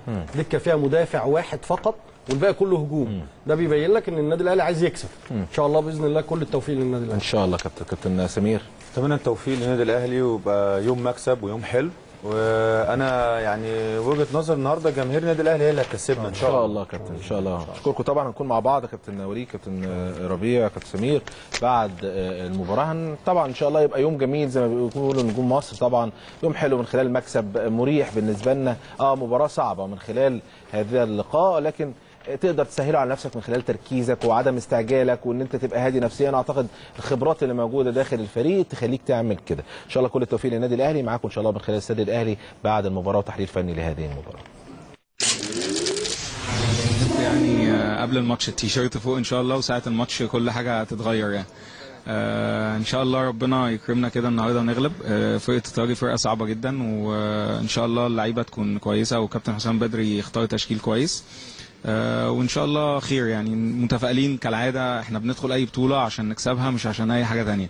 فإحنا إن شاء الله أنا جايب مراتي هي زملكاوية طبعا. و دلوقتي. طب أنت توقعاتك للنتيجة إيه؟ إن شاء الله 2-0 إن شاء الله. إن شاء الله. وأتمنى إن الكابتن حسام بدري آه، يعني يبص بنظرة الخبرة للكابتن عماد متعب لأن إحنا تعبانين جدا من الموضوع ده. إن شاء الله. آه، توقعاتك للمباراة النهارده شايفاها إزاي؟ ومين ممكن يجيب أجوان من النادي الأهلي النهارده؟ 3 1 الاهلي 3 1 مين بقى اللي يجيب الأهداف؟ عماد متعب. آه طيب آه لسه مكملين وعرفت إنك زملكاوية بس هتحضري المباراه وتأذي النادي الأهلي أكيد. طبعا أكيد. عشان جوزي وعشان ابني. بس؟ آه وعشان الفريق. يعني عشان هيلعب مصر بيلعبوا فرقة تانية برضو بره يعني. جوزها زملكاوية عشان آه، يعني يبقى في فن في البيت كده ويعني بلاقي حد في كل المطوشه الحمد لله نضحك عليها وكده. دايما بنتراهن والحمد لله عمري ما خسرت يعني. توقعاتك لنتيجة المباراة النهارده وإيه اللي مطلوب من لعيبة النادي الأهلي؟ من لعيبة الأهلي النهارده يركزوا. إحنا أحسن بس عاوزين تركيز في الملعب ويبقى في تعاون بينهم والموقف هيبقى كويس. والمهم ربنا يوفق حسام البدري إن هو يعمل تشكيل مناسب للمباراة. إن شاء الله. النتيجه كام؟ أتوقع يعني أتمنى إن هي تكون فوق 2-0 يعني. إن شاء الله يعني بإذن الله. توقعاتك للمباراة النهارده إيه؟ إن شاء الله 2-0 الاهلي إن شاء الله. عبد الله السعيد وعماد متعب أو صالح جمعة إن شاء الله. شايف إن الأهلي إن شاء الله قادر إن هو يفوز آه، بنتيجة كبيرة مثلا 2-0 زي ما أنت بتقول خصوصا إن إحنا بنواجه فريق قوي ما يقلش قوة على النادي الأهلي زي الترجي إحنا النهارده بنلعب في وسط ملعبنا وسط جمهورنا وإن شاء الله ربنا يكرم الأهلي وإن شاء الله نكسب يعني إن شاء الله. إن شاء الله. لسه مستمرين أيضا ومعايا أحد جماهير النادي الأهلي. توقعاتكم للمباراه النهارده إيه؟ إن شاء الله ربنا يكرمنا والأهلي هيعمل ماتش كويس النهارده واللعيبة مركزة و... وإن شاء الله بإذن الله نقدر نحقق نتيجة كويسة. تريحنا في تونس في رادس هناك تخلينا نعمل ماتش كويس. وإن شاء الله إن شاء الله النهارده من نجوم الفريق اللي هتتألق أحمد شيخ. إن شاء الله ربنا يكرمه النهارده ويهدف وأحمد فتحي بإذن الله لأن أحمد فتحي صديقي. فلازم أتمنى له الخير كله وإن شاء الله ربنا يكرمه النهارده ويعمل ماتش كويس ويفرح جمهور الأهلي كله بإذن الله. توقعاتك للمباراه النهارده؟ إن شاء الله الاهلي هيكسب ثلاثة بإذن الله. متفائل جدا إن شاء الله إن إحنا هنعمل ماتش كويس جدا النهارده رغم إن الترجي كله عارف إن هو حاليا من أقوى فرق أفريقيا لكن الأهلي في الماتشات اللي زي دي مش بيبقى لعب بس الأهلي بيكون بالحماس وبالروح وبالجماهير اللي هتكون موجودة النهارده. فبإذن الله النهارده هيكون ماتش كبير للأهلي وهنقدر نكسب ثلاثة إن شاء الله. مطلوب إيه من لعيبة النادي الأهلي النهارده؟ مطلوب ان إحنا نلعب برجوله ويعني ما نيأسش لو لو لازم نلعب برجوله وما نيأسش مثلا لو لو لو إحنا اتأخرنا في الأجوان عادي المشوار 90 دقيقة وفي جماهير هنظل هندعمكم وبإذن الله 3 1 للأهلي. إن شاء الله. مين نجم المباراة النهارده؟ إن شاء الله من من وجهة نظرك من فريق النادي الأهلي. بإذن الله لو صلاح بدأ أساسي فهو نجم المباراة. باذن إن شاء الله. أيضا لسه هناخد توقعات أخرى لجماهير النادي الأهلي. آه، توقعاتك للمباراة النهارده؟ 2-0 بإذن الله. آه بإذن الله. رامي ربيعة وعبد الله السعيد بإذن الله. توقعاتك؟ 2-0 برضه. آه صالح وعبد الله. عايز آخد توقعات حضرتك للمباراة النهارده ومطلوب إيه من لعيبه النادي الأهلي أو الرسالة اللي أنت حابب تقولها لهم قبل الماتش إيه؟ والله الرسالة إن ال- المباراة دي هت- هتتحسم في رادس. فمش عايزين نسبق الأحداث ومش عايزين نخلي اللعيبة تحت ضغط من بداية المباراة. وإن شاء الله بإذن الله لو جبنا جون واحد إن شاء الله هم هي... هيتحطوا هم تحت الضغط ده. وإن شاء الله نكسب المباراة بإذن الله بإذن الله. أيضا معايا في هذه اللحظات مستر كريم ده مدير فندق الإقامة أو اللي بيقام أو بيقيم فيه فريق النادي الأهلي قبل مباراة الترجي. طبعا أنتم مجهودات كبيرة جدا بتعملوها عشان يعني تساعدوا فريق النادي الأهلي إن تكون إقامة بالنسبة له إقامة مناسبة قبل مباراة مهمة زي مباراة الترجي. كلمنا عن المساعدات والمساهمات اللي أنتم بتساهموا فيها مع الفريق إن شاء الله إن هو يحقق انتصار النهارده طيب آه، بسم الله الرحمن الرحيم. إحنا الأول آه، بنرحب بقناة الأهلي معانا وبنتمنى للأهلي الفوز إن شاء الله النهارده. آه، إحنا طبعا أي قبل قبل دخول أي فرقة عندنا رياضية والأهلي أو منتخب أو أي غيره إحنا بنعمل ترتيبات خاصة مع فريق العمل بتاع الفندق. بحيث نبقى عارفين مواعيد التدريب مواعيد الفطار مواعيد الغداء مواعيد العشاء. بنوفر لهم خصوصية بقدر الإمكان أنت عارف ده فندق وفيه زباين. بس بقدر الإمكان بنحاول نوفر خصوصية بالذات في أيام الماتش أو يوم الماتش بالذات. آه، الدكتور بتاع الفريق بيتابع مع الشيف بتاع الفندق آه، آه، الوجبات الخاصة حسب ال ال ال ال ال الأهلي طالبه. وكل فريق العمل يعني بيعمل جاهدا إن هو يوفر كل سبل الراحة للفرقه المقيمة عندنا. شايف بقى المباراة النهارده إزاي وتوقعاتك ليها إيه؟ خصوصا إن هي مباراة مهمة وقوية وصعبة جدا أمام فريق الترجي وخصوصا إن هي في دور الثمانية من دوري أبطال أفريقيا وبطولة مهمة جدا لكل جمهور النادي الأهلي. والله أنا أتمنى طبعا آه، مش أنا بس ده مصر كلها. أتمنى الفوز للنادي الأهلي وأتوقع إن إن شاء الله يفوز بفرق هدفين. آه، فريق الترجي فريق مهم قوي يبقى فرق هدفين يعني 2-0 ما يدخلش فينا جول. آه طبعا طبعا بس بقول كده برضه إن فريق الترجي فريق كامل جامد ومعمول له حساب وأنا متأكد طبعا إن فرقة الأهلي يعني آه، عارفة كويس قوي دارسة فريق الترجي إحنا الحمد لله حظنا كويس عليهم وإن شاء الله يبقى النصر حليفنا في برج العرب بإذن الله إن شاء الله. شكرا. متشكر جدا متشكر. لسه مستمرين بقى نروح لجماهير تاني ونشوف توقعاتهم للمباراة النهارده إيه توقعاتك لمباراة الأهلي والترجي. إن شاء الله 2-0 مين ممكن يتألق من لعيبة الأهلي إن شاء الله؟ أو مين ممكن يحرز الهدفين اللي أنت بتقول عليهم؟ يعني إن شاء الله أحمد فتحي ونتمنى عماد متعب ينزل ويجيب لنا جون حلو كده. إن شاء الله. توقعاتك للمباراة يعني هو 2 0 يا رب. إن شاء الله. توفيق إن شاء الله. توقعات لا إحنا نكسب إن شاء الله. مثلا تكسب كام يعني؟ ثلاثة توقعاتك للماتش النهارده؟ 2 0 للأهلي. مين من لعيبة الأهلي ممكن يجيب الأهداف؟ عبد الله السعيد ومؤمن زكريا. شفت من لعيبة الأهلي مين هنا في الفندق واتصورت مع مين؟ ما تصورتش مع حد لسه. توقعاتك للمباراة النهارده إيه؟ 1 0 للأهلي. توقعاتك للماتش النهارده؟ 3-0 الاهلي إن شاء الله بإذن الله يعني. إن شاء الله. السلام عليكم. إن شاء الله لا لا يكسب جامد جدا. 7 0 7 0 كده. إن شاء الله الأهلي بإذن الله هيفوز 2-0 وتوقعاتنا إن شاء الله إن الأهلي هو اللي دايما يبقى فايز وتبقى في الأحسن وفي الأعلى. توقعاتك لمباراة النهارده؟ إن شاء الله الفوز للنادي الأهلي عشان إحنا كلنا جايين واقفين وراه والنصر لينا إن شاء الله. 2-0 إن شاء الله النادي الأهلي. إيه المطلوب من لعيبة النادي الأهلي النهارده قبل المباراة المهمة دي؟ التركيز هم واثقين في نفسهم كويس جدا وعارفين هم عايزين إيه فالتركيز مش أكتر من كده. توقع مين يكون نجم المباراة النهارده من لعيبة النادي الأهلي؟ إن شاء الله صلاح جمعة بإذن الله. صلاح جمعة ورامي ربيعة إن شاء الله يعملوا شغل حلو. واحمد الشيخ إن شاء الله. إن شاء الله.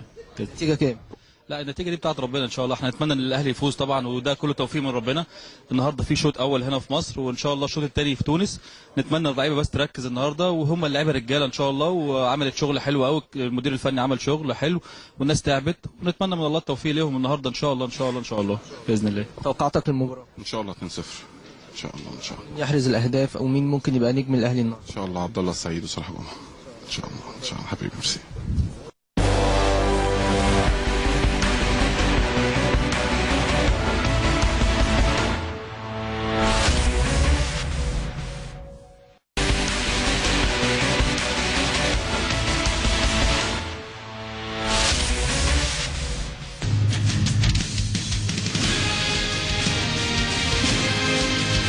والح- لحضراتكم مرة أخرى لتغطية طبعا مباراة الأهلي والترجي في دور الربع النهائي في بطولة دوري أبطال أفريقيا وتعادل إيجابي ما بين الفريقين 2-2 يمكن الهدف الأول جه عن طريق عبد الله سعيد في الدقيقة 11 كانت بداية موفقة لفريق النادي الأهلي لكن طبعا طه ياسين خنيسي في الدقيقة 21 بيحرز هدف التعادل ثم يضيف غليان الشعلالي الهدف الثاني لفريق الترجي وخطأ. آه، آه، يمكن آه، من شريف إكرامي بيتسبب في آه، شريف إكرامي في الهدف الثاني ليتقدم آه، فريق الترجي التونسي آه، على النادي الأهلي 2-1 ثم يتعادل وليد أزارو في الدقيقة 67 آه، بهدف تاني وتعادل 2-2 يمكن آه، محاولات النادي الأهلي على مدار الشوطين كان كانت كبيرة. يمكن آه، على على حسب ما رؤيتنا في الملعب ورؤيتنا من خلال المباراة دائما النادي الأهلي كان هو الم- المباغت في جزئية الهجوم ولكن فريق الترجي كان إلى حد ما بيلعب آه، آه، جيم تكتيكي أو تكتيك كبير موجود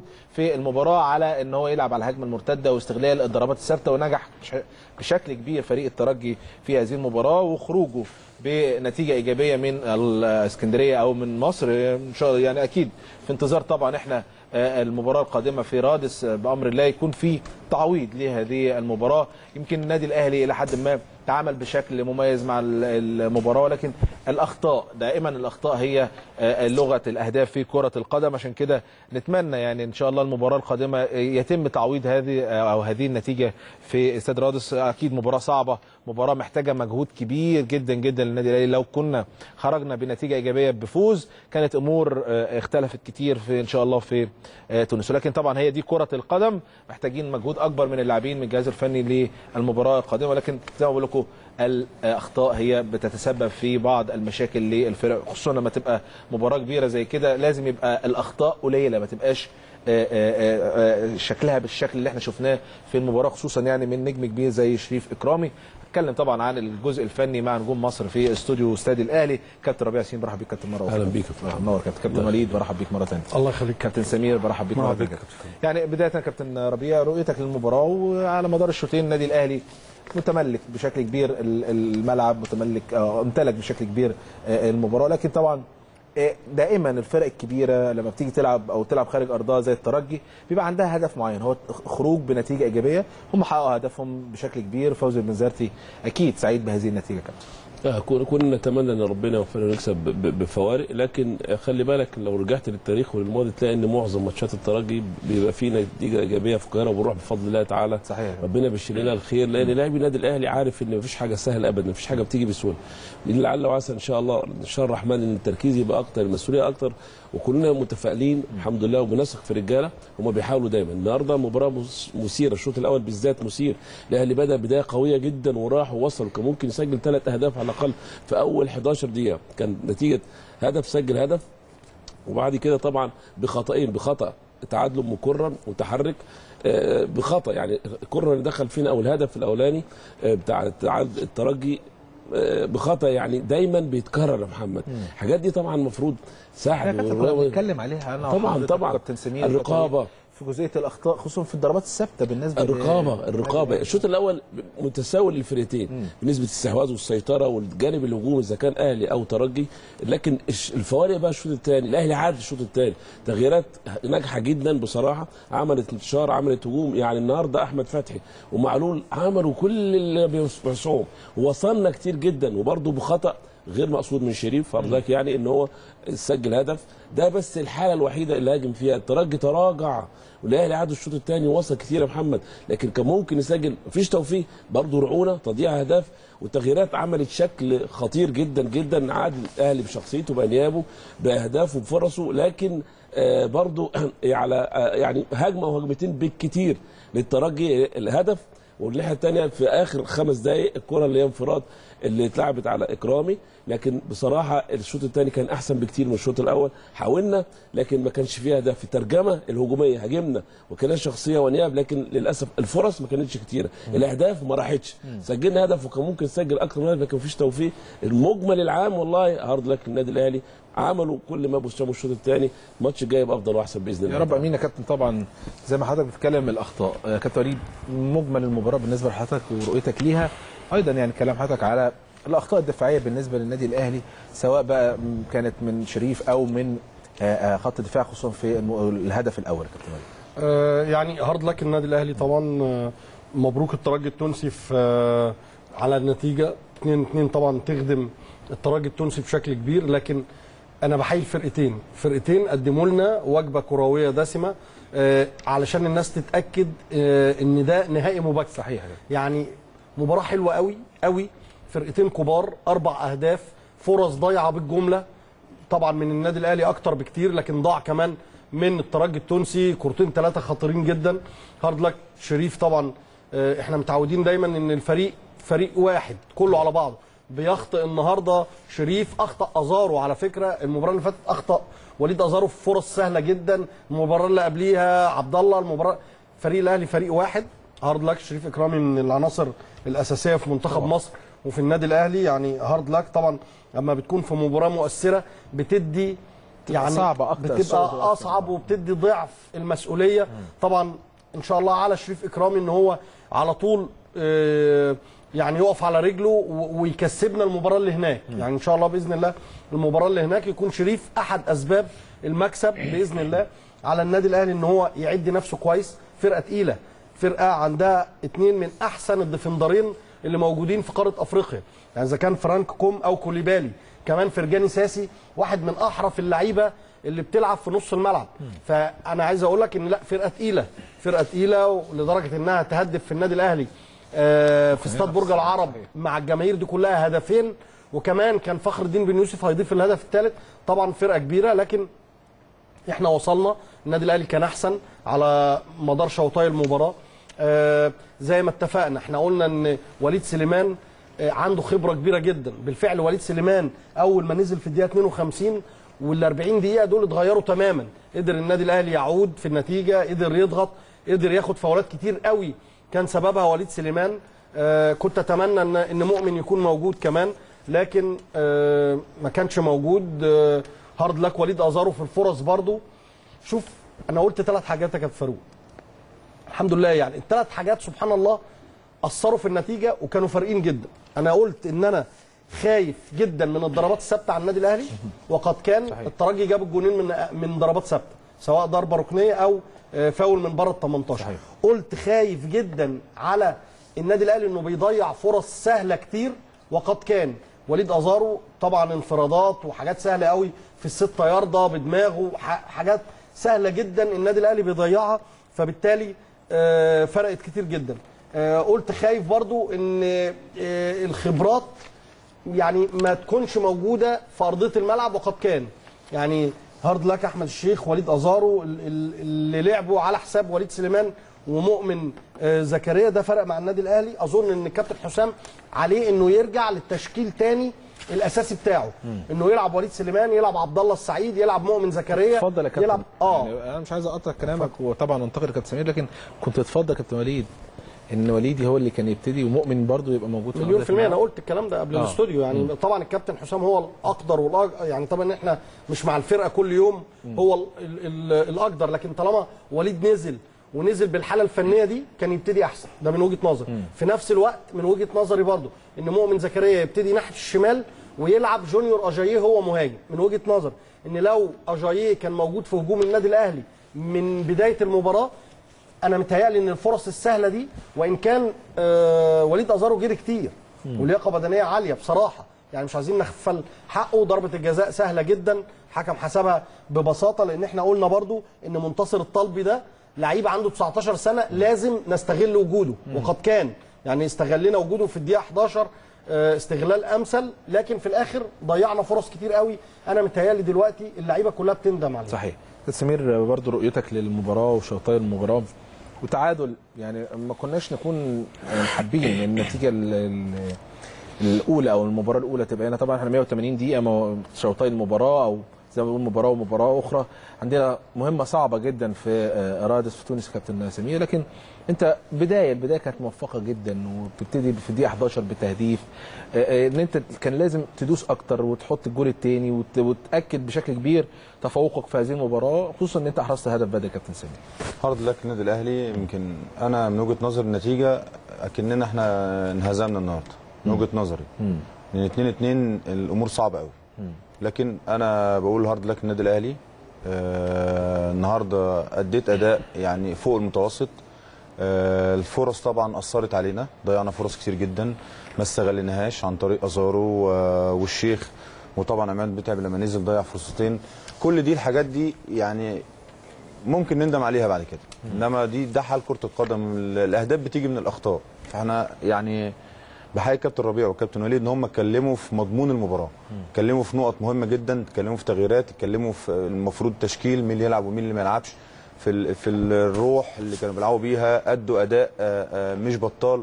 إنما النتيجة في الآخر هي اللي بتحسم اللقاء وبتحسم البطولة. أنا كاتب كذا حاجة كده يمكن أنا بحيي المدرب بنزرتي إن هو عمل تغييرة. أو زي ما بيقولوا بلغة الكرة التركايه كده في نص الملعب إن هو آه، غير آه، في فخر الدين فخر الدين يوسف ده في بداية المباراة، من بداية بداية المباراة ولاعب فرانكوم. الأساسي يعني. آه يعني عشان طبعا قوة آه، آه، آه، وسط لعيبة النادي الأهلي آه، سواء آه، صالح لما نزل أو عبد الله لما كان موجود وليد لما نزل كل اللعيبة اللي كانت موجودة وأجاي لما بيجي من تحت فحس إن ال- الجبهات ممكن تشتغل وهيبقى في زيادة عددية في نص الملعب بالنسبة له فحط فرانكوم في قلب ال- ال- الملعب أو آه، وسط آه، تمركز دفاعي زي حسام عاشور كده. عايز أقول لك بلغة الكورة كده كان يعني آه، عمل كل حاجة. قطع ضغط على الخصم استلام وتسليم صح. هو نجم المباراة. أنا يعني من اللعيبة المميزة جدا إحنا فعلا في النادي الأهلي محتاجين لعيب زي ده. محتاجين لعيب زي آه، فرانكوم. يعني برضو بالإشادة اللي أنت بتتكلم عليها هو كان حاطط أمل كبير على الاثنين سواء بقى كوليبالي أو فرانكوم آه، قبل المباراة. واتكلم إن أنا هلاعب النادي الأهلي بالاثنين دول هيبقوا موجودين للجزء الدفاعي لأن عندهم قوة دفاعية كبيرة وده حصل. هو, قطع قطع عليك ماء ونور زي ما بنتكلم بالظبط كده. آه ميه والنور عليك وبعدين كمان غيلان الشعلاني و- وكوليبالي وفرانكوم. يعني عايز أقول لك ضيق المساحات قوي آه، خلى خطورتك قلت. مفيش كرة بتوصل لوليد أزارو كتير مفيش كرة بتوصل لعبد الله كتير من ورا ال- الخطوط هو زي ما بيتحرك. مفيش كرة لكلوبالي في ضغط في نص الملعب لا قرا الجيم كويس قوي وحضر نفسه المباراة. فأنا الحقيقة يمكن آه، أنا ما كنتش أتمنى إن ده يحصل إنما ده حالة الفرقة هنا وهنا. في أول 45 دقيقة أنا شايف إن هي 50 50 في كل حاجة من النواحي البدنية والفنية والأهداف. يمكن أول 11 دقيقة عبد الله سعيد من ضربة جزاء وبعد كده آه، جاب آه، طه ياسين خنيسي من آه، من آه، ضربة أو فاول آه، ضربة ركنية. آه، طبعا اللي اتكلمنا عليه اللي اتكلمنا عليه قلت قبل المباراة المباراة النهارده طول ما انت صفر ومدافع كويس ومأمن دفاعاتك هتقدر تتعامل مع المباراة والسيناريو هيمشي كويس جدا.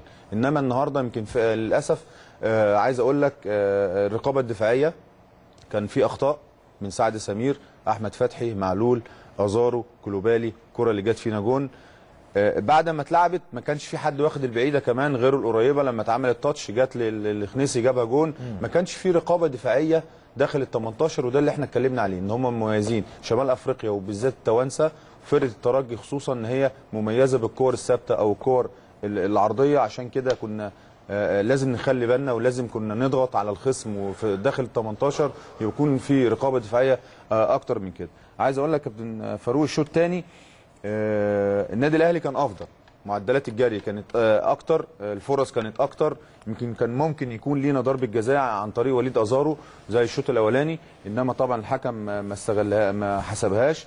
لكن آه، آه، أنا وجهة نظري يا كابتن وليد وكابتن ربيع التغييرات اللي الكابتن حسام آه، نزلها الشوط الثاني هو ده المفروض اللي كان بيلعب بيه. وعلى طول الكابتن حسام بيلعب باللعيبة دي وبيلعب بالخبرات دي في اللعيبة في الماتشات التقيلة وماتشات أفريقيا. بالأخص. اللي إحنا شفنا النهارده مباراة كلنا متوقعين. كلنا. آه برافو عليك. آه، آه، ده نهائي مبكر. نهائي مبكر. فرقة تقيلة فرقة بتعرف تتعامل مع الخصم كويس جدا. بره ملعبها وجوه ملعبها. نسبة الاستحواذ بعض الفترات كانت أعلى من النادي الأهلي. ليه؟ إن كانوا مركزين أكتر. إنما آه، شفنا النادي الأهلي النهارده كان في استحواذ في فرص. في معدلات جري كتير في تكتيك بيتعمل في شغل في الملعب بس ما كانش آه، بطريقة مستمرة كان على فترات. فأنا آه، شايف إن النهارده آه، كانت مباراة قوية جدا. استمتعنا بيها لكن النتيجة برضو أنا وجهة نظري إن هي مش في صالحنا طبعا لكن آه، لكن مفيش بإذن الله مستحيل في كرة لا بإذن الله إن. إحنا هناك زي ما قال يعني إحنا ربيع. بنعمل آه طبعا كابتن ربيع آه، قال على الجزئية دي إن أنت في بعض الأحيان أنت كنت بتتعادل مع الفرقة التونسية. هنا بتروح هناك بت- بتاخد بطاقة التأهل من خلال طبعا وجودك في تونس ولكن يمكن يا كابتن كان ال- الأهداف يعني وجهة نظري أنا شخصية أنت كنت بتتعادل 0 0 أو 1 1 لكن 2 2 الأمور عدد الأهداف صعب. لكن. مطالب بس إنك تكسب يا كابتن. أنت عندك أفراد. طالب. لو في شوط لو في توفيق شوف لو توفيق حتى الشوط الثاني إحنا وصلنا كم مرة؟ وصلنا كتير جدا. كتير طبعا. جات لك ثوابت كتير جدا. آه. وجالك أكتر من كره واخد بالك؟ وهم الشوط الثاني اتنين كورتين. واخد بالك؟ هم ما راحوش إن- غير بيهم. إن القدرات اللي عندك أنت شوف آه، اللي يطمنك حاجة يا محمد هو لعيب اللي بيصنع النتائج وبيصنع الأهداف توفيق الله ثم. فأنت عندك قدرات القدرات بتاعتنا النهارده ممكن وارد إن مفيش توفيق مفيش توفيق لكن هو راح بكام كورة؟ وأنا رحت بكام كورة؟ وصلت للثلث الأمامي كام مرة؟ هو وصل. أنا وصلت كتير جدا لكن إحنا ضيعنا وقت في أول يعني أنت عندك أول 11 دقيقة قبل البنالتي ما يجي أكتر من هدف ضايع يا محمد. شوف الشوط الثاني نسبة الاستحواذ. هو الشوط الثاني واقف تماما. الدليل إنه غير الاثنين روس حربة. طه ياسين والبدري غيرهم الاثنين لأن مفيش حاجة. ونزل فخر الدين في ال right عشان معلول زي بيزيد بيزيد بيزيد. الباكين النهارده عملوا كل حاجة. cross ات عرضية كتير جدا. لكن خل... ما- لو هو بس يعني ما كانش كان لازم الفرص دي خد بالك نفكر بشكل أعمق بالنسبة مين اللي يجيب الفرص دي. ازارو بيضيع ضيع كتير جدا النهارده.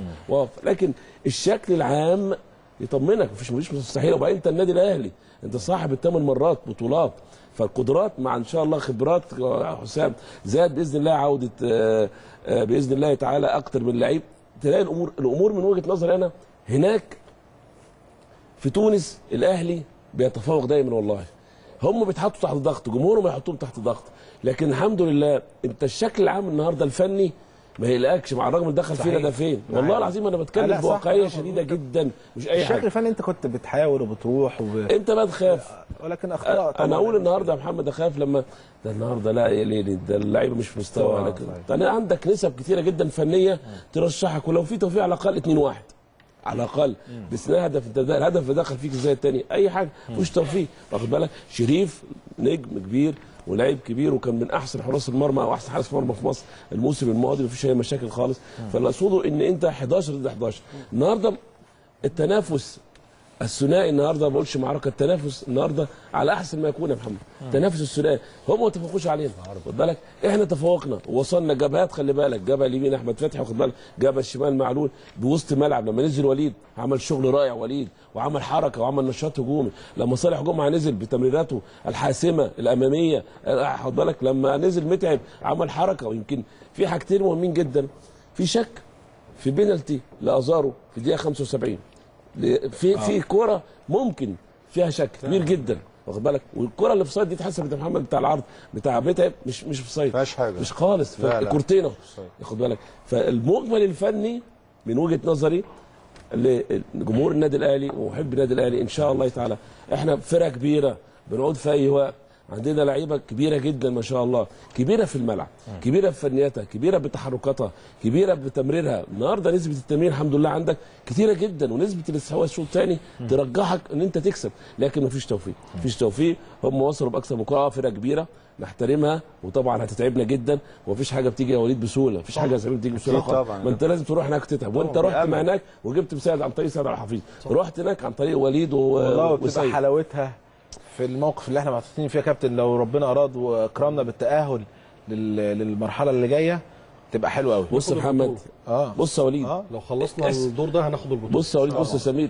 احسبوا وافتكروا. افتكروا دايما إن إحنا لما بنتحط في النتائج دي بنركز أكتر ونلتزم أكتر والاصرار بيدخل بداخل النادي الأهلي أكتر. النادي الأهلي طول و- عمره كده يا كابتن. ف... فقصدي لما بيعوز بياخد آه، الماتشات دي اللي- والبطولات. اللي دي. ليها كسمير إن أنت لكن أنت فنيا رحت.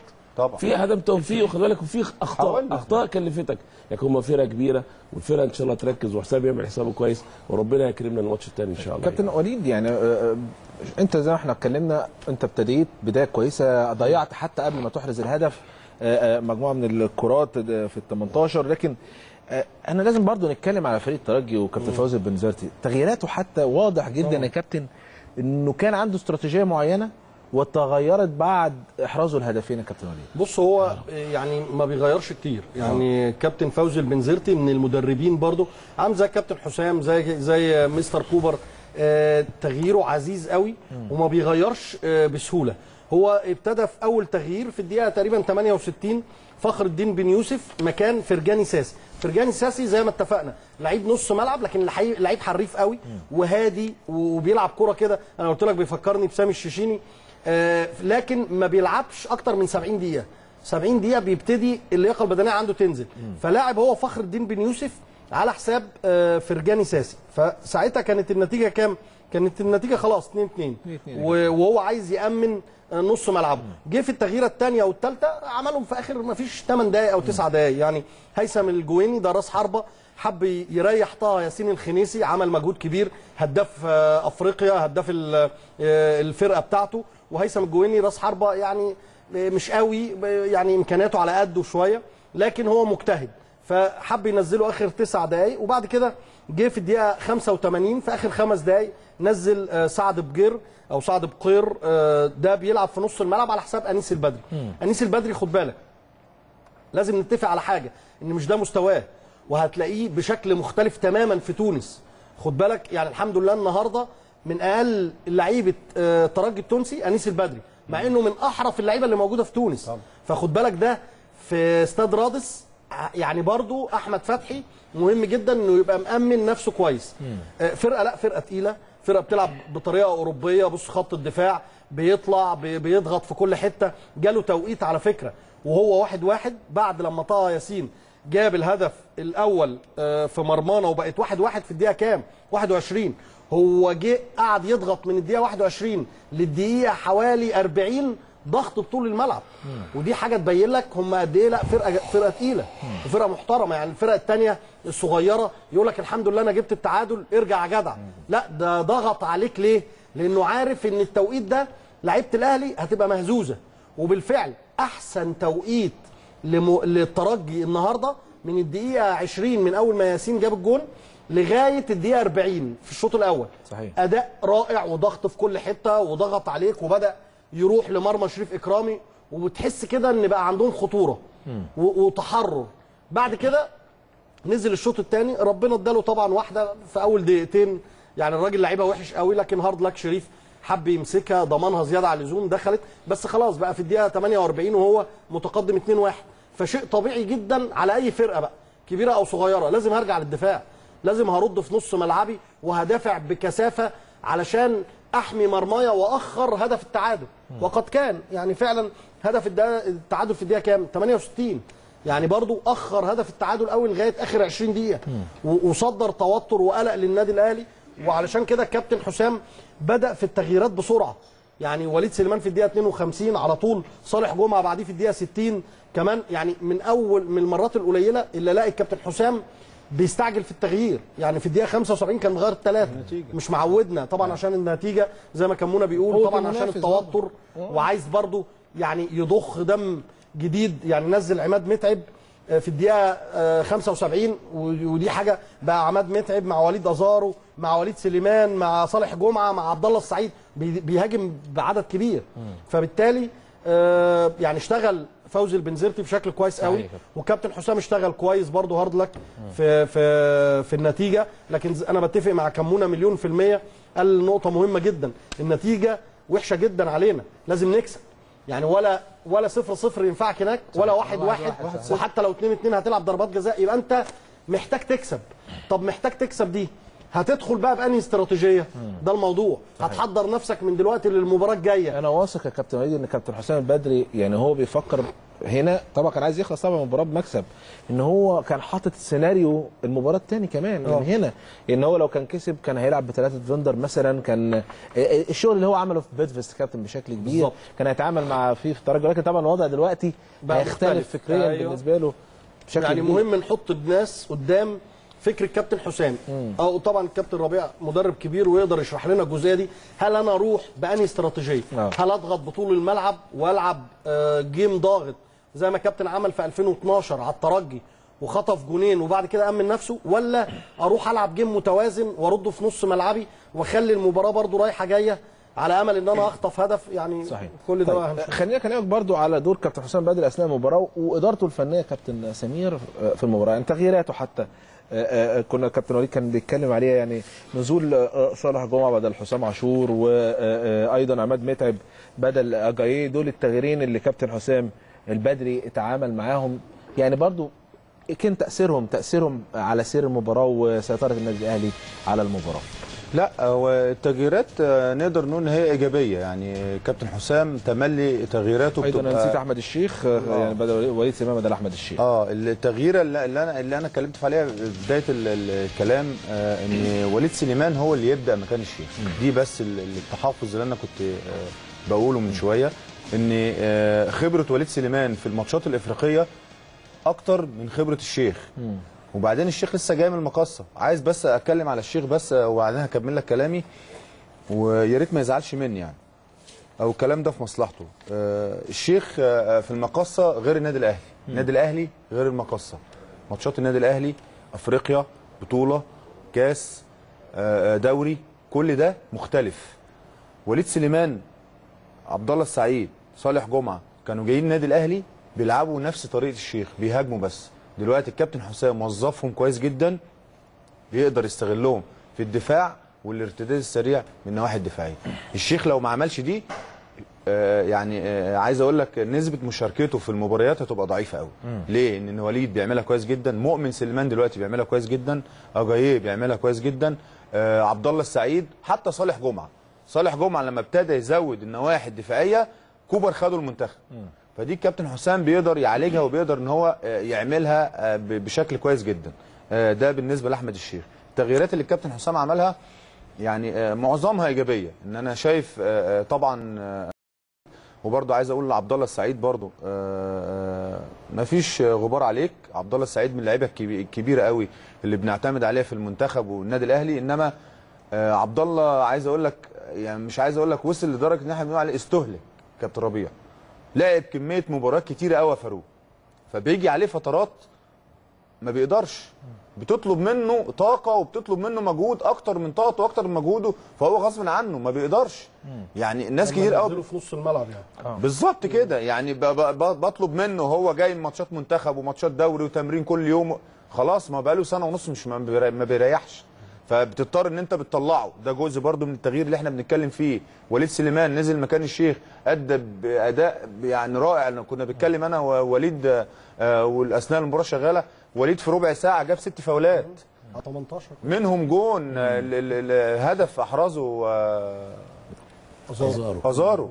مخاطره حسام عاشور وخروجه يا كابتن دي كانت حسام عاشور النهارده ما كانش ليه دور قوي. آه. لأن حاسس إن هو كان بعيد شوية آه، آه، نسبة تركيزه كانت أقل السولية كان أفضل شوية معدلات الجري بتاعته كانت يعني أحسن. الدور نفسه ولا كانت المباراة خلاص محتاجة حتة مش محتاجه حسام عاشور في التوقيت ده. خد بالك أنت مغلوب. ما بالظبط أنا مغلوب. بتكلم مش فهو محتاج. الكابتن معودنا على كده إن أنت في توقيت معين أروح منزل صالح جمعة ومطلع حسام عاشور عشان أضغط بقى على الفرقه وبعدين هي مش فارقة الاثنين بيلعبوا في في قلب الملعب. وهم خلاص ابتدوا يرجعوا ورا بيلعبوا على المرتدة. فحسام عاشور النهارده معدلات الجري بتاعته كانت أقل. السولية كان رجله شغالة وعمال يتحرك واستلام وتسليم وبيدور اللعب كويس وعامل ربط مع صالح لما نزل ومع وليد سليمان ومع أزارو. فبيتهيألي التغييرة بتاعت آه، حسام عاشور كانت آه، أفضل كان يريح مفيش مشكلة. ده بتبقى حالة يعني مفيش بس يعني لا غبار طبعا على آه، حسام عاشور من اللعيبة الممتازة طبعا لكن التغيير كان موفق ويعني عايز أقول لك فاد ال- ال- النادي الأهلي. التغييره بتاعت عماد متعب أنا شايف إن هي تغييرة يعني يعني اتأخرت. يعني تنزل عماد متعب من بدري تلعب بفرودين وتطلع واحد من وليد ازارو وأجاي أو تط- تنزل مؤمن سليمان وتل... وتخلي forward ين تخلي وليد ازارو ومؤمن س... و... و... ومؤمن زكريا يجي من تحتيهم هو ووليد وصالح يبقوا ثلاثة واثنين قدامهم. دي كانت وجهة نظر إن أنت تز... تزود الكثافة الهجومية تخلي forward ين. بدل تغيير بدل عماد متعب كنا ننزل ولي... آه مؤمن زكريا ونلعب بأجاي. وأزارو وصالح ومؤمن ووليد سليمان. تمام. ده كانت دي كانت وجهة نظري. كنت هتزود كثافة عددية. عندك اجاييه بيلعب دماغه كويس. عندك آه، أزارو بيلعب دماغه كويس. في انطلاقات هتيجي من العمق عن طريق آه، آه، صالح من الأطراف عن طريق وليد ومؤمن. هتحس إن ال- ال- اللي بيبقى فيه تكتل كنت تقدر تشغل الأطراف كمان. لما يزيد علي معلول وأحمد فتحي كان هيبقى فيه خطورة آه، أكبر من كده. طيب. كانت ربيع يمكن يعني مباراة يعني أكيد ما كانش يتوقعها جمهور النادي الأهلي ولا إحنا كنا نتوقعها. آه متوقع مباراة جيدة آه، تحقيق نتيجة ولو 1-0 آه، للنادي الأهلي وتبقى ليك فرصة للوصول هناك وأنت بتلعب حتى إلى حد ما وأنت كسبان. آه، كابتن وليد كان وإحنا بنتكلم معاه وقال إن كابتن ربيع يقدر يقول بشكل كبير الاستراتيجية اللي ممكن يلعب بيها النادي الأهلي وشكله في المباراة القادمة يوم 23 سبتمبر إن شاء الله القادم. يعني كلنا آمل إن يبقى حالة الفوز هي الوحيدة اللي بالنسبة لك اللي متاحة. غير كده أنت موجود بره هذه البطولة والحلم بالنسبة لك لتحقيق النجمة التاسعة كابتن. لا بص الأول إحنا قلنا الكرة فيها كل حاجة. يعني فريق ترجي كل الاحترام والتقدير وعنده أنا قلت لك في عنده جانب فني لازم تعمل له حساب كويس قوي. والراجل كان عنده جوانب فنية على مدار شوط أول بنسبة كبيرة جدا. هو الشوط الثاني تراجع طبعا والتعب شفناه على اللعيبة وتراجعوا بشكل كبير جدا في خط في خط الظهر. وكان عندهم مشاكل في ثوابت في ثوابت اللي إحنا المفروض كنا نستغلها أكتر من كده. آه أنت مشكلتك النهارده محمد في حاجتين مهمين جدا. أنت مشكلتك في التهديف. أنت وصلت كتير جدا ورحت ووصلت ال 18 التهديف يعني الشكل العام بالنسبة للجوانب الخططية اللي انت سيطرت عليها بالمباراة يعني انت سيطرت على المباراة والشوط الثاني بالذات بجوانب خططية رائعة. مجموعات لعب مجموعات لعب مجموعات لعب. وقلنا العمق في اتنين جامدين جدا حافظين كولوبالي وكوم دول بس عندهم شق دفاعي وفي نفس الوقت بيعرف يسلم الكورة. ما بيقطعش الكورة عشوائي بيقطعها وبيسلمها بيسلمها وبيطلعوا بيها كويس قوي بيطلعوا وسط الملعب وخط الظهر. لكن انت خلي بالك بأمر الله تعالى. الاهلي يعود في أي وقت بفنياته. أنا من وجهة نظري بأمر الله وتوفيقه إن شاء الله تعالى التغيير هتتغير في أفراد ممكن يبتدي بيهم حسام في الماتش الثاني إن شاء الله تعالى بعد خمس أيام أو سبعة أيام. الطريقة ممكن تتغير بمشيئة الله تعالى. في نفس الوقت يعني أنا من وجهة نظري إن فريق الترجي إن ألعب عليه ضاغط من الأمام. يعني ضاغط من قدام. ده مهم جدا. ارعب بيه الناس يعني أنا لازم أفرض أسلوبي في شغل الهجومي وخاصة في التلت الوسطاني والتلت الأمامي. ثلاث تلات الملعب الطريقة لازم تتغير وأنا متأكد وإحنا عارفين إن حسام أوقات كتير جدا مغير. مش معنى تتغير معناه إن أنا لأ تتغير للأحسن والأفضل عشان أقدر أسيطر. أنا قلت لك الماتش النهارده الخماسي بتاع وسط الملعب وهو خمسة ضد خمسة. أنت بتروح فطول ما انت بتسيطر وتستحوذ وبتروح وبتوصل خطورتك هنا. فالجناب عندنا اشتغلت كويس جدا. هو ده اللي مطلوب الماتش الجاي إنك تشتغل أطراف كويس قوي. إنك الرصه بتاعتك ممكن تغير من 4 2 3 1 4 4 1 1 أو 4 2 3 1 بمشتقاتها الهجومية والدفاعية. آه فكر حسام البدري بأمر الله تعالى الماتش الجاي يبقى بدقة غير عادية وبتركيز غير عادي وبالتزام غير عادي. في شكل فني أنا عاوز فرقة بأمر الله تعالى انشط وسط ملعبي أو انشط اطرافي كويس قوي انشط الخماسي الهجومي اللي بيروح على الجول ارعب الفريق افرض شغلي وسيطرتي وطموحي الفني بمجموعة من التحركات بالتمرير. فلسفة النادي الأهلي وحسام البدري في الموسم الماضي ب... بإنه ياخد الدوري والكاس بتمريره بنسبة الاستحواذ بإنه ما يفقدوش الكوره النهارده عدم فقد الكورة لفريق الترجي الشوط الأول هي دي اللي هزت النادي الأهلي شوية. هزته شوية وخلت الفريق يتراجع وحسوا ان قدامهم فريق كبير حجمه كبير فنياته كبير ثقته في نفسه كبيرة جدا. فهو ده اللي لازم يبتدي يبتدي بيه حسام. الثقة خد بالك التمرير إن أنا أحافظ على الكورة إن أنا إن شاء الله الرحمن أروح وأنا اعود في أي وقت. مش معنى إن أنا هاجم هفتح خطوطي لا. مين اللي بيهاجم ومين اللي بيسجل؟ دي معروفة لدى حسام البدري لكن التوازن الدفاعي شغل الدفاعي وده اللي, أفت... اللي, أعتقد إنه بيحضره حسام من غير الكورة. من غير الكورة يعني ضاغط. وخاصة في نقطة مهمة جدا يا وليد خلي بالك يا سمير إن اللياقة البدنية بتاعتنا إحنا أحسن وأفضل. أفضل آه. فدي تخليك يا وليد تروح وأنت بفضل الله تعالى يبقى عندك شق هجومي وشق دفاعي. كابتن على فكرة. يعني هم هم مرهقين أكتر مننا. هم اولا لعبوا أربع جولات في الدوري التونسي. صحيح. أربع مباريات إحنا لاعبين مباراة واحدة. ماشي. هم لعبوا البطولة العربية كملوا للآخر وعملوا مجهود فيها سفر كتير. كمان هم مجموعتهم كانت أصعب من مجموعتنا بكتير. تمام، يعني هم أنا- واصلين عن عن كان لسه في البطولة العربية كمان أيضا. الكابتن لا، يعني واصل اللي عاوز اوضحه. اللي عاوز أنا أقوله بس إن إحنا جاهزين. الجهازان ده يا وليد يديك ثقة. ويخليك تفكر زي ما أنت عايز. أنا إمتى أ- يعني أعمل حسابي بقى. يعني الشكل والخطة واخد بالك؟ والجانب. واخد بالك. يا سمير دي مهمة. آه. طبعا. ما أنا البنيه بقى بفضل. تخليني أضغط ما. اخافش وأتحول من دفاع لهجوم من هجوم لدفاع. عندي جانب هجومي فردي وعندي جانب جماعي واخد بالك؟ هروح بيه. فاللي أقصده إن إحنا حالتنا مش وحشة الحمد لله. فمن هنا إحنا طول عمرنا بدأنا بره بضاغط. واشتغلنا وسجلنا ورجعنا باحلى النتائج بامر الله تعالى. صحيح. طيب يعني دي تصريحات كابتن حسام البدري بعد المباراة واتكلم كابتن حسام البدري على إن الحكم كان آه، عامل مؤثر سلبي في المباراة بنتيجة المباراة لم يحتسب أو لم يحتسب اثنين ضربة جزاء بالنسبة للنادي الاهلي دي من وجهة نظر كابتن حسام البدري وإن النتيجة ليست مرتبطة بالأداء آه، كنا الأفضل على مدار شوطي المباراه أيضا أضعنا أهداف كثيرة ده كابتن حسام. ممكن طبعا واضح جدا إضاعة الأهداف وده اشتكى منه كابتن حسام بدري مش في المباراة دي بس في المباريات قبل كده كتير سواء بقى في آه، البطولة العربية أو في الدوري المصري. أيضا اتكلم كابتن حسام البدري على الشوط الثاني بالنسبة للمباراة القادمة. هو كابتن حسام البدري بيعتبر أو بيعتبر بيعتبر المباراة القادمة هي الشوط الثاني. بالنسبة لفريق النادي الأهلي في رادس وإن إن شاء الله في تركيز كبير من اللاعبين وهيكون موجود تركيز كبير جدا وإن التأهل ليس بعيدا وعندنا القدرة على الفوز بالنسبة إن شاء الله للمباراة القادمة. وثقة ثقة كابتن حسام وهو بيتكلم على اللاعبين ثقته كبيرة في اللاعبين وأكيد لو هو آه، آه، كابتن حسام أيضا وهو بيصرح إن موجود بعض السلبيات هيتم طبعا تلاشيها بشكل كبير ومضاعفة الإيجابيات في المباراة القادمة. ورفض يعني رفض كابتن حسام البدري التعليق على خطأ آه، شريف إكرامي في الهدف الثاني. وقال دي أخطاء موجودة وواردة بشكل كبير وكان في أخطاء موجودة في المباراة سب- تسببت في أربع أهداف سواء بقى هدفين للنادي الأهلي أو هدفين في الترجي. كابتن آه، آه، وليد يعني أعتقد إن تصريحات بالنسبة لكابتن حسام معقولة بشكل كبير آه، التصريحات كلها طبيعية آه، ما عدا تصريح واحد. أنا مش عايز النادي الأهلي يدخل في موضوع التحكيم.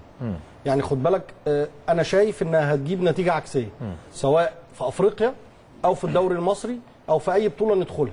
إحنا لو آه، كل مباراة هنتكلم على التحكيم هيجيب لنا نتيجة عكسية.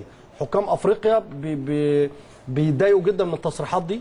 أنت هتروح تلعب لسه مباراة العودة في تونس أكيد بحكام آه، أفارقة ممكن معرفش حطوا الحكم ولا لأ بس هي الفكرة إن أنا شايف إن النادي الأهلي المفروض يعمل يعني ستوب كده يعمل إيقاف كامل كامل فيما يخص التحكيم. دي وجهة نظري. لأن أنا شايف إن آه، من كتر الكلام على التحكيم هيجيب نتيجة عكسية. لكن الباقي كله طبعا الأخطاء واردة في الكورة طبعا النادي الأهلي كان أحسن. آه، نفس المشكلة مستمرة. من السنة اللي فاتت وإحنا بنقولها وبنأكدها كل مرة ضياع الفرص السهلة. النادي الأهلي بيروح بسبع ثمان فرص مؤكدة بتجيب واحدة أو بتجيب اثنين فبالتالي في المباريات الكبيرة ده مش هت يعني مباراة كبيرة مش هتستحمل الكلام ده. وقد كان نتيجة سيئة جدا بالنسبة لنا ونتيجة عكسية.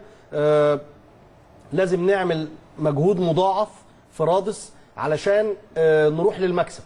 انت ممكن آه توصل بس توصل 3 3 هل ممكن تتعادل 3 3 في رادس؟ الله أعلم. لكن المهم يعني ناخد آه يعني قصدي ناخد مبدأ ناخد مبدأ إن إحنا لازم نسجل يا كمون. صح. ما سجلناش خلاص يبقى إحنا بره. وهم كان الترجي يا؟ كابتن بيلعب على الجزئية دي النهارده. بالظبط. إن هو يسجل تسجيل بالنسبة بالظبط. في المباريات اللي زي كده بتبقى هي وإحنا قلنا خليك الأول يعني قلنا أنت الأفضل يعني. على قد ما نقدر الترجي ما يسجلش هنا. هو سجل بدل الواحد جون جونين. بدل الهدف هدفين. فبالتالي إحنا كمان محتاجين إن إحنا نسجل عندهم. يعني دي نقطة مهمة عشان. نسجل يا كابتن بقى هناك. بص عندك اتنين سيناريو. يعني يا إما تعمل السيناريو بتاع 2012 والنادي الأهلي يقدر على كده والكابتن ربيع قال حتة آه، مهمة جدا فكرة اللياقة البدنية. إحنا لياقتنا البدنية فعلا أعلى منهم. فتقدر تروح تضغط بطول الملعب تلعب بقى ب آه، أنا وجهة نظري يلعب أجاييه كمهاجم ويلعب وليد سليمان وعبد الله السعيد ومؤمن زكريا وعاشور والسولية. وتضغط بالستة دول آه زي ما كمونا يعني إحنا متفقين على الفرقة. وتضغط بطول الملعب. وتبقى عايز تعمل لهم إيه؟ حاجة اسمها الصدمه في الكورة. إن أنا الجيم ده مش هسيب ال 90 دقيقة رايحة جاية أو مش ه... مش هتوازن. أنا هضغط عليك من الأول. لأن ليه؟ لأن أنا لازم أحط الكوره في الجون. لو أنا لو الأهلي ما جابش جوان خلاص طلع بره البطولة. فعلشان أهدف أنا ما أقدرش أسيب نص ملعب وأرجع أعمل دفاع منطقة فهو يعمل استحواذ. ودينا كلنا شايفين. والوقت نفسه مش في صالحه. قول لي مين منهم مين منهم ما بيطلعش كوره صح؟ كفريق الترجي؟ آه. لا هم يعني فرانكوم كوليبالي غيلاني الشعلاني فرجاني ساسي أنيس البدري لو لعب فخر الدين بن يوسف خليل شمام بص وسط الضغط كمان عليه كابتن. فما بالك بقى فرادس مع الجمهور مع الملعب. هيط... فأنا ما أقدرش أسيب له الاستحواذ. هضيع وقت كتير قوي من المباراة. آه، مهدر. وبعد كده هبتدي أنا اللي أتوتر وبعد كده أنا اللي هبتدي أغير بسرعة. في فبالتالي أنا شايف إن أنا ألعب اول ان اول كل في الكل. أبتدي ضاغط بطول الملعب كل المباراة كل المباراة مش صعبة لا ما لغاية لما أنا هدف. آه. أنا هدفت وبقت 1-0 صحيح. أقدر أرد وأخليه هو اللي يجي لي وأخليه هو اللي متوتر وأخليه هو اللي يغير. لكن آه كابتن فوزي البنزرتي مدرب كبير. وخد بالك لو أنت سبت له نص الملعب هيقعد يباصي ويعمل لك استحواذ بقى 70% 80% وهي... لأن هو عارف إن في الآخر المباراة دي هو عايز يطولها. مع وقع كتير مع آه، أضيع آه، وقت كتير مع إن أنا أمسك استحواذ آه، سلبي كتير ما ما عندوش مشكلة. فبالتالي كمان لا قدر الله بقى كمان لو هو أحرز الأول هيبقى عندي مشكلة كبيرة. هبقى لسه بقى بدور على جونين صحيح. مش جون واحد. فبالتالي أشوف إن النادي الأهلي يلعب بقى بمغامرة مغامرة يكون فيها risk ومش هيبقى مغامرة عالية. أنا أقول لك المغامرة العالية لو أنا بقى إيه هلعب مثلا بحسام عاشور وجنبه صالح جمعة وألعب بقى مغامرة عالية قوي. لكن ال risk العالي ده أنا بتفق معاك إن إحنا نقسمه خلال المباراة. لكن كبداية على الأقل أعمل مغامرة واحدة إن أنا أضغط من قدام. يبقى أنا كده هو حتى الربع ساعة الأولانية يا كابتن إن أنا لا أنا مش جاي آه، بالظبط. آه، آه، أسيب المباراة كده. ومثلا النادي الأهلي. ده برضه في فكر الناس ب- أو أو اللعيبة ممكن تحس. بيها كابتن فممكن يعني. وممكن وممكن منه. برضو يبتدي بوليد أزارو ما فيهاش مشكلة. برضو مهاجم سريع وقوي وبيضغط. ما فيش مشكلة في الأفراد. الكابتن يختار الأفراد. إحنا بنتكلم على الاستراتيجية. شوف إن إحنا نروح نضغط عليهم في في رادس ندور إحنا على الهدف الأول. مهم جدا. وفي الآخر ناخد بالنا تاني من الضربات الثابتة. صحيح. هدفي الترجي النهارده من ضربات ثابتة. طب خد بالك بقى هناك أشرس. هناك الشراسة بتزيد. طب أنت جالك كام فاول يا كمونه جالنا كام فاول إحنا على ال 18 8 النهارده. 8 الشوط 9 التاني. 10 الشوط التاني. صح؟ الشوط الثاني بس. وعلي معلول بيعملهم لما وليد لما وليد نزل هو وصالح صح؟ بس خدنا إيه؟ واحدة بس. واحدة. جبنا جون واحد. هم جات لهم ثلاثة جابوا هم اتنين. جاب له جوم اتنين اتنين من ثلاثة لكن أنت علي معلول رفع من ناحية اليمين بس كان. خمس ست كور. هايلين. لكن. أنت ما خلاص. وإحنا قلنا النقطة دي. بعد آه، مغادرة حجازي وحسام غالي وعمرو جمال بقى عندك مشكلة في الأطوال بقى عندك مشكلة في الضربات الثابتة انت بتعمل ضربات ثابتة كويس قوي صالح عملها كويس قوي لولا إنها خبطت في في كتف آه، رامي رامي. وخبطت في الجون ونزلت لوليد أزارو على خط الجون كان هيبقى صعب إن أنت تهدف صحيح كابتن. كابتن سمير خليني أكلمك. يمكن النهارده أنا لازم أتكلم على جزئية الأخطاء اللي اتكلم عليها كابتن حسام البدري الأخطاء الدفاعية بالنسبة للنادي الأهلي كانت متمثلة في إيه؟ الكلام اللي إحنا اتكلمنا فيه كابتن ربيع اتكلم فيه وكابتن وليد وأنا اتكلمت فيه.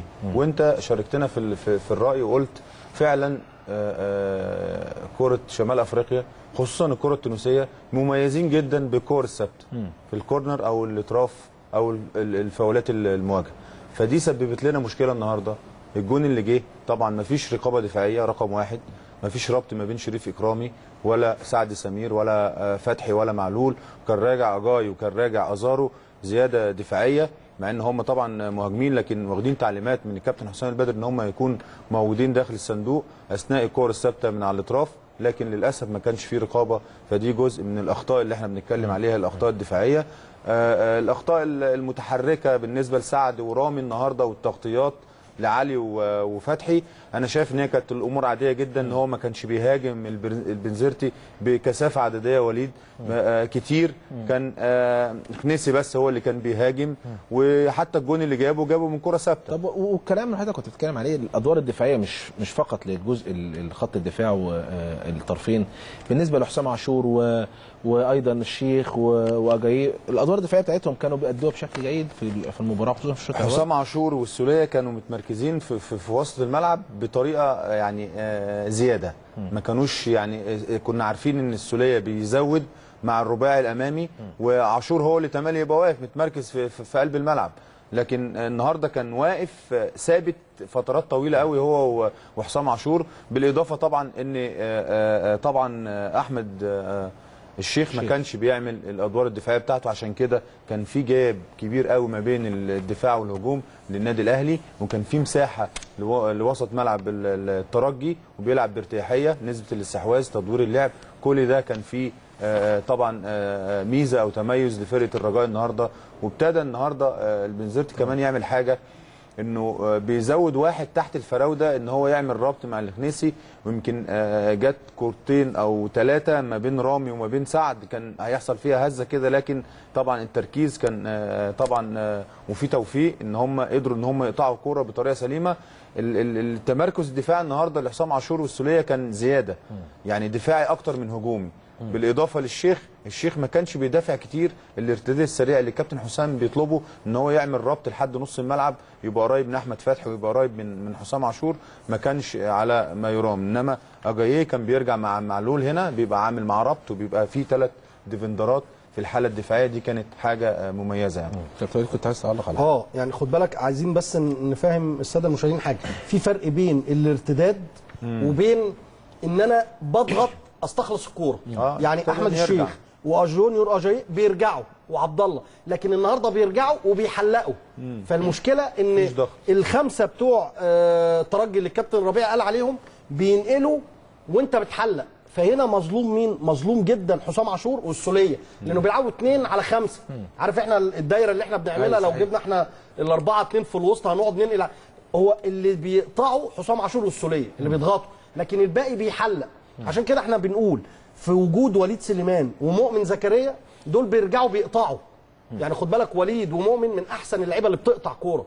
في فرق بين القطع وبين ال- الارتداد. الارتداد. بكله بيرجع. بيرجع. لكن اللي بي اللي بيقطع. غير اللي بيحلق. اللي بيقطع مميز أيوة. بالضغط يعني إحنا ليه بنقول مؤمن يلعب هنا واجاي يلعب راس حربة؟ لأن اجاي لما بيلعب هنا آه بيرجع لكن بيحلق. تقدر تنقل عليه هو مش هو مش مدافع. هو ما بيعرفش. يستخلص الكورة. نقطة مهمة أنت جدا؟ برافو عليك يا وليد. هو اتكلم في نقطة كملها وأنا برضو هضيف حاجة إن الكابتن حسام عملها كتير قوي بال- بالطريقة دي بالأسامي اللي وليد بيقولها. كمان ممكن يلعب يلعب بوليد آه، سليمان ناحية اليمين أو العكس ومؤمن الناحية الثانية وأجاي آه، forward آه، صريح. دي بتبقى ميزة بي بي يعني بالظبط كده. وبعدين زي ما أنت قلت أنا هضيف حاجة كمان عندهم حتة ال- ال pressure أو الضغط في نص الملعب على أي فرقة تقيلة أو فرقة متوسطة بيعرفوا يستخلصوا الكورة كويس جدا وبيعرفوا يقطعوا الكورة. وكمان من الناحيه الهجومية هم متفاهمين. صحيح. يعني الثلاثه دول متفاهمين جدا جدا معاهم كمان عبد الله ولما صالح بينزل عايز أقول لك آه، بيقطعوا أي حد بلغة الكورة. فلازم آه، كان الكابتن حسام النهارده من وجهة نظري عملنا أداء كويس جدا الحقيقة. يمكن خصوصا الشوط الثاني كان بعض الفترات كان one side game بعض الفترات. انما آه، كان نفسي التشكيلة الأساسية كانت تبدأ زي ما إحنا قلنا. طيب خلينا أروح لفاصل وارجع اكلم أكمل كلامي طبعا مع كابتن ربيع ويمكن آه، وكابتن وليد طبعا وكابتن سمير. جزئية استغلال المساحات في الملعب يعني كابتن آه، آه، يمكن الترجي لحد ما كان مضيق الجزئية دي. هل فعلا كابتن حسام واللاعبين استغلوا مساحات الملعب النهارده في آه، استغلال الهجمات ووجودهم في الأماكن آه، الصحيحة والتوزيع الهجومي بالنسبة للاعبين وما بينهم وما بين بعض كان جيد ولا آه، آه، الأمور اختلفت بالنسبة للنادي الأهلي أمام الترجي؟ فاصل وأرجع أكمل كلامي مع ضيوفي.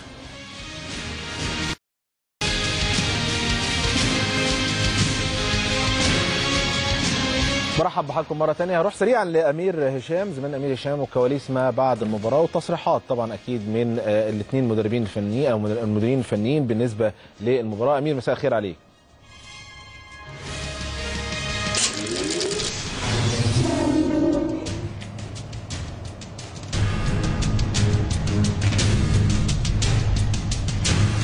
النور عليك يا كابتن فاروق وعلى ضيوفك وكل مشاهدي قناة الأهلي في كل مكان. طبعا يمكن نتيجة ما كناش نتمناها طبعا مباراة الأهلي والترجي النهارده التعادل الإيجابي 2-2 لكن خليني أقول لك آه، ما قيل بعد المباراة ومؤتمر الصحفي يمكن حضر في البداية المؤتمر الصحفي المدرب العام لفريق الترجي التونسي. ويمكن اتكلم إن هم حققوا نتيجة إيجابية جدا بالنسبة لهم.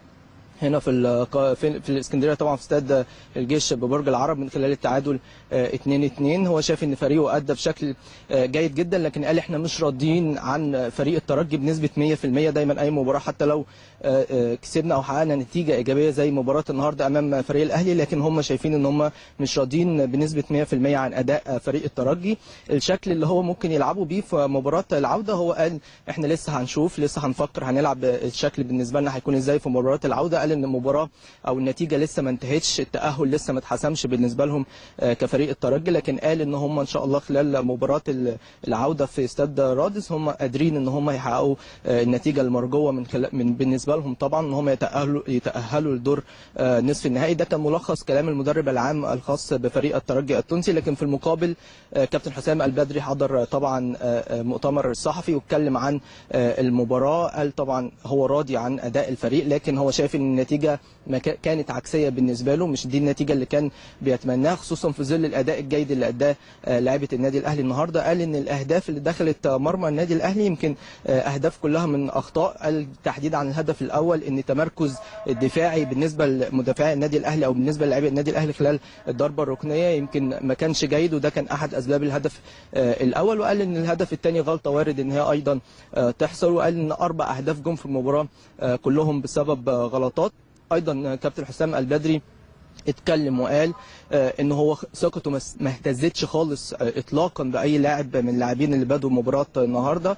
قال إن هو طبعا عنده ثقة كبيرة جدا في لاعبي النادي الأهلي. بعد انتهاء المباراة مباشرة دخل آه، غرف خلع الملابس وقال للاعبين إحنا عندنا فرصة كبيرة جدا للتأهل للدور المقبل آه، من دوري أبطال أفريقيا من خلال الفوز على فريق الترجي في رادس قال إن إحنا فرقتنا أحسن وقال للعيبه الكلام ده بالظبط. قال إحنا فريقنا أفضل بكتير فريقنا آه، وأدينا النهارده أداء جيد جدا. هم استغلوا بعض الأخطاء الفردية اللي كان المفروض النادي الأهلي طبعا ما يقعش آه، فيها خلال آه، آه، المباراة. قال أيضا إن هو قال خلال المؤتمر الصحفي بالأمس اللي هو سبق مباراة اليوم قال إن النتيجة كده كده المباراة مش هتحسم من أول طبعا يوم أو من هنا من استاد الجيش. طبعا مش هتكون نتيجة المباراة حسمت. قال إن النتيجة هتحسم خلال مباراة العودة في تونس ايا كانت نتيجة النهارده إيه.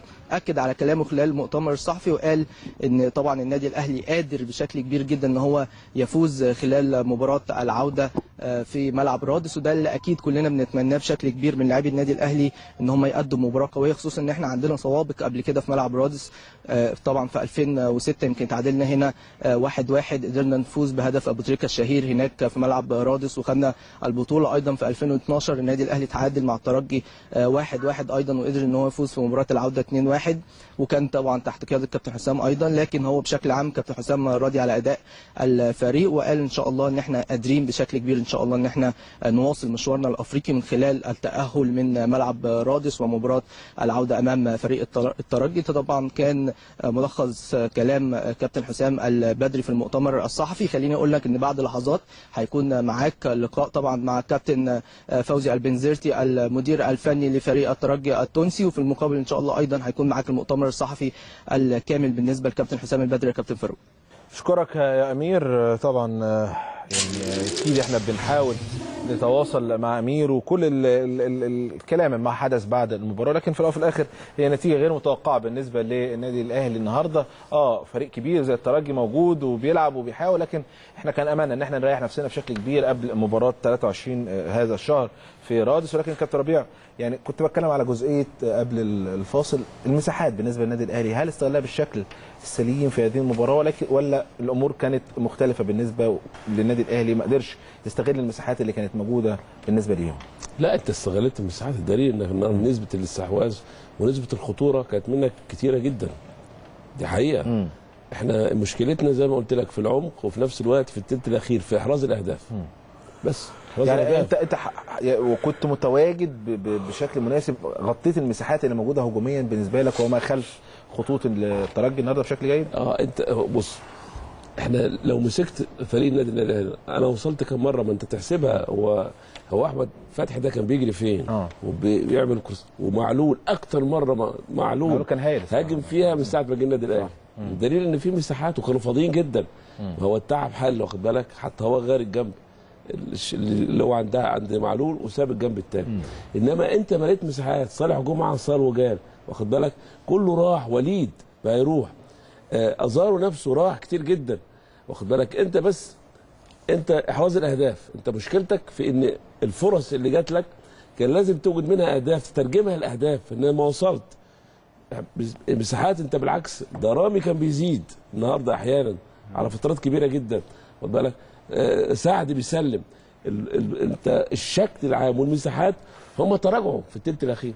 عارف مشكلتنا في الزحمة؟ في الثلث الأولاني بتاعهم إن كله بقى إيه وصلنا مثلا ل 16 لعيب 8 ضد 8 اثنين كانوا بيقفوا بيزيد حتى السورية زاد. 8 من عندهم مش أقل من 8 و9 كمان بيدافعوا. وإحنا كنا مش أقل من 8 موجودين في ال 18 هي دي الزحمة. هي دي بقى ال- المشاكل اللي, اللي إحنا عانينا منها خلال مباراة النهارده. صحيح. والله يا محمد فدي أنت ما هي هو جول. وأنا قلت لك أنا من وجهة نظري إن في بينالتي 100% بتاع ازارو برضو. يعني ده في شك. فيها شك. ولو كان في صورة سمير كان لا شفناها. فيها شك فعلا. إنما هي التهديف. أنت برضو يعني عاوزين نقول حاجة. آه، برضو متعب. اتأخرت فيه شوية 13 دقيقة مش مش كفاية المتعب. حجم الماتش ده وخبرات متعب تطلع في ماتش زي ده. وعدد الفرص اللي جات له كابتن وهو موجود في 13 دي يعني معقول فرص. بالنسبة تمام. تخيل مثلا لو نزل وبقى 30 دقيقة. واخد بالك. إنما أنت وصلت ورحت والثوابت النهارده جات لك كتير جدا. الخطورة كمان كانت في الثوابت. إحنا نسبة التصويب عندنا قليلة قوي ودي أقل نسبة موجودة. إنما الحلول الهجومية النهارده كانت كتيرة.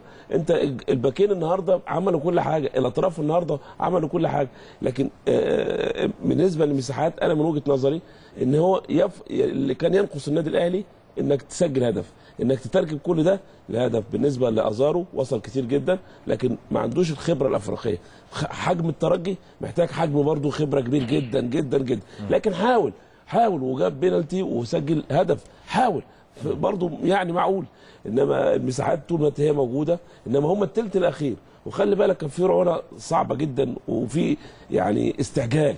إنما المشكلة إن كان ممكن الترجي عامل التوفيق من وجهة نظري أنا في. في, ال- في الثلث الأولاني بتاع عامل التوفيق كان له دور كبير جدا لكن الأهلي وصل وكان ممكن يسجل وكان ممكن يكسب كمان كابتن وليد آه، آه، آه، يا كابتن حسن ربيع اتكلم على جزئية الأهداف وأنت بتضيعها الحلول دي بالنسبة لعملية إن أنت تبتدي تصلح الجزئية دي دي بتبقى منصبة في أنهي حتة؟ هل مشكلة التدريب ولا مشكلة اللعيب نفسه؟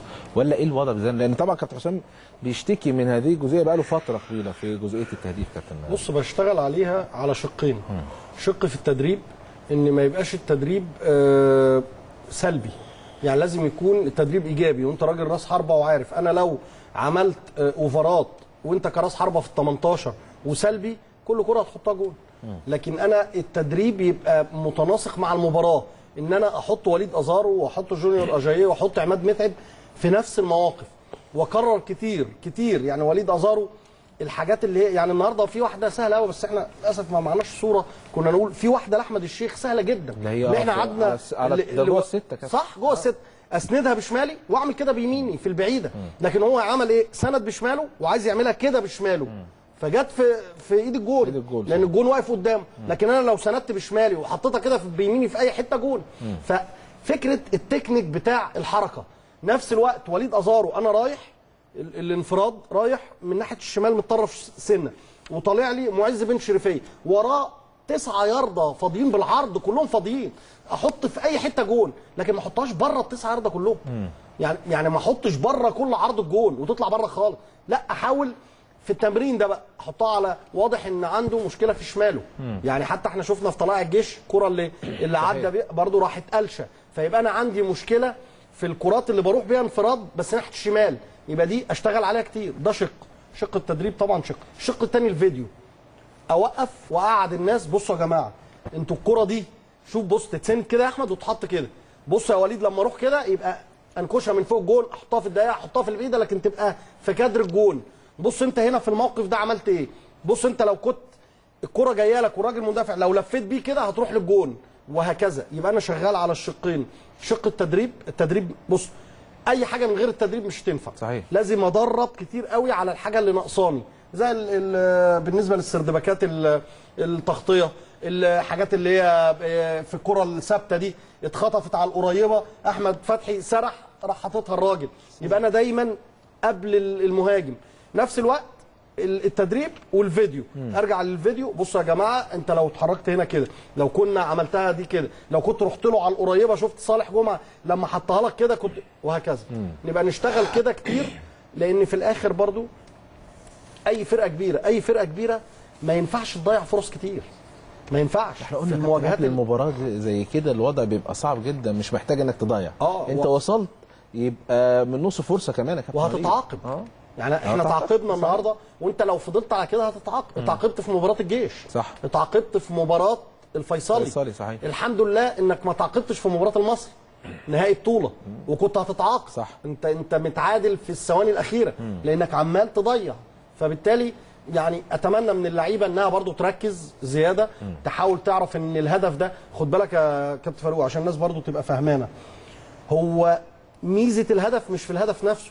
إن أنت بقيت 1-0 لا اللي بيفهم كورة وإحنا الأربعة لعبنا كورة بيأثر على ظروف. كتير جدا محيطه اولا بيأثر على الفرقة الثانية في التوتر. ثانيا بتديني أنا ثقة وبتدي خط الدفاع ثقة إن أنا كسبان على طول. ثالثا خد بقى التوتر في التغييرات. أنا زي بالظبط يعني النهارده الكابتن حسام لو مش متأخر مش هيستعجل. دلوقتي انت ممكن المدرب اللي قدامك بيتوتر يروح منزلك واحد هجوم ويشيل نص ملعب فيفتح لك نص الملعب يبتدي مثلا يروح مطلع لك واحد مدافع. فانت الهدف ده مش هو فكرة انك متقدم بهدف. صحيح. لا هو ليه ظروف كتير حواليه تديك فرصة في الاستحواذ تديك هدوء أعصاب اللي عايز يعمل حاجة يقدر يعملها. صحيح. اللي صح. تدي ثقة. صحيح. ويمكن كمان الكابتن اللي بيضيع كمان. يعني ده بتبقى مشكلة كبيرة بالنسبة له. ممكن يبقى يطلع out of game مجرد إن هو ضيع الكورة دي وواحده تانية يضيعها خلاص لا ده يقول لك أنا مش يومي وتلاقيه طلع بره ال game تماما. فدي طبعا واحدة من من من ال- اللي حضرتك بتتكلم عليه. كابتن سمير يمكن كلام على على خطا إكرامي هنشوف النهارده يمكن ضغط شديد على شريف. أنت بتشوف يعني إن أنا بشوف إن شريف إلى حد ما هو من أفضل حراس المرمى الموجودين على في مصر حاليا ويمكن زي ما إحنا شايفين في الدوري الممتاز كلين شيت آه، وحقق أرقام قياسية في الدوري المصري ولكن خطأ خطأ في مباراة كبيرة أعتقد هتلاقي دوسة شوية كده على شريف لكن هو أدى دور كويس. يعني هو كابتن فريق في وقت من الأوقات ولازم طبعا آه، آه، اتعرض هو لمواقف زي كده. تقول له إيه النهارده يا كابتن؟ لا هارد لك النهارده. يمكن شريف شالنا ماتشات كتير قوي. بالظبط. وهو مستواه ارتقى ورجع منتخب مصر من الأهداف البسيطة اللي دخلت فيه. ابتدى ينمي نفسه ويطور نفسه مع الكابتن طارق سليمان. وابتدى يقرص على نفسه وعنده ثبات انفعالي كويس قوي في الماتشات ومع المنتخب. آه، طبعا نسبة الأهداف السنة اللي فاتت في الدوري كانت قليلة جدا ودي كانت تحسب له هو والمدافعين. كل دي حاجات إيجابية. فأنا لما أخطأ مرة آه، مفيش مشكلة. ده طبيعي جدا والخطا وارد.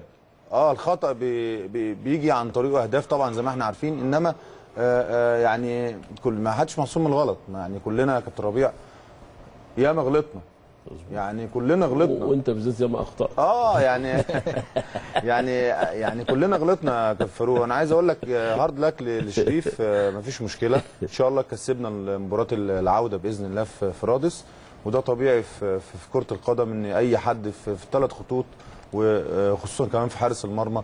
شفنا ياما إجوان عالميين آه، بيخطئوا أخطاء آه، يعني أفظع من اللي اخطاها النهارده. شريف إكرامي فبقول له hard luck وإن شاء الله اللي جاي أحسن موفقين بإذن الله. طيب كابتن آه، ربيع يعني المرحله بقى دي بقى.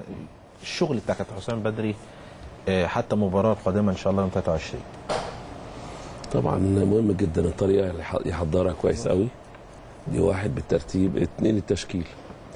التشكيل اللي أنا أقدر بفضل الله تعالى أقدر أشتغل بيه شغل دفاعي فردي وشغل هجومي دفاعي وفردي جماعي وفردي. ده مهم جدا. فكر حسام بإذن الله تعالى في أسلوب اللعب. يختلف أسلوب اللعب محمد. مهم جدا جدا جدا. إن شاء الرحمن دلوقتي الترجي كتاب مفتوح قدام حسام البدري. عرفنا قوته فين خطوطه إزاي حارس مرمى إزاي القلب إزاي. اطرافه إزاي؟ خط الامامي إزاي؟ بيقدر يطور لعبه عن طريق كام ثانية وكام لمسة وفينش في النهاية كام فطرق كتيرة جدا لازم حسام بمشيئه الله يدرس الترجي كويس قوي قوي قوي بإذن الله. الترجي عنده ثغرات خلي بالك دفاعية كتيرة جدا. هو فريق مرعب هو فريق كبير لكن خلي بالك الفريق الكبير ده برضو عنده مجموعة سلبيات إحنا شفناها النهارده مش مش سهلة. يعني إحنا سلبيات النادي الأهلي أقل منه. سلبيات النادي الأهلي. آه في كان في خطأ وفي أكتر لكن مش أكتر. أنا من وجهة نظري إن الدراسة مهمة جدا والشغل مهم جدا. أنت عندك مشكلة في اللمسة الأخيرة. اللمسة الأخيرة اللي تقدر تفنش بيها ده يبقى شغل حسام الشاغل بإذن الله. التوازن الدفاعي خطتي الشغل أنا مين اللي هيدافع له مين اللي هيهاجم؟ هروح إن شاء الله أعمل انتشار إزاي وأعمل ترابط إزاي وهسيطر إزاي وهفرض أسلوب إزاي؟ حاجات كتيرة جدا على لعيب النادي الأهلي بإذن الله تعرفوا إن هم هيجروا كتير.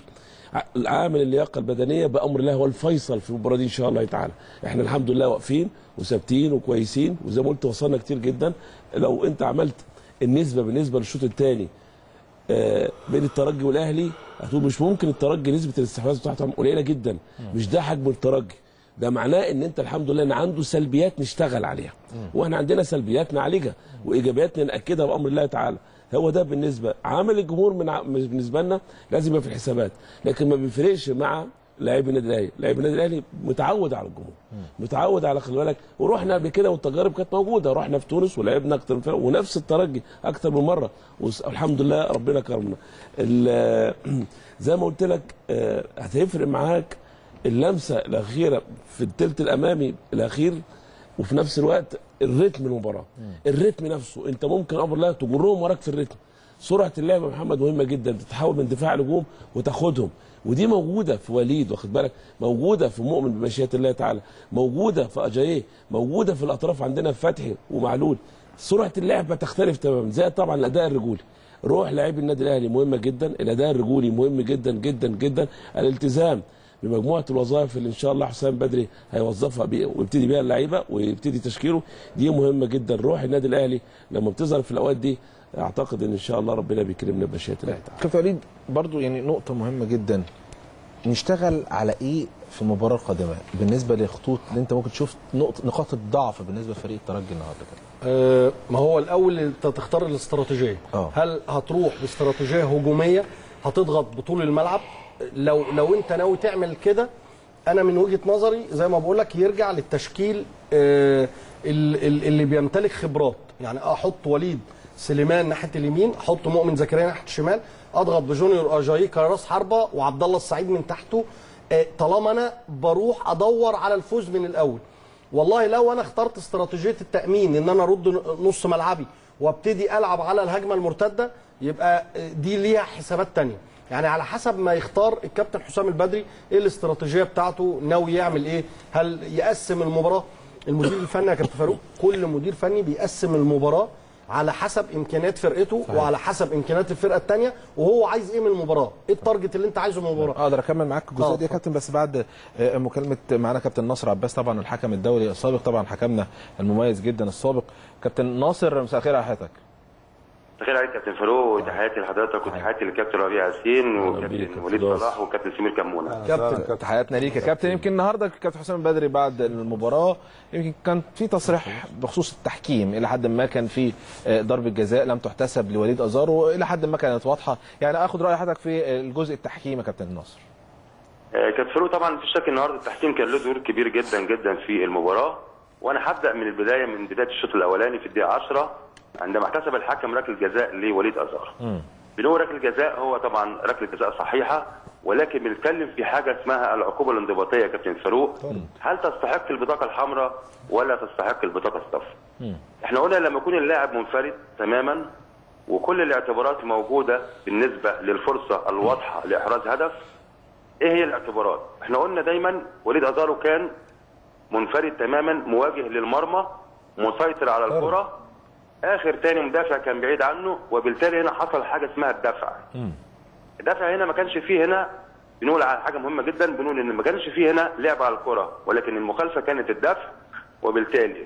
طالما توفرت الفرصة المحققة كان يجب على الحكم أن يطرد اللاعب اللي هو آه، متصل الطلبي اللي هو مدافع الترجي والمفروض بطاقة حمراء مستحقة. طبعا كان تقدير خاطئ من الحكم في إن هو اداله إنذار بس ودي طبعا يعني قرار أثر في نتيجة المباراة يا كابتن محمد. طيب. ده بالنسبة لركله الجزاء اللي هي تم احتسابها طيب بالنسبة للأخطاء التحكيمية اللي كانت موجودة بالنسبة آه اتفضل. في واحدة كابتن فاروق طبعا. كابتن فاروق عندنا ال ألو؟ اتفضل يا كابتن. اتفضل يا كابتن. عندنا مشكلة في الحكام المساعدين يا كابتن فاروق اولا في الدقيقة 23 مساعد رقم واحد أشار بالخطأ على تسلل على جونيور وكان الراجل في موقف سليم. نتيجة طبعا آه، آه، عدم التمركز وعدم الربط لحظة اللعب ما بين اللعب والكرة نتيجة عدم التركيز ودي كانت الاشاره بالخطا على تسلل غير صحيح بالنسبة للاعب الأهلي. عندنا تسلل بالخطأ طب- طبعا في الدقيقة آه، 80 من المساعد رقم اثنين آه، لما وليد أزارو استلم الكرة وكان في لاعب من المدافع مغطي. وهنا اللعبة دي طبعا لعبة من الألعاب مهمة جدا اللي هي اتلعبت بالعرض كانت محمد لو حضرتك تفتكر لعماد متعب. احمد متعب صحيح. وأشار عليها الحكم المساعد بالتسلل. وطبعا هنا القرارين دولت قرارين مؤثرين في نتيجة المباراة كابتن. نتيجة عدم التمركز والتركيز بالنسبة للحكام المساعدين. طب كابتن يمكن جزئية التحكيم في أفريقيا بتشوفها إزاي دلوقتي؟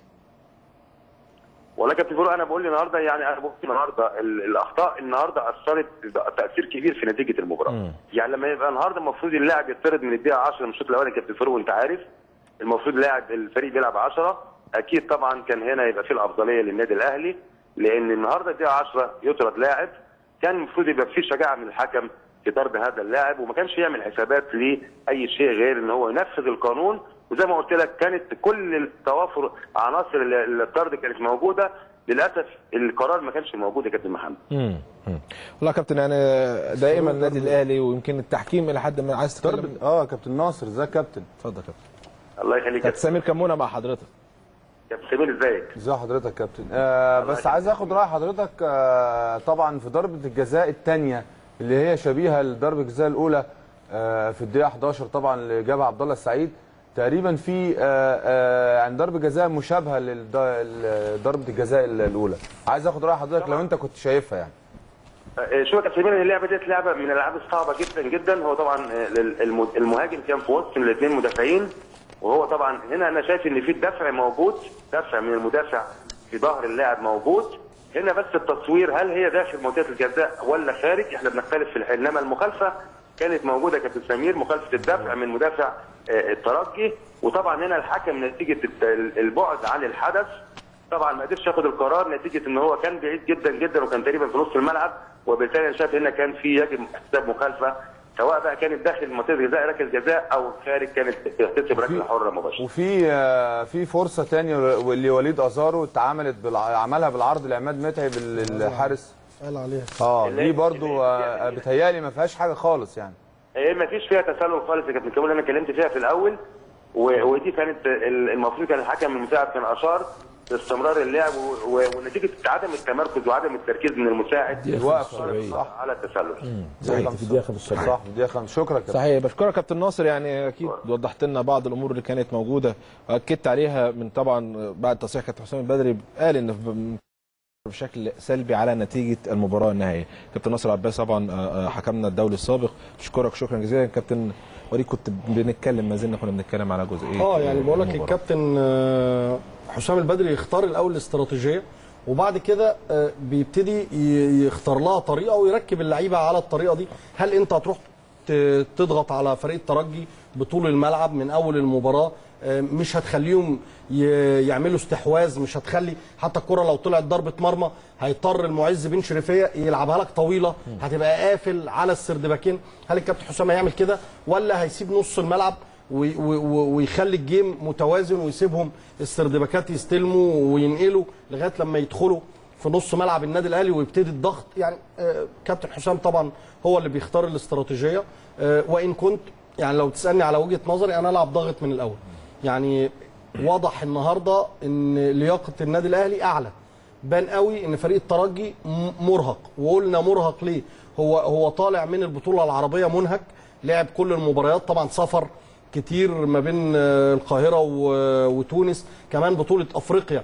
هو لعب في المجموعة الأصعب فبالتالي عمل مجهود مضاعف أكتر مننا بكتير. في نفس الوقت هو بيلعب آه، الجولة الرابعة في الدوري التونسي. صحيح كسبان كل المباريات ومتصدر الجدول الترجي لكن لعب أسابيع كتير فكل ده بيعمل إرهاق على الفرقة. صحيح. يعني حتى وضحت جدا في تغييرات آه، آه، كابتن فوزي البنزرتي التغيير الثاني والثالث في آخر تسع دقائق يعني هو ما عندوش أوراق كتير. هو هيلعب بال 13 14 لعيب. فبالتالي حتى شفنا لما آه، الراجل علي لمشاني اتعور نزل منتصر الطلبي. بص لعيب عنده 19 سنة بخبرة منعدمة أو بخبرة قليلة جدا. عمل ضربة جزاء كان ممكن يطرد فيها زي ما الكابتن ناصر قال. يعني كان ممكن ي- يعني أقول لك إيه يدبس فرقته في- مأزق كبير جدا. إن أنت من الدقيقة 10 بتلعب مع النادي الأهلي و1-0 وبتلعب 10 ضد 11 مسألة كانت تبقى صعبة جدا على فريق الترجي. فالنهاردة أنا من وجهة نظري كل الأسباب دي تدعوك إن أنت تضغط من الأول. واضغط بطول الملعب وعندي من اللياقة البدنية وعندي من الأوراق اللي تستحمل إن أنا أقلب الطريقة الشوط الثاني النهارده أنت لو بصينا للدكة محمد نجيب فقط هو الوحيد اللي مدافع. بقية بص صالح جمعة مؤمن زكريا هشام محمد وليد سليمان عماد مت كله مهاجمين. فأنت عندك من الأوراق اللي تقدر عايز نص ملعب تلاقي هشام محمد عايز صانع ألعاب تلاقي صالح جمعة عايز آه، فرو التاني تلاقي عماد متعب جونيور أجاييه مؤمن زكريا. يعني عندك من الأوراق اللي تقدر تقلب الطريقة زي ما انت عايز. لكن إن انت تستنى وقت طويل قوي وإن انت تريحهم إن هم ينقلوا ويبقوا عارفين إن نتيجة القاهرة في صالحهم أظن إن دي يعني هتضيع مننا وقت طويل ممكن المباراة تهرب من النادي صحيح. طيب خلينا أروح قبل ما أروح لكابتن سمير كمونة والكلام عن المباراة. أيضا أروح للقاء مع كابتن فوزي البنزرتي وأرجع أكمل كلامي طبعا مع نجوم مصر في الاستوديو. مشاهدي ومتابعي قنوات الأهلي في كل مكان عقب طبعا انتهاء مباراة الأهلي والترجي بالتعادل الإيجابي بنتيجه 2-2 معايا في هذه اللحظات كابتن فوزي البنزرتي المدير الفني لفريق الترجي. كابتن فوزي طبعا عايز آخد تقييمك للمباراة بشكل عام وهل فرص الترجي أصبحت أكبر في التأهل للدور نصف النهائي؟ يعني بالنسبة لي نعرف أن الأهلي فريق كبير فريق عريق فريقي آه، يعني في في البطولات الإفريقية عنده صولات وجولات مهما يكون فريق الأهلي لأن سمعت أن الأهلي معناتها في مش في وضعيته الحالية ما من في أحسن ما يرام لكن بالعكس الأهلي ديما معناتها يقعد فريق والكبير يقعد يبقى كبير. ولهذا معناتها عملنا أنا بالطبع نلعب ونحاول باش نفرض طريقتي على أي منافس. هذه طبعي معناتها في كرة القدم. ما نخليش المنافس يضغط عليه أكثر من اللازم. وهذا اللي صار وقت اللي يلزمنا ندافع ندافع وقت اللي يلزمنا نهاجم نهاجم هاجمنا بعدد كفاف آه، يعني كثافه عددية. وبالنسبة للدفاع نفس الشيء معناتها الدوري. هذا كل متدربين عليه وحاضرين فيه. نعتبر كون النتيجة عادلة. بين زوز فرق. الأداء كان ممتاز بين زوز فرق. فهمتني والحمد لله معناتها نعتبر كون النتيجة إيجابية بالنسبة للترجي الرياضي. ومازال الشوط الثاني الشوط الثاني باش يكون صعب. ماهوش باش يكون سهل. ولو نأمن حاجة في كرة القدم لا فما صعب ولا فما سهل. يعني كيفاش اللعيبة نتاعك معناتها تكون مستعدة للمقابلة هذه؟ راضي عن أداء فريق الترجي النهارده يمكن شفنا النادي الأهلي كان مستحوذ على المباراة بشكل أكبر. أنت بالنسبة لك كنت شايف إن أداء لعيبة النادي الترجي هي الأداء اللي أنت كنت طالبه؟ إحنا قبلنا هدف على اثر غلطات معناتها ت- تمركز نتاع لاعب أو اثنين. والهدف الثاني على اثر في استحوذ على المقابلة لأنه معناتها بعد 2 1 معناتها الوضعية معناتها بطبيعة الحال الأهلي ما عاد عنده ما يخسر معناتها تقدم أكثر الهجوم. بطبيعة الحال إحنا يلزمنا نكونوا مستعدين في الدفاع أكثر. فهمتني وحسب رأيي معناتها خلينا سكرنا جميع المنافذ إلا على كرة ثابتة يعني معناتها ما معقول باش ما فهمتي وهذا هو.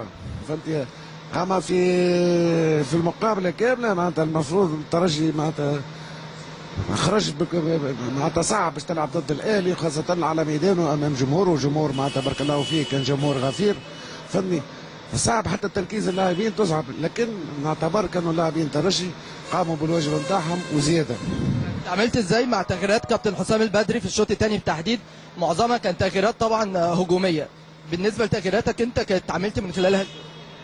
آه، يعني أنا نأمن كون كرة القدم يلزمها اعتدال معناتها. يعني لا في مجازفة ولا في معناتها أنا نسميه معناتها الكرة صحيحة فهمتني. التغييرات نتاعنا اللاعبين اللي دخلوا أكثرهم يلعبوا أساسيين في فهمتني.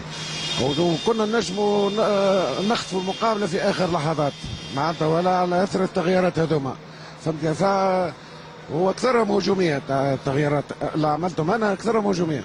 ما عملناش تغييرات معناتها دفاعية. ما زدتش واحد في الدفاع فهمتني؟ لعب واحد على اليمين واحد على اليسار في واحد وسط ميدان معناتها وهذيك التغييرات معناتها نعتبرها معناتها كانت إيجابية جدا فهمت ولا وكنا نجموا نفوزوا معناتها في آخر لحظات المقابلة. الترجي بقت كفته أرجح شوية إن هو يوصل لدور قبل النهائي. الاستر... ال- الاستراتيجية اللي هتلعب بيها مباراة العودة هتبقى يعمل لها دليل.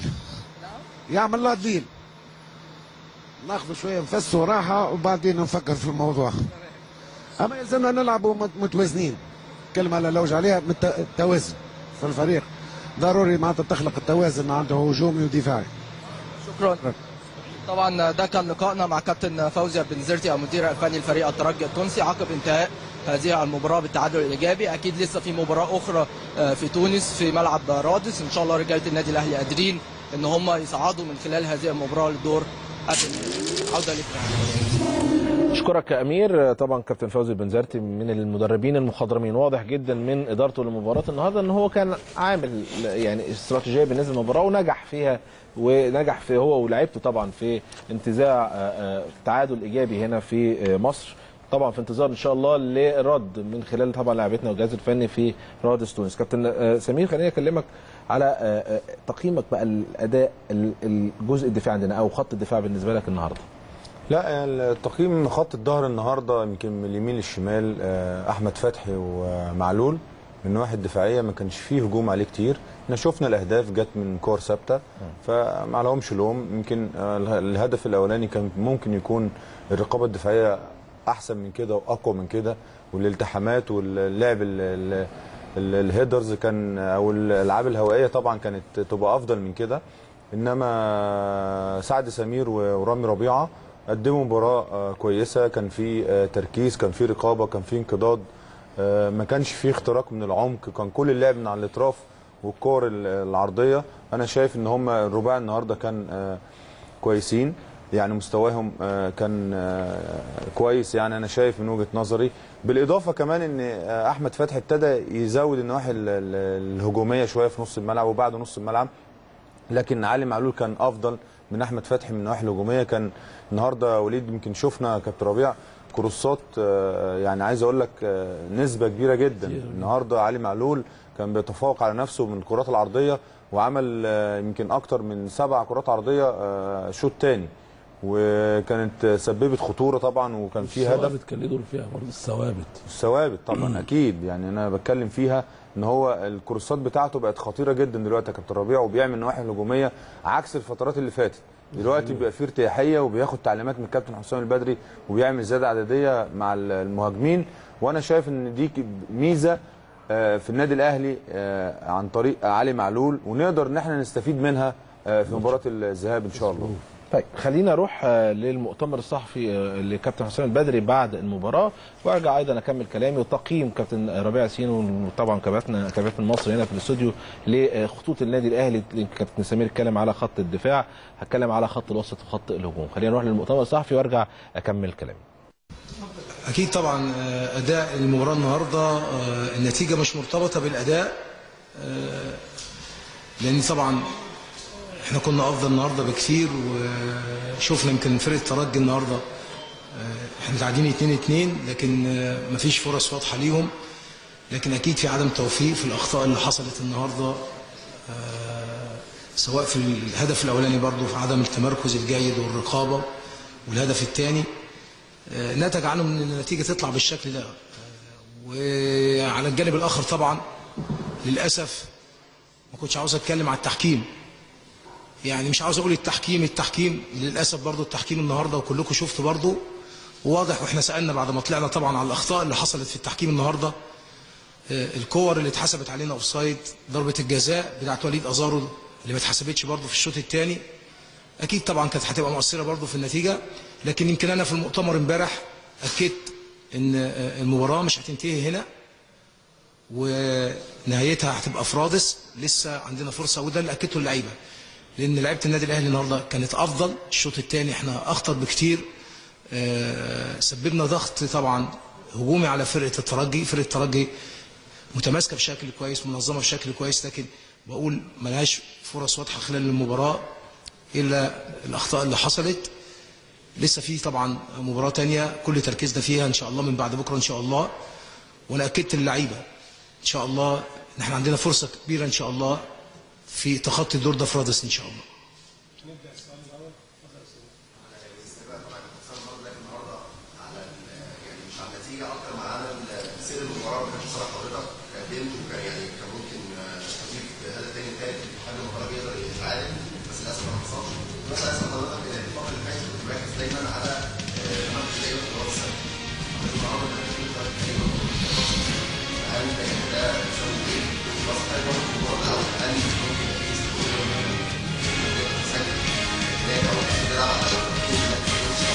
لا هو آه، هجاوبك على السؤال الأولاني. أكيد لازم آه، وأنا بحضر المباراة بحضر في كل حاجة. ووارد برضو آه، أنت اتمرنا زي ما أنت بتقول بشكل كبير على ال- الكور الثابتة آه، آه، الهجومية بالنسبة لنا أو الدفاعية.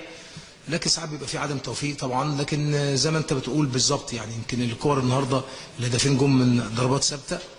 آه، ده وارد في كرة القدم. آه، الاستراتيجية هناك طبعا آه، إحنا متعادلين. ولابد من المكسب هناك أو إن شاء الله برضو التعادل. فده هيبقى طبعا تفكيرنا في المباراة إن شاء الله وده هيبقى تحضيرنا من بعد بكرة إن شاء الله. السؤال الثاني اتفضل.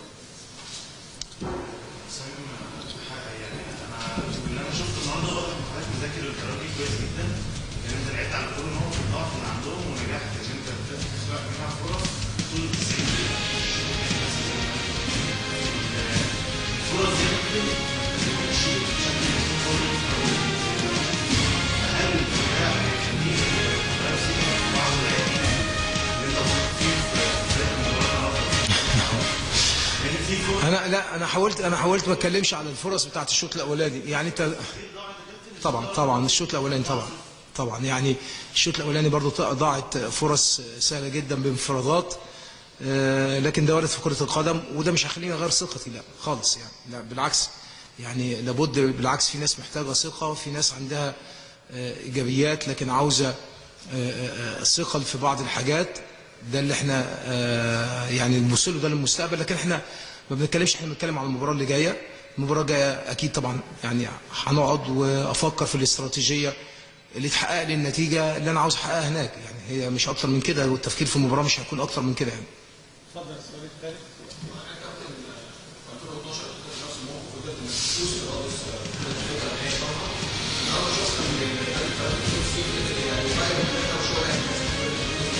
عمل كثافة؟ تقول كثافة؟ آه okay في اسباب كتير طبعا سواء من الاهلي أو سواء من التحكيم في حاجات كتير offside وكذا كوره بقى اهم ان شاء الله قبل المباراه الجايه المباراه القادمه فاضي ان شاء الله لا يعني مش هكلمك في الفنيات لكن صدقني أنا آه، أول ما دخلت الأوضة أكدت اللعيبة إن إحنا عندنا فرصة كبيرة جدا لأن أنت شفت الأداء النهارده آه، أنت أفضل ويمكن أنا آه، زي ما أحمد قال ما حبيتش أقول إن الشوط الأولاني اضاع فرص عشان آه، في يعني بعض اللعيبة مش عاوز أحط عليهم ضغط لأن محتاجين كل اللعيبة خلال الأسبوع ده إن شاء الله يبقوا هادين جدا ويبقى كل تفكيرنا إن شاء الله في تحقيق النتيجة الإيجابية اللي تأهلنا هناك يعني. لكن أنا بقول إن سير المباراة يعني ما يتماشاش مع النتيجة اللي اتعملت النهارده لكن ده في كرة القدم يعني. اتفضل.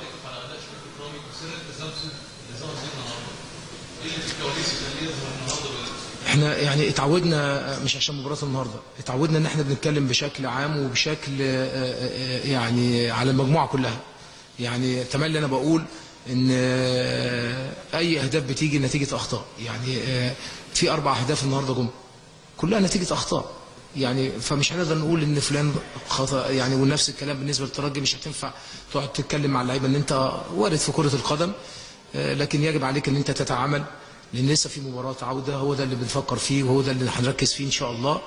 وأنا آه، بقول بكل ثقة لعيبه النادي الأهلي إن شاء الله قادره بإذن الله وشفنا أداء النهارده وشفنا آه، الضغط اللي عملوه على فريق الترجي والفرص اللي اتخلقت في الشوط الأولاني والضغط في الشوط الثاني إن شاء الله قادرين إن إحنا نعمل نتيجة إيجابية هناك إن شاء الله وتبقى آه، إن شاء الله نتيجة للتأهل بإذن الله. شكرا شكرا. تمام؟ قول.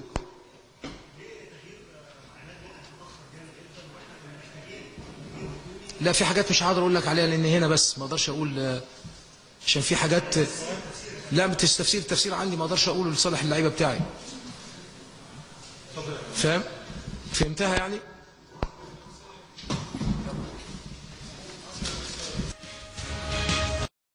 المؤتمر الصحفي الخاص بكابتن حسام البدري بعد المباراة. كابتن ربيع يعني إحنا قلنا يمكن تصريحات كابتن حسام وتعليقا على التصريحات. يعني لو حضرتك حابب تعلق أيضا على تصريحات كابتن حسام. بالاخص التحكيم آه، يعني عالة جدا وحسام واقعي جدا و... وزي ما قلنا ان هو اعترف إن فريقه عامل عامله حاولوا كتير جدا و... وأنا قلت إن كان في بينالتي وفي كوره offside مش offside دي حقيقة البينالتي اللي هو في الدقيقة 75 والكرة اللي اتعملت من أزارو واللي متعب مش في سايد وشفنا خد بالك في ما هو قالها في, التص... في- في المؤتمر الصحفي. وأنا أنا بحترم المنافس كويس قوي إن شاء الله وهبتدي آه، قلت للعيبه إحنا قادرين بأمر الله تعالى إن إحنا إن شاء الرحمن هنحقق نتيجه إيجابية. أكيد اتفرج على السلبيات هيشوف السلبيات هيعالجها. إيه ثغرات الفريق المنافس؟ حاجات كتيرة جدا نتكلم بواقعية وبهدوء وبثقة كبيرة جدا. مفيش عصبية خالص ودي الخبرات اللي المفروض عند مدير فني بحجم حسام البدري والنادي الأهلي. فإحنا كلنا أمل في الله سبحانه وتعالى. ثم في ال- ال- الإدارة بالنسبة للمباراة. وحسام عنده خبرات كبيرة جدا ما شاء الله وكان مواقف أصعب من كده وتعديناها. فكان هادي جدا ومبتسم حتى خرج مبتسم من من المؤتمر الصحفي. كمان أنت يعني طريقة لعبك هناك إزاي قالوا لا طبعا آه طبعا الفنيات ما أقدرش أتكلم. هو المؤتمر الصحفي دايما محمد ما فيهوش فنيات أنا ما أقدرش النهارده أبرز فنياتي اللي أقدر اوجه بيها. برضه ما إحنا عندنا هشام ال- البزرتي ال- قال له طب هتقابل الأهلي إزاي؟ قال له برضه لا أروح تونس وأهدى وأفكر. واخد بالك؟ فكل هذه الفنيات إن شاء الله تعالى. كل التوفيق آه، للنادي الأهلي وتيم النادي الأهلي. تقييمك النهارده كابتن لخط وسط حسام عاشور وعمرو السوليه النهارده السوليه وعاشور هم أعتقد إن هم حاولوا كتير. آه، عاشور السوليه يعني دلوقتي أعلى شوية سنة يعني أداؤه عالي جدا. آه، دليل ان حسام ثبته طول المباراة. آه، عاشور غيره آه، عشان برضو الشق الهجومي يزيد طول ما في مساحات. آه، السوليه أفضل وأحسن حاليا. عاشور بيمر بمرحلة لكن عاشور برضو من الوتد في وسط ملعب النادي الأهلي وله دور كبير جدا وعنده مجهود كبير وعنده نسبة مشاركة كبيرة جدا. ممكن ممكن يكون عنده في حالة تعب شوية النهارده فغيره آه، لكن لا غنى عن حسام عاشور حاليا برضه في وسط ملعب النادي الأهلي لأنه دور دفاعي بحت. وإن شاء الله أنا أعتقد بنسبة كبيرة جدا إن شاء الله بعد فوقانه النهارده هيبقى ليه دور كبير جدا مع آه، السولية في الماتش ال- ال- العودة في تونس بمشيئة الله. يا رب يا كابتن إن شاء الله. كابتن وليد لو أنت تعليق على حسام عاشور وعمرو سوليه قبل ما نخش ل آه، آه، خط الهجوم بداية من الخط الثلاثي لا، عبد الله السعيد بتفق مع كابتن و- ربيع في كل. اللي قاله. الحتة بس اللي أنا زودتها إن هم ما لاقوش معاونة صادقة من الثلاثه اللي قدامهم. يعني في فرق بين إنك تنزل تقطع الكورة وفي فرق بين إنك تنزل بس متواجد في المكان. يعني آه، أحمد الشيخ وجونيور أجاي وعبد الله نزلوا تواجد في المكان لكن مين منهم قطع الكورة؟ يعني هات لي إحصائية كده وهنلاقي في الإحصائيات بتاعت كل لاعب. أشك جدا إن جونيور أجاي أو عبد الله أو آه، أحمد الشيخ قطعوا حاجة. صعب جدا. فبالتالي دي يعني بتفرق جدا مع الاثنين ال defender. خلينا نقول إن آه، من آه، الأسباب اللي خلت فرانك كوم أو كوليبالي من نجوم المباراة غيلان الشعلاني وفرجاني ساسي وأنيس البدري في الناحية الدفاعية. فبالتالي في فرق بين إنك بترد تتواجد وفي فرق بين إنك بترد بتجيب الكورة. دي يعني بس ده التعليق. تمام.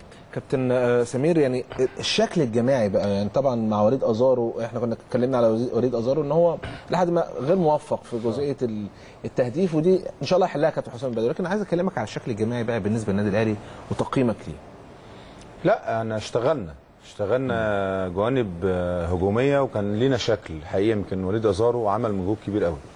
آه سيبك من الأهداف اللي ضيعها إنما ليه دور ومتواجد في الملعب وأحرز هدف وجا- وجاب ضربة جزاء أحرزها عبد الله السعيد ودي من النواحي ال- الإيجابية النهارده إن إحنا وليد أزارو برضو ابتدى يخش مع التيم ويبقى في تجانس. آه، وليد كابتن ربيع برضو معانا. آه، يعني آه، أنا شايف إن وليد أزارو من اللعيبة الممتازة لكن آه، محتاج برضو شوية تجانس أكتر. آه، آه، عدد مباريات ما عندوش خبرة ال- ال- ال- الماتشات الإفريقية زي ما اتكلمنا. مجهود كبير قوي مجهود كبير قوي. قليل قوي. بالظبط. وأحرز هدف وجاب ضربة جزاء زي ما قلنا. آه جاي النهارده.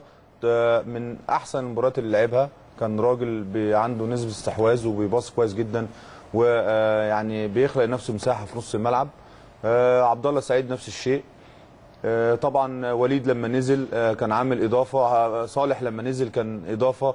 كل النواحي دي آه، كانت آه، مؤثرة جدا وكانت آه، إيجابية. وشفنا الكابتن حسام كان يتكلم وقال إن النادي الأهلي الشوط الثاني كان أفضل. فعلا النادي الأهلي كان أفضل بعض الفترات وفترات كتير. لكن إحنا لازم نعرف برضه يا جماعة إن إحنا بنلاعب فرقة كبيرة قوي فرقة تقيلة عندها لعيبة دولية عندها خبرات أفريقية. التعامل معاها صعب جدا. لكن إحنا أجبرناهم بعض الفترات إن هم يدافعوا. واستغلنا ال- ال- الكرات العرضية أكتر من من سبع ثمان كور عن طريق الفاولات اللي خدها آه، وليد آه، آه، سليمان وصالح جمعة والناحية الثانية كان وليد أزارو. كل دي نواحي هجومية وتهديد على مرمى ال- الترجي.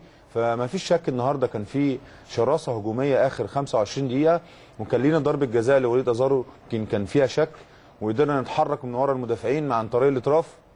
وليد أزارو الكرة اللي إحنا اتكلمنا فيها يمكن الكابتن ناصر عباس اتكلم فيها اللي حسبها آه، أوفسايد وعملها بالعرض لعماد متعب. أنا مش شايف إن هي فيها أي حاجة. دي برضو جوانب ونواحي آه، إيجابية. وليد ابتدى يتحرك ويتعمق مع الفريق ويعني آه، يكتسب خبرات. يعني دي برضو ميزة النهارده إن هو خلاص ابتدى زي ما بيقولوا العجلة تمشي والأمور بتمشي معاه. وابتدى يعمل ربط مع أجاييه ومع عبد الله السعيد.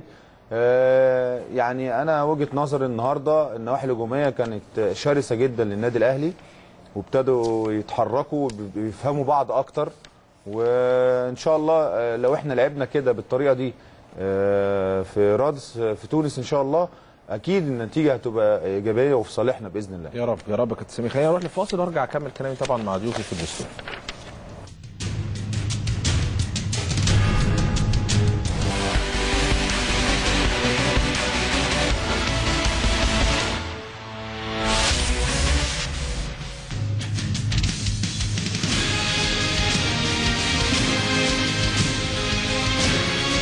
يعني هل فريق الترجي مخيف في رادس ولا هيكون بالنسبة للنادي الأهلي ب- بخبراته الكبيرة ويمكن مباريات كتيرة. كان خاضها النادي الأهلي بنفس الشكل سواء بقى مع الترجي أو مع صفاقسي. كانت النتيجة آه، آه، تعادل إيجابي أو سلبي ولكن النادي الأهلي بيروح يخطف بيخطف منهم آه، أو بيخطف في تونس آه، بطاقة التأهل للدور اللي بعده. ولكن طبعا كابتن ربيع سؤال ليك. هل فريق الترجي كابتن ممكن مخيف بالنسبة لنا في رادس ولا الوضع بالنسبة للنادي الأهلي آه، امور إن شاء الله تتحل بشكل كبير؟ لا بص يا محمد عندك حاجة إن فريق فريق تحترمه فنيا. تحترمه وتعمل حسابه كويس قوي لكن في نهاية طبعا يعني الكلام عايز أقول لك إن الأهلي كبير بفنياته كبير جدا بفنياته. الأهلي يملك الخبرات يملك القدرات اللي تخوف أي حد. فأنت تحترم هذا الفريق على أرضه في وسط جمهور. وإحنا لينا تجارب معاه سابقه أعتقد اتفقنا عليه ولحد الآن متفقين عليه. لكن باحترام المنافس ودراسته كويس جدا بإذن الله تعالى نتغلب عليه في كل شيء إن شاء إن الله شاء الله كابتن. يعني كابتن وليد مهم جدا علاج شريف اكرامي قبل المباراة القادمة. طبعا. آه، بص غلطة الشاطر بألف. هو عشان آه، حارس مرمى منتخب مصر وعشان حارس مرمى آه، فرقة من من أكبر فرق أفريقيا وأحسن فريق في أفريقيا فعشان كده بيكون المسؤولية أكبر واللوم كبير. لكن شريف إكرامي يعني هو لعيب كبير فيقدر يراجع نفسه بسرعة يتمرن يركز في شغله. آه، إن شاء الله يكون أحد أسباب آه، فوز النادي الأهلي إن شاء الله. إن شاء الله. كابتن سمير بت- بتلم حاجتك فانا عايز أسألك على التشكيل بقى اللي جاي الماتش الجاي بقى. تشكيل آه إن شاء الله مباراه لا هو التشكيل مش هيخرج عن ال- ال- ال- اللي الكابتن حسام فنش بيه. هو ده كان الأفضل. اللي هو اللي هو اخر اخر باخر المباراة لأنها بين المباراة النهارده. مظبوط يعني ده تغي- ت- يعني تشكيل هجومي وتشكيل فيه خبرات. وفي خلال آه، السيناريو اللي حصل آخر 25 دقيقة والتشكيل ده كان موجود أو آخر 20 دقيقة يمكن بيتهيألي باستثناء طبعا عماد متعب.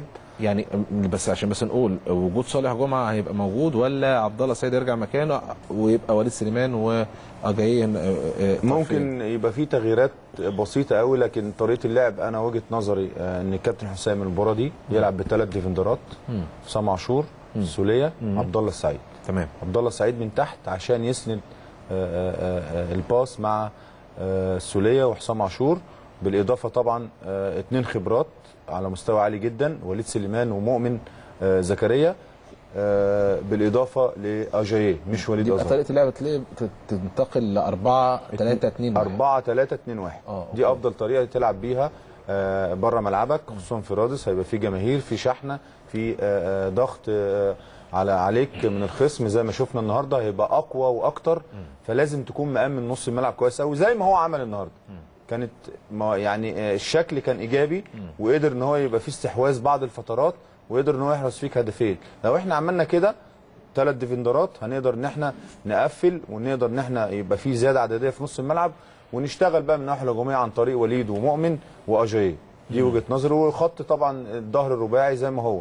بقول لشريف إكرامي طبعا آه، هارد لك اللي جاي أحسن. إن شاء الله ياما شلتنا صحيح. في ماتشات في أفريقيا ومع المنتخب في الدوري وفي كأس مصر. ويمكن آه، استقبلت عدد أهداف كتير آه، قليلة الموسم الماضي. وانت كنت من نجوم ال- ال- ال- ال- ال- الفرقة الحقيقة السنة اللي فاتت وكان ليك دور كبير وإن شاء الله موفق الفترة اللي جاية بإذن الله. إن شاء الله. كابتن سمير بشكرك شكرا شكراً. جزيلا.